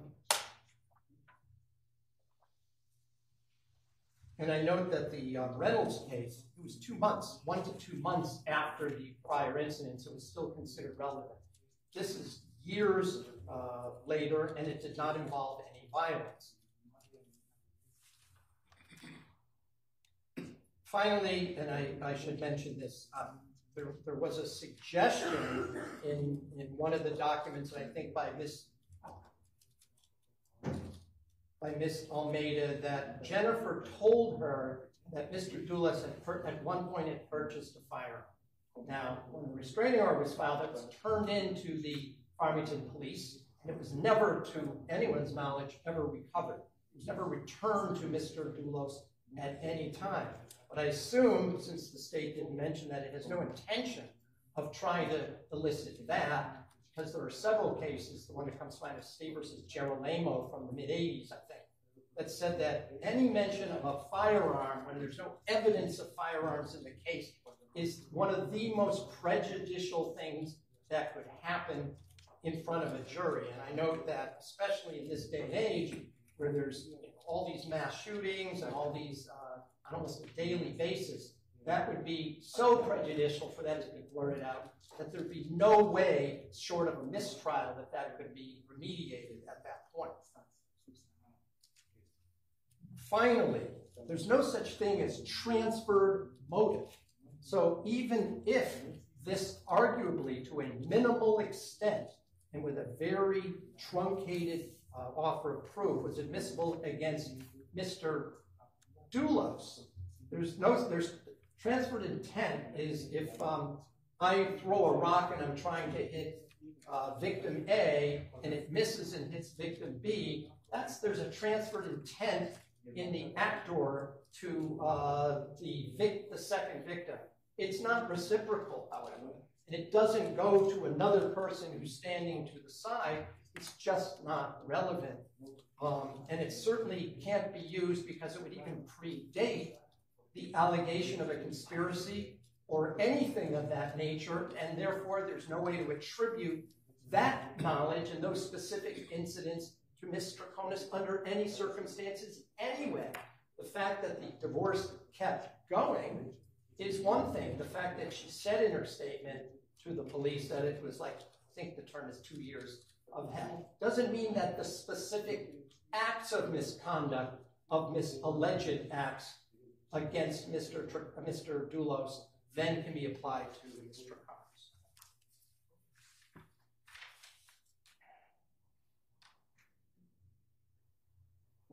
With, I'll just mention very briefly, there's been some suggestion that it goes to state of mind. Whatever the state of mind is of Jennifer Dulos is not covered in this case under either 8-3 subsection 2 or 8-3 subsection 4. Telling her that I'm going to be taking a certain vehicle to New York, for example, although not particularly prejudicial, is, you know, I'm, I'm only raising it because that's not the kind of state of mind that would be relevant to the examination. The fact that she was going to New York might be and then didn't show up. That is relevant, but to suggest that one person said, I'm going to be taking one vehicle when you have a choice of two is not the kind of evidence that goes to the state of mind. It's just not relevant or material in this case. Let me just see if I've um, make sure I covered everything.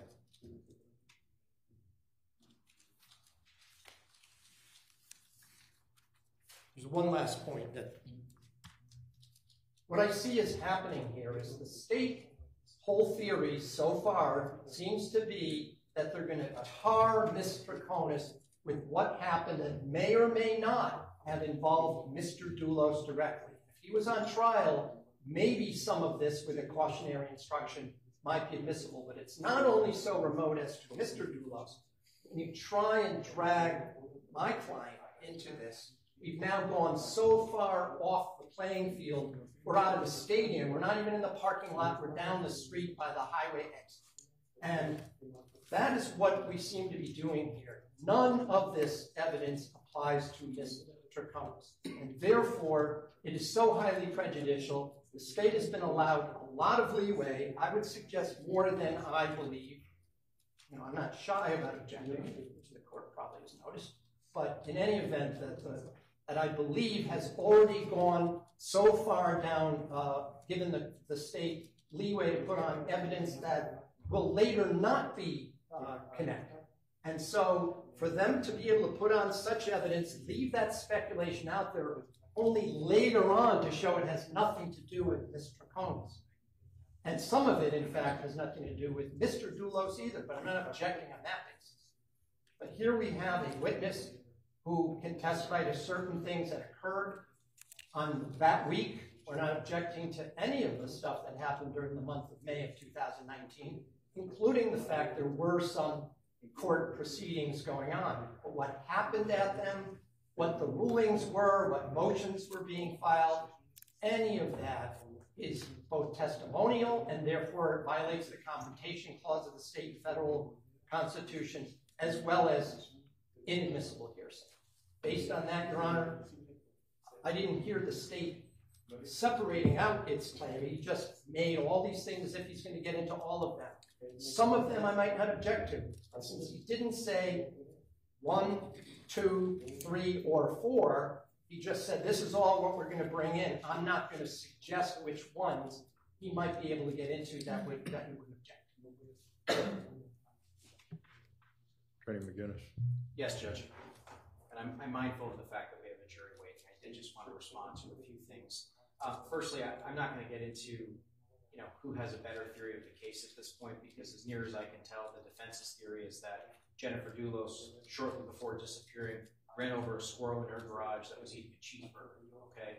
So the issue I'm going the to object court to such is- pejorative, sarcastic remarks. Your Well, well, before we proceed, there's no jury in the courtroom. The court can understand the cut and thrust of argument. The court is not going to rule on an objection that is not evidentiary. The Court can understand that against some comments, counsel, either for the defense or for the state may take offense.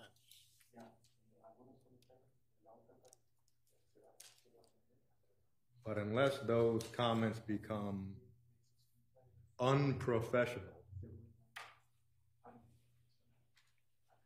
the court is going to allow both parties to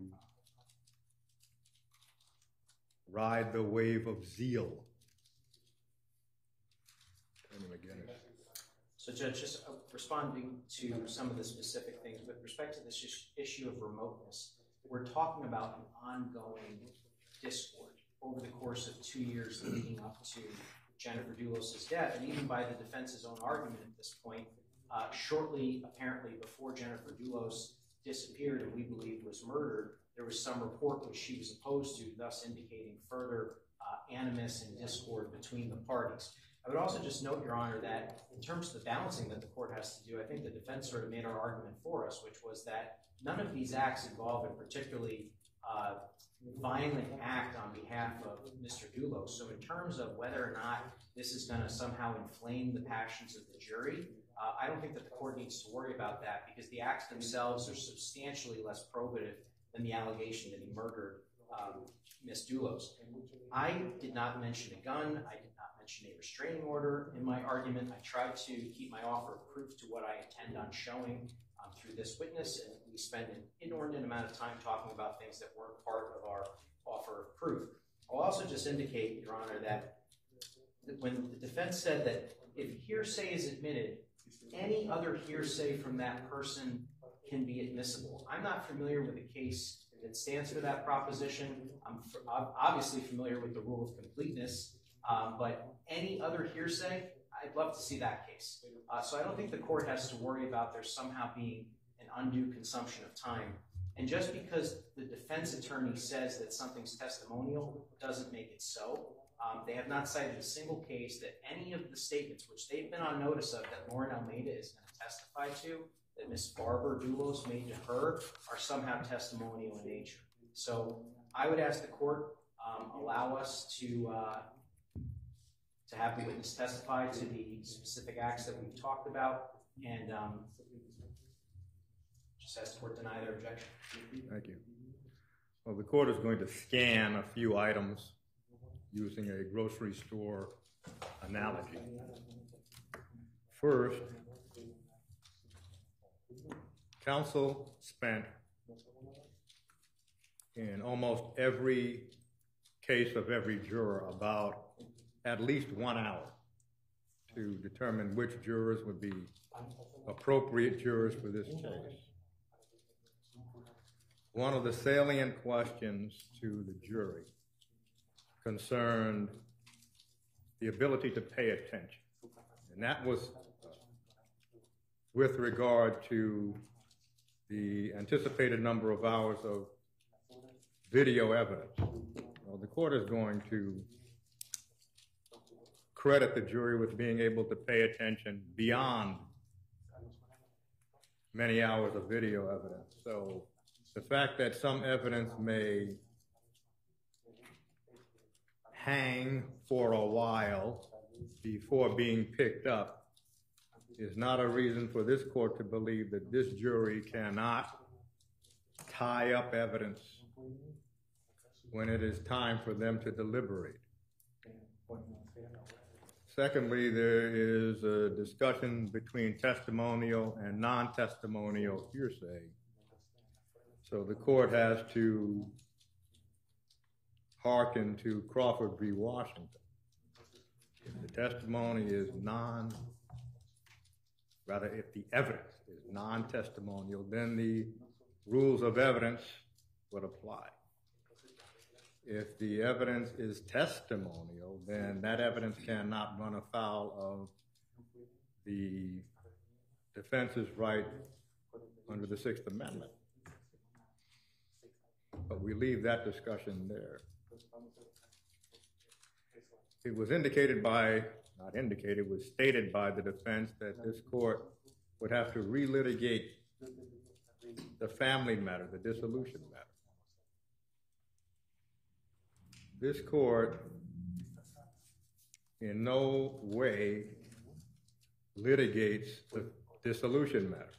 The dissolution matter involves testimony and rulings concerning alimony, pendente lite and post-judgment, child support, pendente lite, custody, pendente lite, and after dissolution, visitation, health insurance costs, educational costs, exclusive use and possession of the marital home, pendente lite, and post-judgment. This court is not litigating the family matter. So that premise is without merit. Under our rules, prior bad acts may not be admissible to prove bad character, criminal tendencies, or proclivity.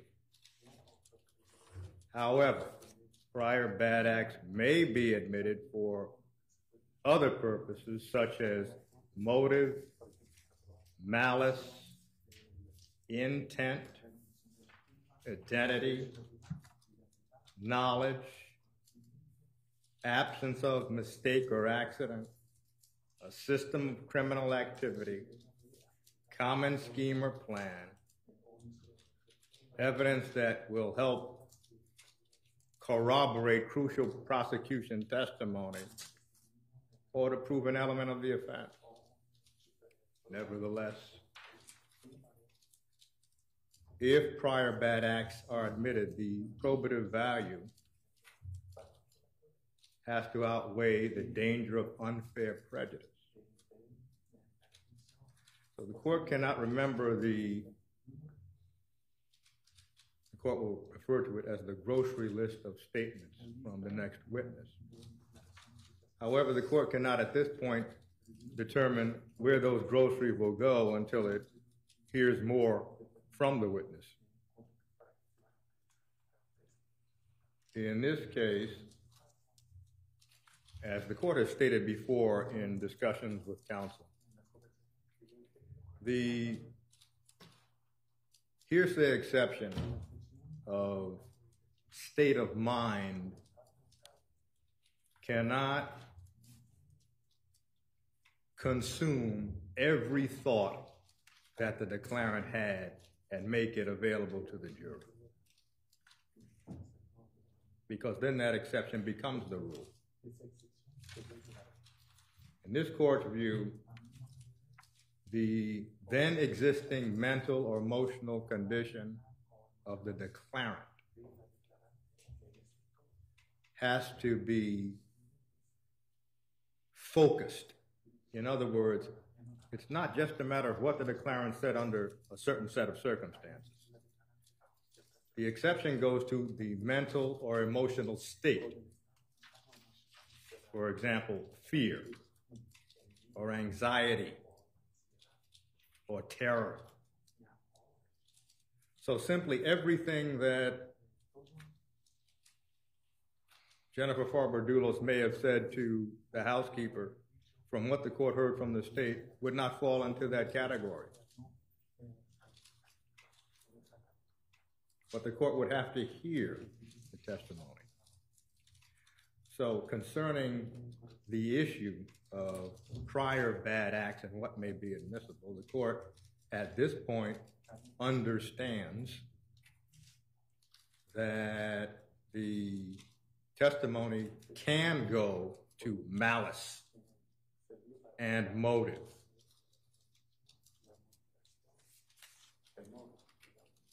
However, everything that is said does not go to malice and motive as expressed from what the court understood the state plans to elicit.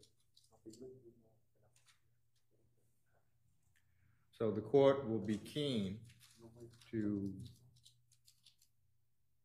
entertain the objections if it appears, even if it does not appear, that simply everything Jennifer Farber-Dulos said to her housekeeper is coming into evidence.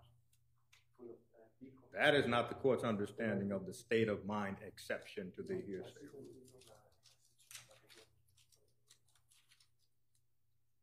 So the court is going to allow testimony of marital discord. However, the fact that there is marital discord in this court's view is not exceedingly probative. It's whether or not the statements by Jennifer Farber-Dulos go to motive to murder, her fear, her anxiety, her terror. Not simply whether she did not like something that Fotis Dulos was doing. So the court is going to allow testimony of marital discord, but the court will be keen to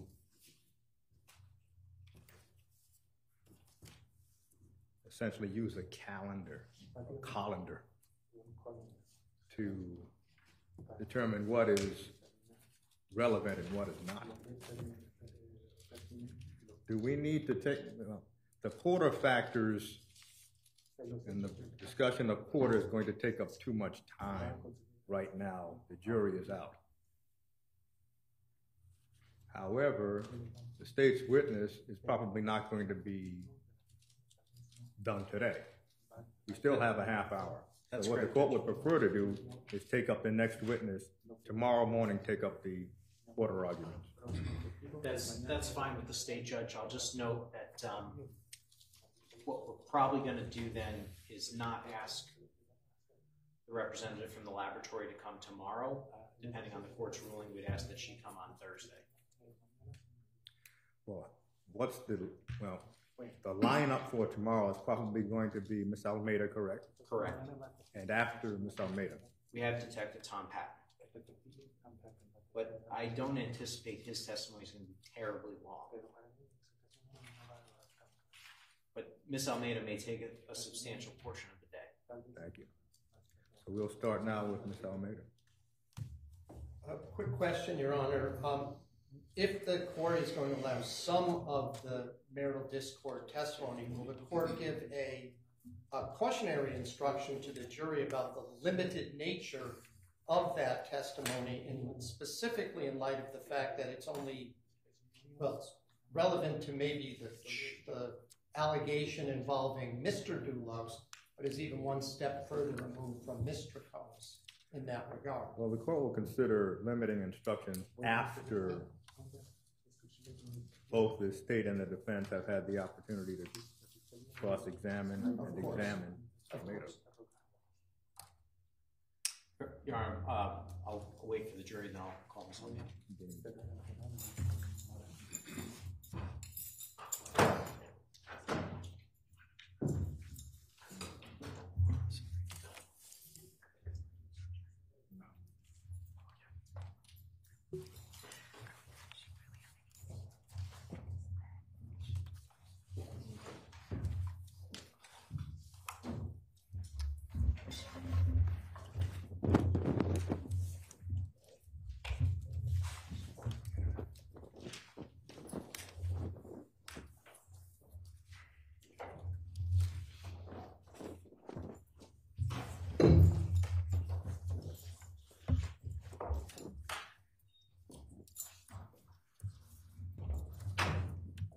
Counsel, counsel stipulate to the presence of all of the jurors. Yes, Judge. Your Honor, the state calls Lauren Almeida.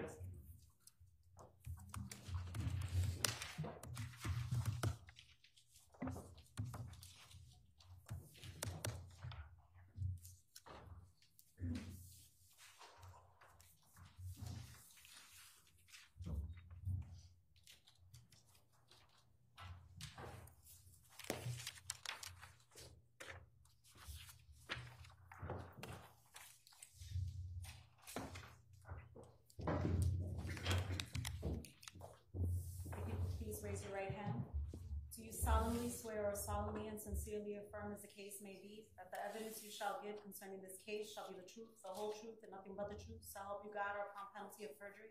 Yes. Please state your name and spell it for the record. Lauren Almeida, L A U R E N A L M E I D A. And your business address? Um, Well, there's no need for a business address. You may be seated, thank you. Good afternoon, Ms. Almeida. Afternoon. Almeida, how old are you? 32. And where did you grow up? Newington, Connecticut. Who do you um, currently live with? I live with um, the Dulos kids. And did you graduate high school? I did. Which high school did you attend? Uh, Newington High School. Could you just keep your voice up just a little bit? Newington High School. And uh, did you also attend college?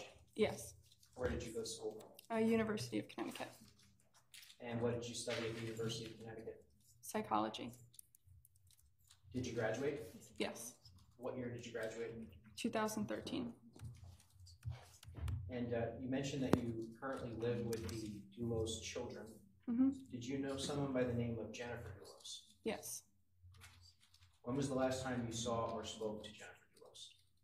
May 24th, 2019. And did you know someone by the name of Fotis Dulos? Yes. How did you know Jennifer and Fotis Dulos? Um, I nannied for them starting in September of 2012. Were Jennifer and Fotis Dulos married? Yes. When you met them in September of 2012, where were they living? Uh, for Jefferson Crossing in Farmington. Where was Mr. Dulos originally from? Greece. Did he speak English? Yeah. Did he speak with an accent?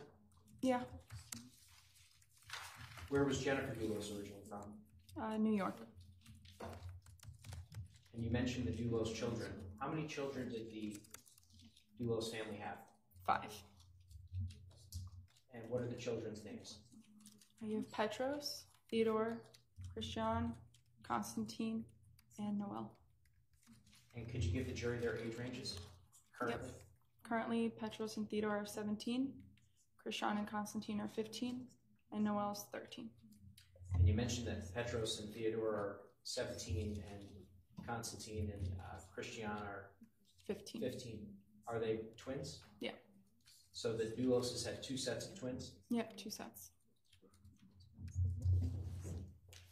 And when you met them in September of 2012, what was their respective age range? Uh, Noel just turned one, I believe. Christian and Constantine were four, just turned four, and Petros and Theodore were six. How did you get introduced to the Dulos family in 2012?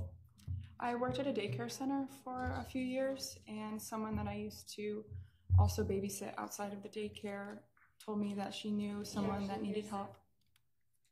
Well, the question is, how did you end up working for the Dulos family?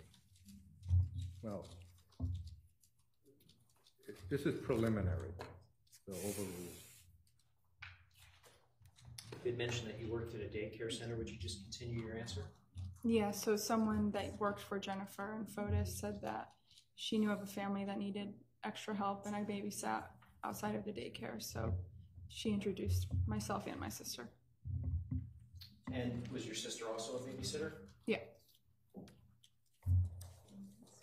What's your sister's name? Ashley. When did you first actually begin babysitting for the Dulos family? It was September of 2012. I don't know the exact date. How often would you babysit them beginning in September of 2012? It started off just like a Saturday or a Sunday. Like I would usually work Saturday, and my sister would usually work Sunday, or we- would swap.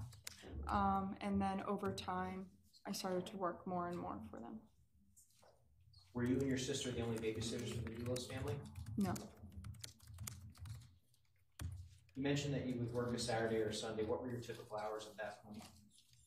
It varied, um, but usually like early morning, like 6 a.m. sometimes, because Noah would wake up early, and I wouldn't leave until like sometimes 9 or 10. Were you still attending school when you first began babysitting for the Dulos family? Yeah, I was in my final year. What types of activities would you do with the children while you were babysitting with them? Uh, we did a lot of puzzles, magnet tiles, and games. Board games was a lot. They like to play pretend and dress up. Um, they also water skied, so we would spend a lot of time doing that. And would Um, you actually go water ski with them? Yeah. What did Mr. Dulos do for work when you first met the family? Uh, he owned his construction business, What was the name of the company?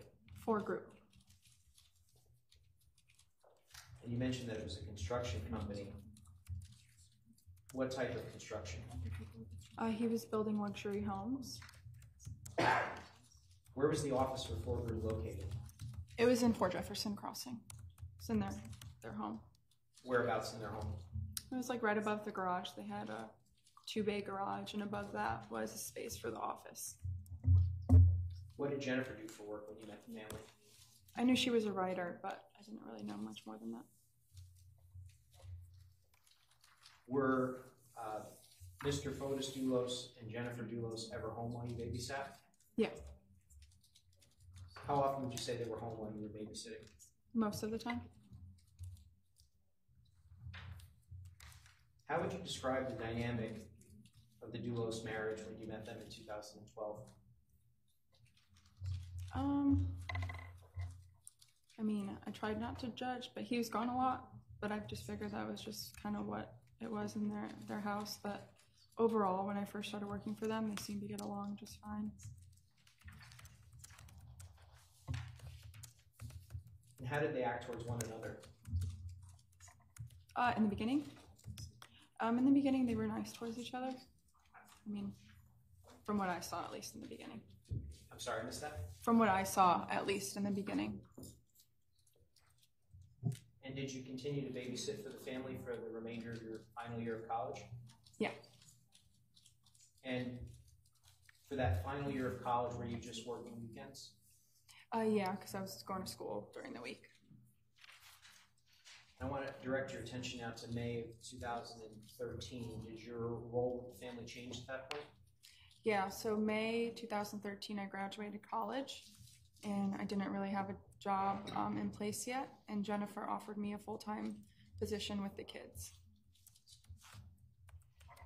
And what days of the week were you, well, I guess I should ask a preliminary question, which is, did you accept the job? Yes. And at that point, did you become the sole babysitter or nanny for the children? I guess I became like the main one, but there were still some people that would come in, or sometimes there would be two of us, mostly on the weekends, Um, because the kids were in school or they were like at least in preschool, so it's easier with just with one. But And what days of the week were you working for the family at this point, now that you're full-time employee? I think it was like Monday through Saturday, so I always worked a weekend day, but it was like half a day, so I wouldn't go in until like maybe like eleven or twelve. And when you say half a day, you're referring to the weekend day? No, the weekend day was like a full day, from morning to night.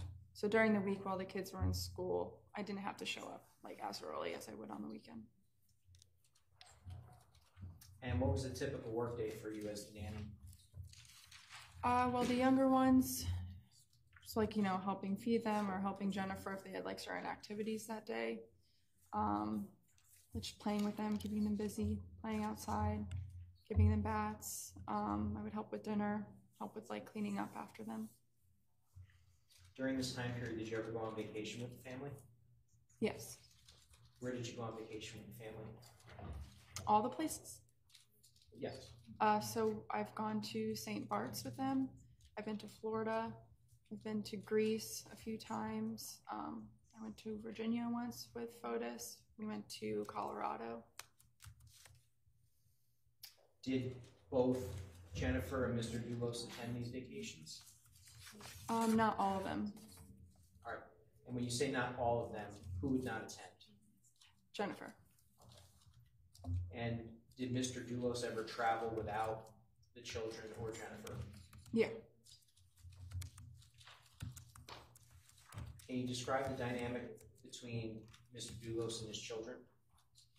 Yeah, I mean, when they were younger, they kind of just, I mean, they listened to whatever their dad said.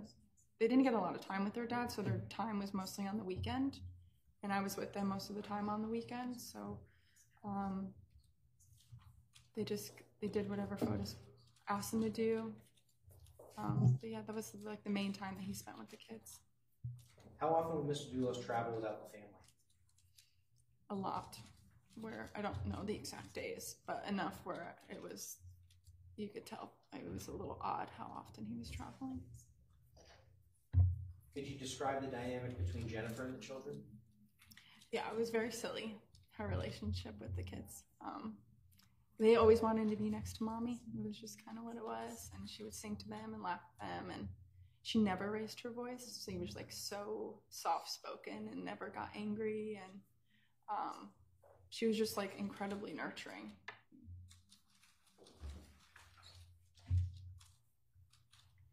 What types of activities did Jennifer like to do with the children? Oh, she would take them to like we'd go to the, like these bounce houses all the time um, with Jennifer, for like around the holidays. Do you know getting the Christmas tree was a really big deal, and going pumpkin picking, and she'd um, draw with them, do puzzles with them. Did Jennifer like to water ski? No,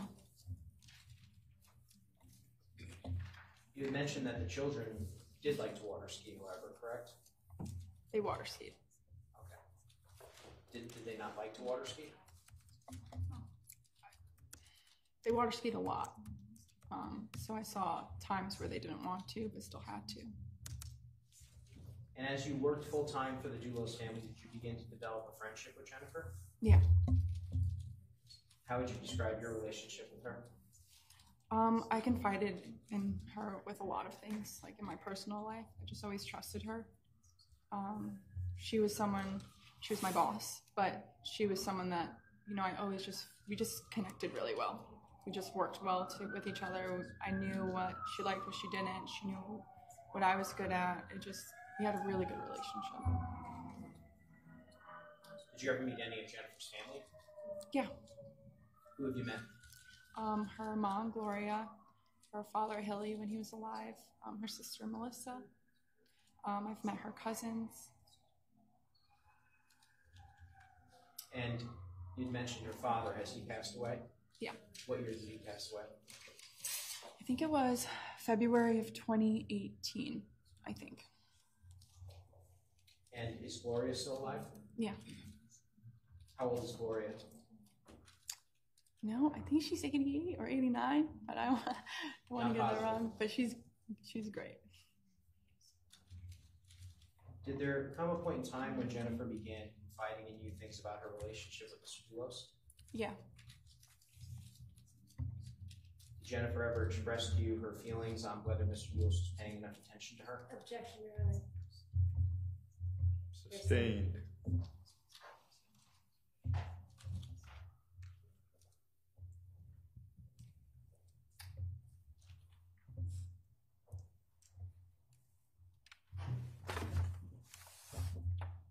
Jennifer ever expressed to you a desire to avoid arguing with Mr. Dulos? Objection, Your Honor. Overruled. Uh, yeah. Would you tell the jury what she said? Uh, she just felt like arguing with Fotis. Like he was harsh, and she didn't like conflict, so she could never really like express how she really felt because it kind of just kind of got looked over. Now, I want to direct your attention to September of 2013. Mm-hmm. Did you begin working at Fore Group? Yeah. Did Mr. Did Mr. Dulos, by the way, did he own Fore Group for the entire time that you babysat and nannied for the family? From what I knew, yeah. How did you come to begin working for Fore Group? Um, so I was working full time for the family from May of 2013 that year. And like I said, I still didn't have like a full time job, the nannying was. And so he just asked if I was interested in coming into Fore Group and, you know, having this opportunity. So I just decided to take it.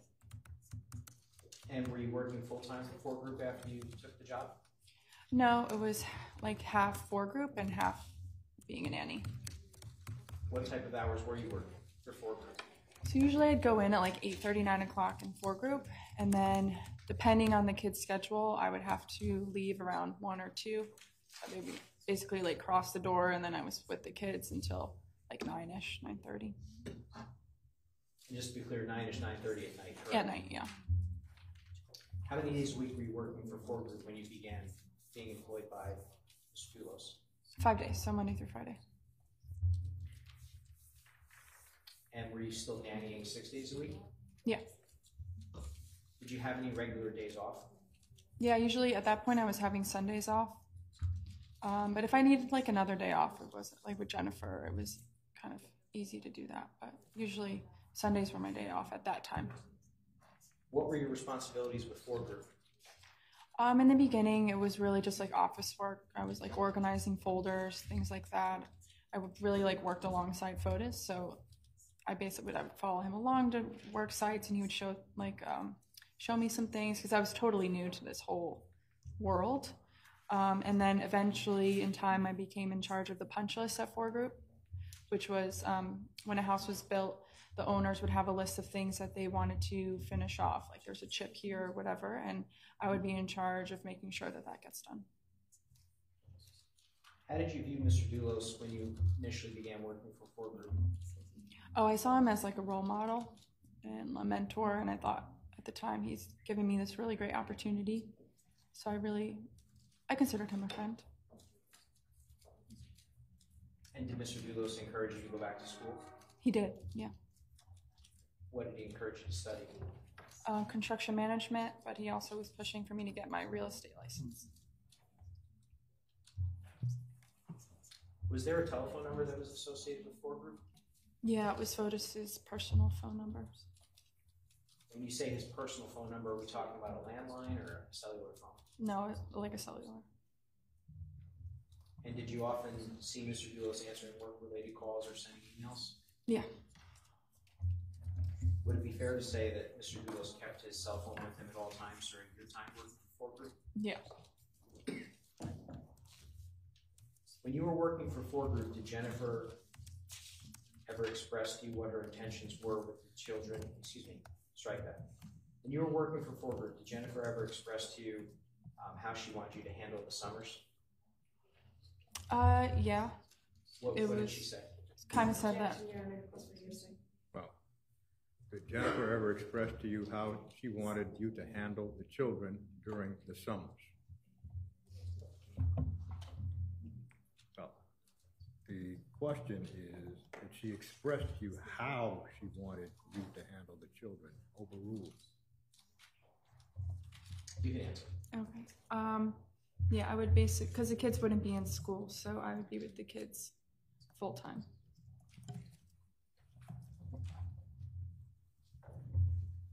And how many employees did Fore Group have when you began working for them?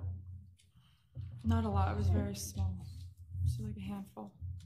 When you say handful, can you just be a little bit more specific for the members? Yes, I would. I guess we have to count. I would say like five or six, maybe. Was Pavel Gumienny, Gumienny one of the employees? Yep. What was his role with, actually, before I ask that, when did he begin working for Fore Group to your knowledge? Oh, to my knowledge, I don't know. He was there when I started, even just babysitting before I ever even worked for Fore Group, but I don't know when he started. But Okay. and he knew the family for a while. That's all I knew. So by the time you began working for Fore Group, he was already working for the, for the Fore Group, is that correct? Yes. And what was his role with the company? Uh, he was a project manager. He kind of did everything, to be honest. Did Jennifer know Mr. Gumienny as well? Yep. Would he assist her around the house? Yeah. How would he assist her around the house? Uh, he would like you know change out the light bulbs when they went out. He would build. He I know he built their. They had this very beautiful playscape in the backyard. I know he built that. He would even sometimes help pick us up from the airport after a trip. Did Jennifer ever work for Fore Group? Not that I know. of.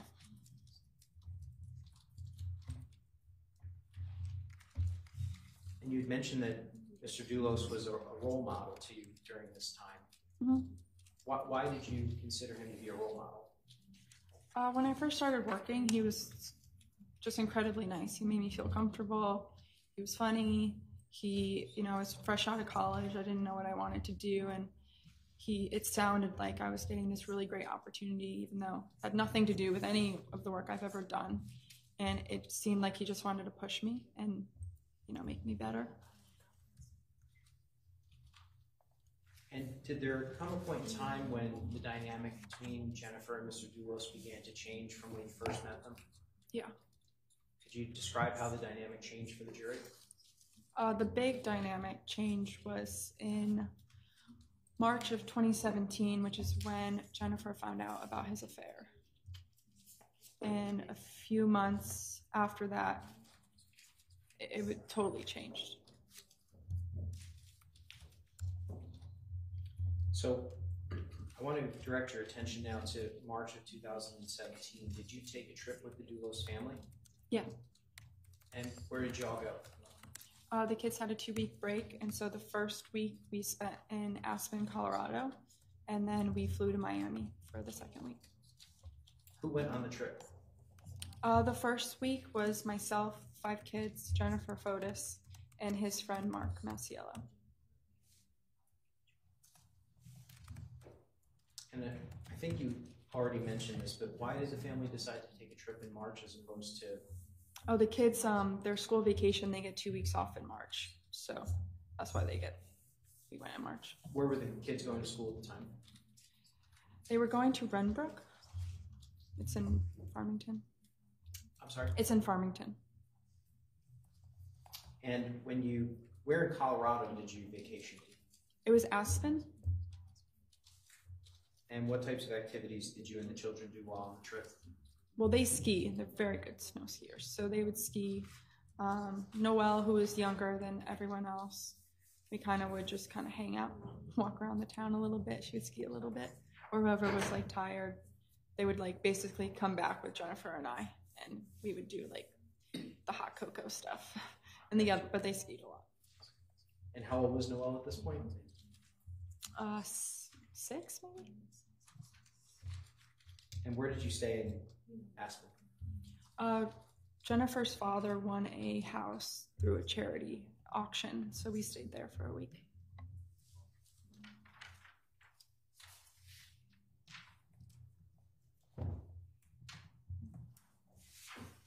And um, did there come a point in time during the trip where Mr. Dulos told the group he had taken the children to an adult club? Yeah, Who was present for this conversation? Myself and Jennifer.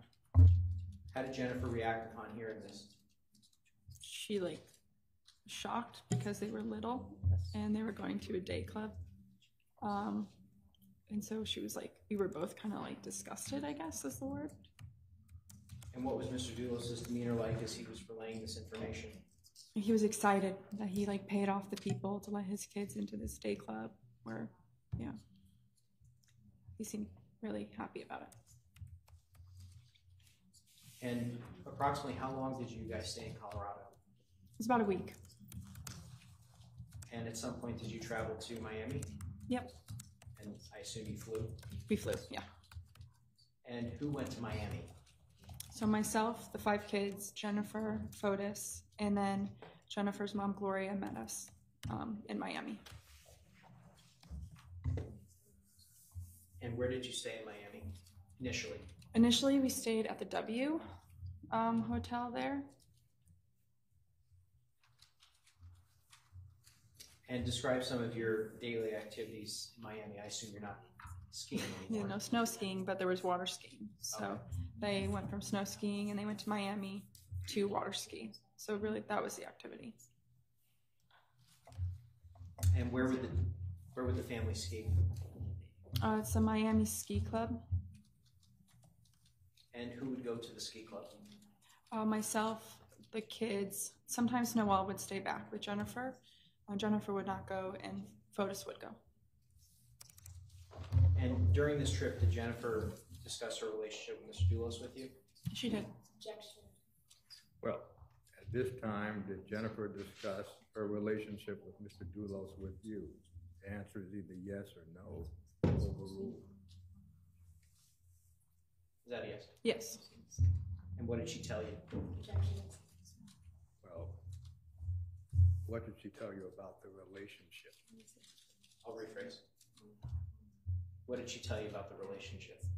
Objection. Well, that question is very broad. All calls for an answer that could be a narrative. So the court is going to sustain the objection, but not allow, but allow you to pursue the line. You mentioned earlier that Jennifer had found out about the affair. Do you recall testifying to that? Yes. What did Jennifer say to you about the affair when you were in Miami? Objection. Well, that's going to be overruled. Uh, she told me she believed that Fotis was having an affair. And Did she say why she believed that? Uh, She just said she had this feeling he's been acting weird, and I didn't really believe her at first. And when you say you didn't really believe her, what do you mean by that?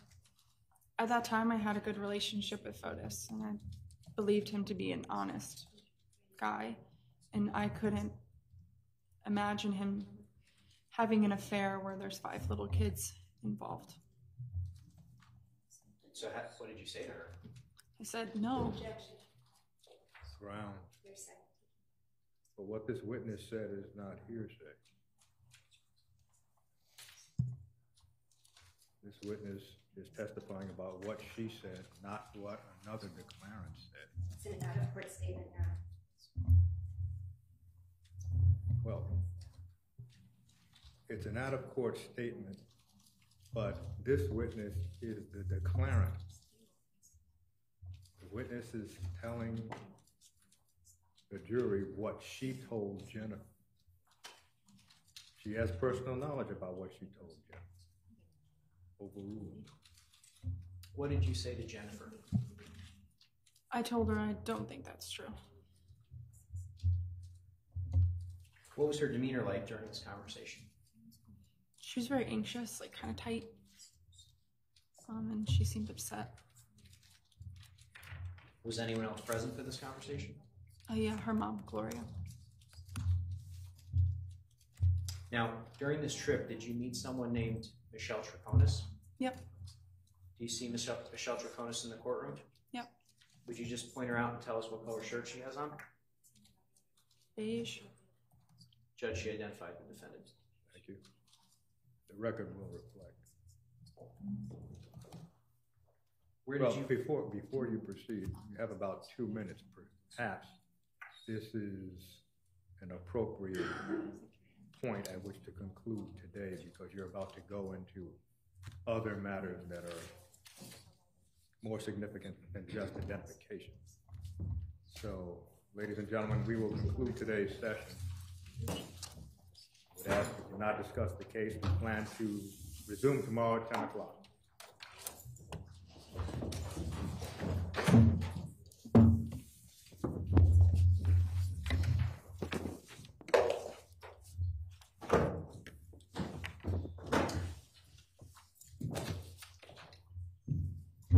All rise. This honorable Superior Court now stands adjourned until tomorrow at ten.